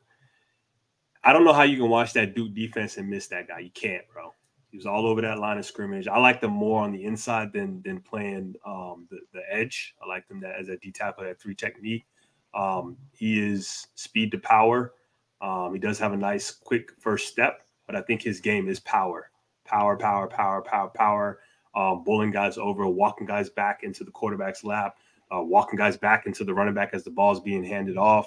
Um, he's a guy who who can who can, as we say, stack and shed very quickly. Um, he has some moves, um, especially if, if, you want him to rush from the outside that he can perform. Um, got a little spin move there, um, swim move there, good hands. Um, first to make contact, usually with the offensive lineman. Um, and and he, he's he's stout at the point of attack, man. Stand guys up, hold guys up. Um, and I think you know, for me, I think he's he's going to he's going to be a guy that gets drafted, and people are going to be like, okay, all right, we, we got us a DeWayne Carter, and not really understand what they have, bro. Uh, until he until until the, until the lights come on, and he's out there making plays, people really aren't going to understand. Um, what, what he is, but they're gonna find out real quick, man, because he's a consistent, high energy guy who just that man don't quit, bro. I when when when uh, what was it, Duke versus it was the first game of the season. It was Duke versus somebody. I can't remember who it was. Was it was it Clemson? Uh, it was Clemson. It was Clemson. It was yeah. Clemson. Yeah, yeah, he was all over the place, bro. He, he, was he was one of the main guys on defense, man, that showed up playing and play out, man. And that that's kind of what put him on the radar for me. Uh, you know, Mr. Supraski, as Drew was talking about Carter, you know, I, I, I thought it kind of the recollection came back to me a little bit. I, I recall us just wanting more from him. Mike Morris, yeah. Right, right. Like we, we, we thought, like, yeah, it, it's it's it's good, and and there's things you like, but he can't finish. He, he he struggled to finish. You know what I'm saying? So Um, I, I, wonder, I wonder with another year of, of development, what what it'll look like there in Seattle. Uh, Carter strikes me as the type of guy who could be a star, bro. He, yep. he, he you know, he, he's not going to be drafted, you know, first round. Like, of course, they're talking about Braden Fiske maybe sliding into the first round. I, Carter's going to go day two, and he he he might end up being a star. I, I it's just for whatever reason I get I get a feeling about him in, in, particular. Heather, what about Michael Hall here? Yeah, Michael Hall Jr. Um, you know, I have him similar to uh, Braden Fiske. I think I'm gonna talk about him next. I think that could be flip flop as well. Um, you know, Fiske has more athleticism than Michael Hall Jr., but Michael Hall Jr. I think is better in the run game. He plays a lot bigger than his size. I think he's like 6'3", 290, if I'm not mistaken. But he plays like a big man, man. Uh, I call him a bowling ball because he kind of bounces off guys, uh, penetrates, uh, never taking no for an answer. Uh, he'll fight for everything and get to the ball carrier. Uh, very quick twitch interior player uh, with good hand usage to blow up plays. Um, he's a he's a three he's a three tech. He's a three tech. I, I, think that's his primary position. Even though Ohio State used them along the edge sometimes, defensive end, and you know more of a three four front. But um, you know I like him as a three tech at the next level. Uh, he flashes, you know, time after time. You see 51 is flashing uh, time after time. Uh, even if he doesn't make a play, he kind of throws the quarterback off his spots uh, and make other guys make a play on the quarterback. Uh, I think he uses his hands very effectively, uh, slaps blockers hands down on his way to the quarterback. So, you know, he does all of that with his hands. So I think that's why he's a, a better run blocker than Fiske, the way he uses his hands, not the longest of hands, mm-hmm. but he uses it very effectively. He plays with a low center of gravity. And um, you know, the teams are going to question those short arms, but I just think he plays a lot bigger than his size and, and, and his arm length. Yeah, that that that interior spin move is sick, bro. Lightning fast. I, I, call him the Tasmanian Devil, bro. I call him a Tasmanian because he. You mentioned him being six three. He is six three, which which is not short by any stretch of the imagination, right? He, he's a pretty tall guy, um, but but his pad level is low. Yeah. Right. And, and and and as a as an offensive lineman, he's not opening up his chest, right, for you to get that punch out. It doesn't give you a whole lot to work with as an offensive line. That's why I was so impressed by what Jackson Powers Johnson did against him in the one on ones. But Michael Hall, Michael Hall is is a ball of fire for sure in the interior defensive line. Love to see him in an even man front as a as a three technique. Yeah. Uh, Heller, you mentioned perhaps flip flopping him with Braden Fiske um, at, at, the fifth spot here. Drew actually has him as his fifth ranked interior defensive lineman. You have Fiske. Uh, Drew, why don't you tell us about uh, Michael Hall, why you have him at five, and then Headley, uh, you could jump back in there with Braden Fiske. You know, leveraging hands, bro. He's leveraging his hands. I mean, he's he's always in position to make the play. He's always got the offensive lineman kind of on their heels. Um, he's extremely disruptive. Um, if he didn't make a play this play, he's gonna probably make it next play. Um, he, he's the type of player to me that I think can do both. Um, you know, not not come up on the stat sheet and be be the guy that that is uh, extremely effective every single play and, and freeing guys up and just causing all kinds of chaos in the backfield or at the line of scrimmage then I also can see him being the, the guy that that fills up the stat sheet um, because his ability, that that leverage ability, those hands. Um, he's he's got some moves that he can use, um, and he's a fiery guy, man. Like you, there's no way you can watch Ohio State football um, at the, when you look at the line of scrimmage. I know we can talk about JT. I know we can talk about Jack uh, uh, Jack Sawyer, but th- this was the guy to me that was more consistent than anybody on that line of scrimmage. Just always effective, always clogging up the, the holes, um, always with the penetration, man. It was just consistently consistent. Can you can I say that? Consistently yes, consistent. Yep. Um and uh yeah, man, it, it's it's I, would want him on my football team. I, I thought he would have done a, a, like you said, a better job against Powers, uh Jackson Powers Johnson, but you know, I mean, can't can't win them all, man. You know sure. what I mean? So but um, but he gave him everything he could handle though. Mm-hmm. Um, it wasn't it wasn't for a lack of, of, of moves, effort, play, none of that. Like he, he gonna give you everything, bro, and including the kitchen sink. When the day is done, if you beat if you beat Michael Hall at the end of the day, bro, you gonna you say, earned it. I don't, I don't know if you I'm earned it next week, but bro, you don't want no more. You don't want no money. That's those right. problems. No, bro, I don't know if I can do another quarter with this guy, bro, because he don't stop, man. So yeah. Braden Fiske, Headley. Yeah, quick twitch penetrator. Um, like I said, with uh, lack of size and arm length, uh, can get him wiped out at times. He kind of has to win quickly. You know, he had to win quickly initially uh, off the line to, to, to be able to do it in the run game. Um, but he, he showed some reps also where he held up in the run game to stay anchored and, and make a play. But it's, it's inconsistent. So, you know, at the next level, that's something he would need to improve. Um, the combine, man, the combine winner, he showcased that, that top end athleticism. He has speed to power to get under blocks. And he can he has a little bull rush move also. Um, you know, he'll sneak up on guys. He's a, he's a one gap penetrator, but if you're not on your toes as an interior offensive lineman, he, he could do speed to power and bull rush you to the quarterback. Um, his hands, his very active hands. He got the chop, the swim move. Uh, like I said, he wins quickly. He, he's a blur at times. Sometimes he'll be like 55, and he, doesn't look like he, will be that fast. Or, but when he explodes off the line, sometimes he can be a blur. Blur. Uh, high motor, high intensity athlete. Uh, he fights off blocks to the ball carrier. Quick hands. Um, and I just love the way they use him and Verse together in tandem. You know, we talked about those TE stunts earlier. Our reverse will come inside, and and then Fitz has the athleticism and the agility to rush mm-hmm. around the edge and, and mm-hmm. uh, get to the quarterback there as well. So, you know, defensive coordinators, they could get a little, uh, you know, tricky with him and, and let him run all those TE stunts as well. Yeah, uh, like I mentioned when, when, at Western Michigan, you saw him line up at edge quite a bit. You know what I'm saying? And still affect the passer, affect the running game with, with that quickness, with, with that initial burst and, and quickness. So I, I, certainly understand why he, he's built momentum in terms of late first round consideration. I, I just don't think he's a complete enough player to to you know what I'm saying. Put that type of draft capital, invest that type of draft capital into him. But as, as far as solidifying a, a round two pick, I think he certainly managed that. Uh, we move on to your fourth ranked interior defensive lineman, and you guys are in agreement. T'Vondre Sweat is the fourth best interior defensive lineman in the 2024 NFL draft class. Headley, your thoughts on Sweat? I mean, obviously, we've talked about, or rather, we are aware of some of the off the field concerns, maybe some maturity questions. Uh, but on the field, between the lines, what do you think of T'Vondre Sweat? Heck of a player. Um, a, a guy that big you know, shouldn't be moving the way he does. Um, he's a load to deal with inside. Uh, he's hard to move. Uh, you know, you want to talk about freeing up the linebackers. You know, you, you, need two or three guys on, on Big T Sweat over there. Um, you know, the off field thing, you know, that's been the, the talk about T Sweat. Um, hopefully, you know, he matures, he learns from his mistakes. Uh, he gets better at that because on the football field, man, that, that strength through contact and the athleticism from his size, you, you see a big man doing a swim move uh, you know, that's that's that's amazing, man. Uh, you know, he improved. He got in, uh, in 2022. I thought he had better tape than 21. Uh, getting more pressures because you know sometimes you get pigeonholed as, as somebody this big as a as a two down player. But I mm-hmm. thought he improved as a pass rusher uh, the last couple seasons there at Texas.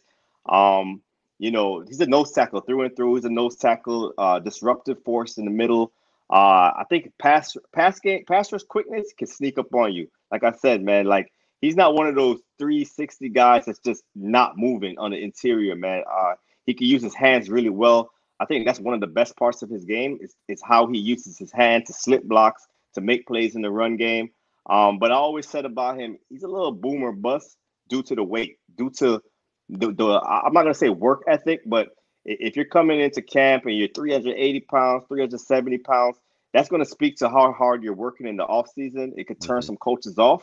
So he has to get a lot of things under control off the field, man. Because if he does that, I think he could be a beast. Uh, you know, especially with you know the NFL wanting to run the ball a little more, and you know they're two high shells, and the safeties are up high. We got to be conservative. We got to run the football. So you know, if you have Big T Sweat in there, man, it's going to be hard for teams to run a football, especially when it comes December, January, when the weather gets colder, man. You need a you need a nasty guy like this on the interior. So you just got to clean those things up, man. But I'm, I'm a big fan of T Sweat. James wondering how, how far you think he falls. Man, I, I think he could be a day three guy. You know, yeah. the teams they they they don't want to take that risk with, with a guy like you know he has a lot of concerns, not just the the the DUI or the DWI, whatever whatever the, the drunk driving, it's it's also the weight concerns as well. You know, he, the weight concerns was always there, and now we're talking about immaturity and, and off field things. So I think poor decision making now. Now now, yeah. now we're talking about poor decision making mm-hmm. on top of conditioning. So yeah, yeah. Well, no, nobody wants Nobody wants a, a repeat of um. Is it was it Isaiah Wynn? Nah. No. You talking about um Isaiah, uh, the right tackle for t- the Titans, uh, right? Oh, Titans. Yeah. Yeah, yeah, yeah. It wasn't Wynn. It was a uh, win. That's from New England. The, the guy you talking about? Oh, um, oh, yeah.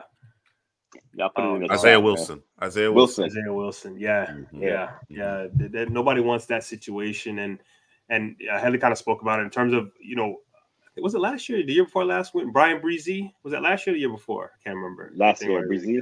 Last year, yeah, Bresee. Yeah, Bresee. Well, I called him the line of scrimmage discriminator. Here's here's another one right here in terms of the line of scrimmage discriminator. Except he's doing it not from the edge. Um, he's doing it from interior nose tackle. Um, like Kelly said, true and true, a nose tackle. Um, guy can take on the double team, take on the, oh, I'm not gonna say the triple team, but take on the double team, um, can hold guys up uh, at the point of attack. Um, and it's like at times when watching um, him, sometimes because of his his movement, at times I would get him confused with Murphy at times, man. oh, oh, wait, was that? Oh, whoa, that was thought that was, and just it, because of his movement, his his hands, um, at times you can you can see some quickness in his game. Um, uh, not not obviously not not to the level of Murphy consistently, but at times that that does happen. Um, and he's got some moves on the interior, man. Um, that that he can use. Uh, that I've seen him throw a spin in there. He get get a little cute sometimes. No, you don't want to spin him. Change. to, you, you, don't want to spin him, but you know, he, really good hand. At the, at the senior bowl, yeah. trying, trying to do some things, trying to trying to make things work, you know, for himself or for the guys around him. But um, but yeah, man, it, it's the, the talent is there. Um, it's, it's not anything that that um you would worry about in terms of the talent part. It's just you know everything else that surrounds that. And it's just unfortunate. Um, I think he had said something about his weight. Um, at the at the Senior Bowl. What did he say about we, his we were interviewing him, and um, you know, the question came up. The question came up in terms of um, you know, what, what what do you do about your weight? Are you comfortable at your weight? And he says, I, I'm actually comfortable at 365. I'm actually comfortable at 365. But you know, if a team expects me to be at 340, 335, I'm I'm gonna make sure that I get down. You know what I'm saying? I, I don't want to cost myself the money. I don't want to cost myself the opportunity. So if, if that's what they're mandating, then then that's what I will work towards. I'll be sure that I, I get in shape, get down to the requisite playing weight. So but he did mention that I, I feel I feel comfortable at, at 365. I, I feel like I can I can give the requisite number of snaps at this particular weight. I I've likened him on a high end, on a high end. You know, who knows if he ever gets to this um, level. I, I think there's some similarities in terms of Dexter Lawrence, right, out of New York. Mm. You know, but but again, I think that's if if he checks all the boxes, he he he's diligent about his preparation and and you know matures. I, I think he could be kind of have a similar impact to a Dexter Lawrence on the high end. Uh, Nkemdiche was your guy here, Drew. Yeah, uh, Tigers. It, it, took me. A, it took me a second to realize who that was, and then I remembered the white tiger, bro. Remember the white tiger, bro? Yep. Yeah. Once, I heard that, though, I was out, bro. I, am out. My my yeah. issue with with Nkemdiche now now you know Dana is drawing a parallel in terms of some of the off the field concerns, which is which is apt. That I can I can understand right. that. I, I, didn't I didn't see it on the field with Nkemdiche enough, bro. I, I just you you talk about meat on the bone you, you talk about like falling short of expectations, even yeah. out of even in college. I just did not see enough to warrant all the hype that he was getting. And then, of course, he clearly was not, you know, of the right mind frame in order to actually when, when you start kind of cat. Yeah, man. When you start giving these cats this kind of this this kind of money, you know, you you you know, eh, they couldn't he couldn't handle it. He he wasn't ready for for that type of responsibility. Was that Ole Miss? Ultimately, yeah, yeah, yeah he was at Ole Miss. He was at okay. Ole Miss. Yeah, was he a lane guy? He might have been a lane guy. I think he, I'm not yeah, mistaken. Yeah. All right. Your third ranked defensive tackle is Sweat's teammate here, Byron Murphy. Yeah, uh, another blur. This, yeah. this another blur right here, man. First step quickness. Um, I know DJ. That was he. He, he kind of pushed this guy up the board quickly, quick, fast, and in a hurry. He he just shot up the board, and he really hasn't come down.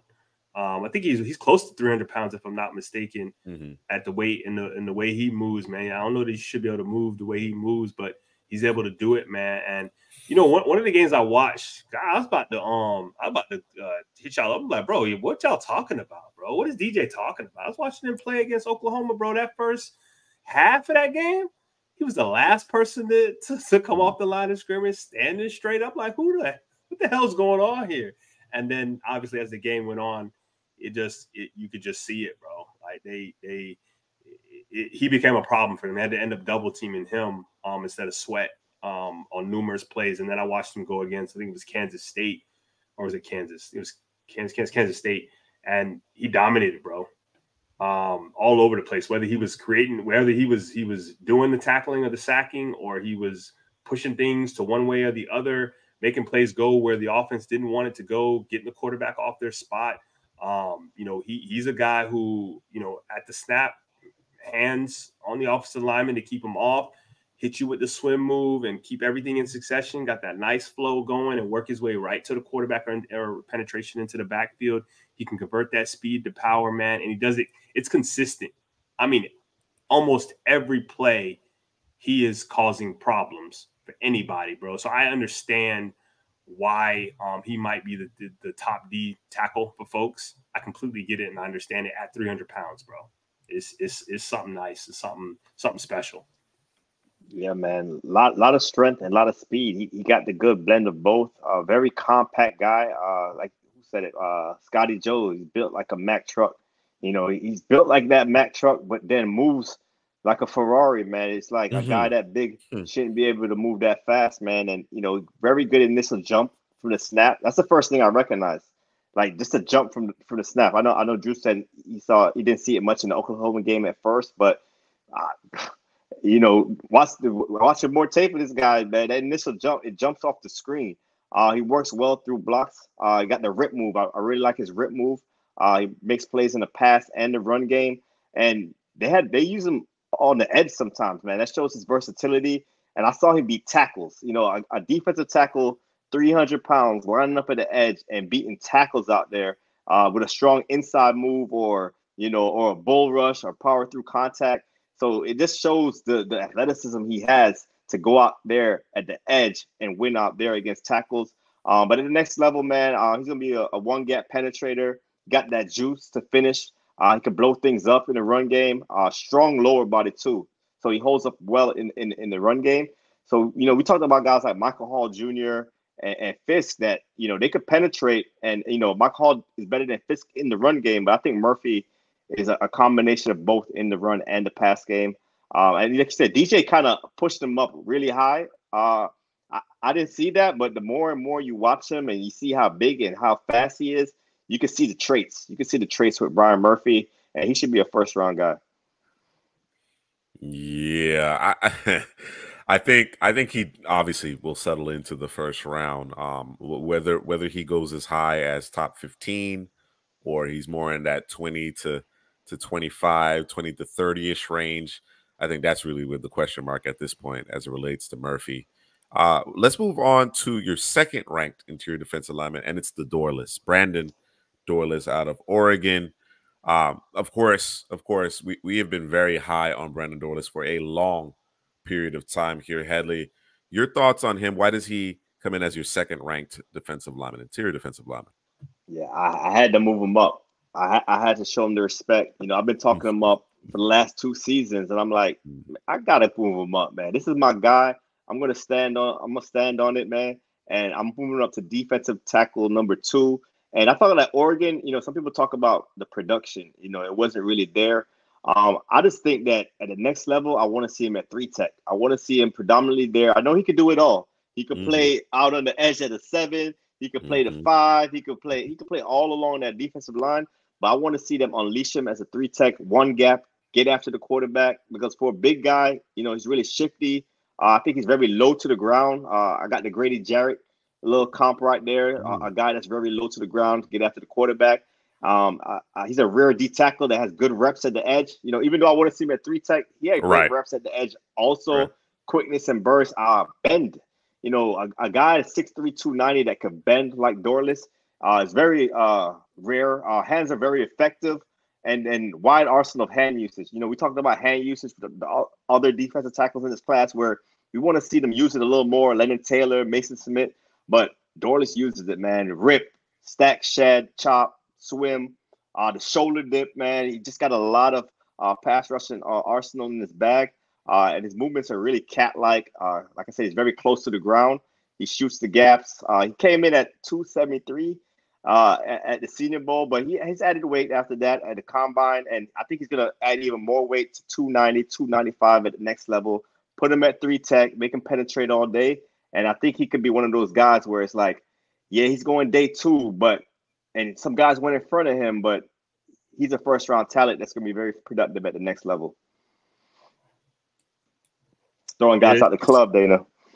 Yeah, he is throwing guys out the club, and it's, it's kind of it's kind of surprising that you haven't heard more. I think he's the, the, you know past two two and a half weeks or so. I think that the start to pick up on him, but it, it's it's it's crazy how people weren't talking about him before because he, he was doing some damage on that defensive line, and he was going against some guys um, consistently. When you talk about um, Washington and Rosengarten, you talk about uh, was it Arizona and in Morgan, uh, uh, Jordan Morgan, and you talk about um, uh, I'm drawing a blank. Um, Oregon State's um, uh, Fuaga, like you, you could see those matchups, and uh, he, he was doing his job. He was holding his own. He was beating guys coming off the edge. Uh, and, you know, obviously he has that ability to play inside as well. Um, good hands, as we talked about in terms of his ability to play low to the ground, as big and as strong as he is, um, that leverage. He understands, you know, what it is that he's supposed to be doing. So, um, I just I kind of I kind of debated to you know do I want to see him inside at the three technique or do I want to see him outside you know and I think think it might have been Mr. C. Prasky. It may have been you that had stated that um, you want to see him maybe get that that Michael Bennett treatment, right? Depending on the down and the distance, how you treat him, whether he's playing inside or outside. But he had made reference to it, maybe. Um, but maybe maybe that's how how you would deploy him to get the most out of him. Yeah, and, and I think that was Mr. C. Prasky that brought up that comp. I, I I think that's such a apt comp, and if you can if you can leverage Dorlus's skill set in that fashion, you, you got a hell of a player, right? As Headley mentioned, we have him as a, a first rounder as far as, you know, being within the top 32 prospects in the class. And I think, Drew, the reason why there's been a, a very slow burn as it relates to Dorlus, people haven't necessarily been as bullish on him, is because I think they view him as they were viewing him as an edge like purely as an edge. There, has been a lot of misnomers in terms of how these defensive linemen are going to be deployed. And and as I as you know, in saying that, I was thinking to myself, Darius Robinson's not in your top 15 in terms of, interior defensive lineman. He, he's actually in your edge group, but he he played most of his career at the interior defensive line. So uh, the way people view these players and where they they slot them in now now we agree that he can do it all up front, but um, the the way they're slotted, I think that's impacted the way they view Dorlus. Dorlus is not, you know, as as bendy as he is for his his size, he's not your your prototypical stand up edge rusher.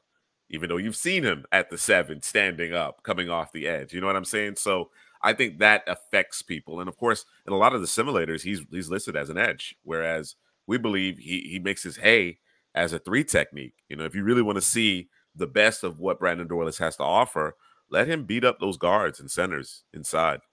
Let, let him let him get upfield one gap and attack for sure. All right, that's going to take us to your top interior defensive lineman, number one on the list here in your rankings. Big Johnny Newton out of Illinois. Now, there's going to be question marks in terms of the motor here, but but what what was it that put it over the top for you with respect to Johnny Newton, Drew? Well, we, we talk about versatility, man. And and this guy defines that, right? And and then you talk about uh, what they were asking him to do over there at uh, Illinois, right? And, and, it wasn't what we thought he should be doing, but he was doing it anyways. And he was yeah. extremely effective at doing it.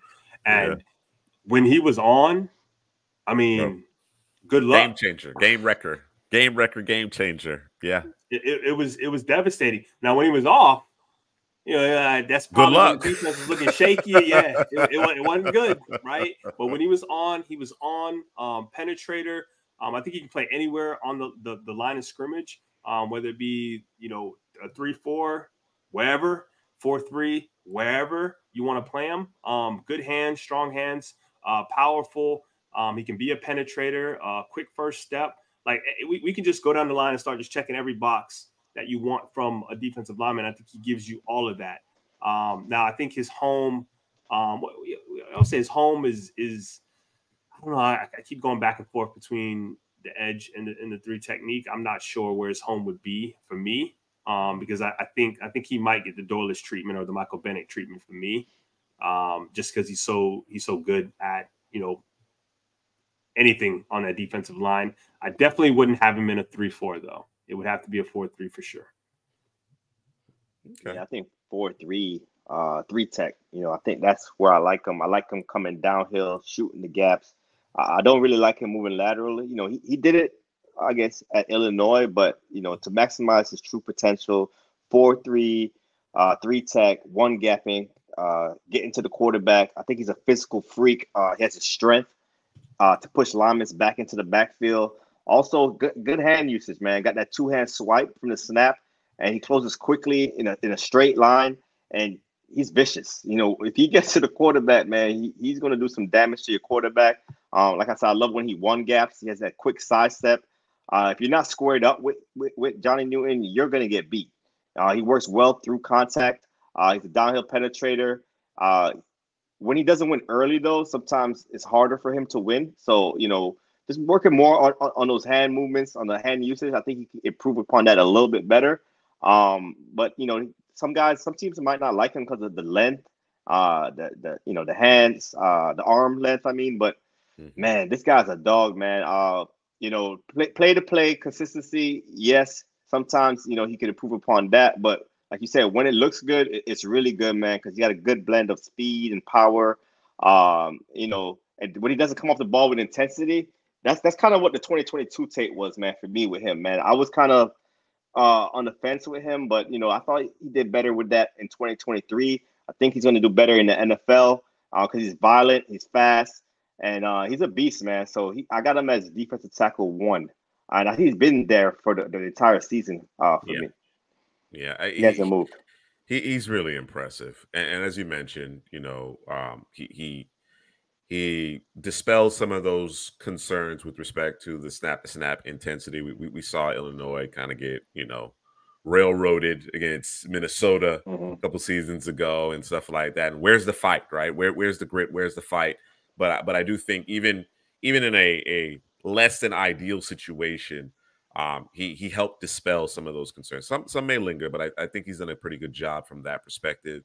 Uh, Drew, your guy Zach Randolph didn't make your top 15 here, but he gave us some insight. He gave us some insight in terms of how Illinois deployed their defensive linemen uh, during the Senior Bowl, during our interviews, and it, it, really was round peg square hole, right? It, Johnny Newton clearly capable of many things. They, they literally lined him up everywhere, everywhere from zero all the way to seven effectively right? And and he was able to make plays from everywhere but the the the lateral approach there, there there was very rare occasions where randolph johnny newton were allowed to just get upfield and attack. Very very rare. And and as a result when you're when you're always kind of on your heels when you're always catching when you're always moving laterally it does hamper some of your you know effectiveness. Now imagine that. Imagine that being their approach, right? And, and and Zach Randolph made no mistake about it. He he was like, man, I'm so excited about the idea of being able to get upfield. Um, Johnny Newton still was a huge difference maker, right? He still impacted games and at times took over games. That that that Penn State film is something else.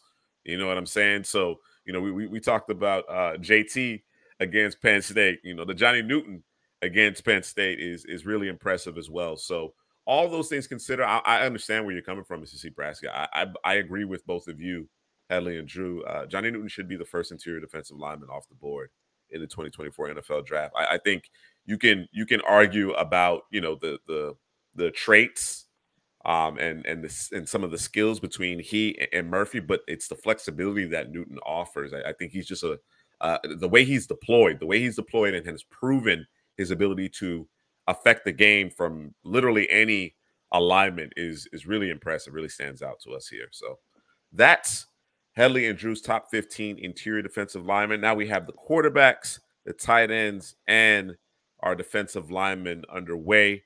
Um, long show here, but excellent show, chock full of a lot of information. We appreciate everybody hanging out with us. Uh, we're gonna get some rest. We're gonna get some rest. We're gonna call it the evening. We're gonna get some rest, recharge our batteries, and we will see you guys on Friday at 9 30 p.m. Eastern. Uh, be sure, be sure, uh, maybe, maybe right, maybe not right at the moment, but of course, there's a lot of different sports going on currently. Take advantage of our promo code TPGN link in, in uh, the description. 2x your first deposit up to 100 bucks. Again, I want to thank everybody for tuning in and sticking with us through effectively four hours on this stream. Uh, Friday's our next show. We'll be back the following Tuesday, and then we'll be here for the draft as well. So ride with us, stick with us. We will see you guys this Friday. Have a good one.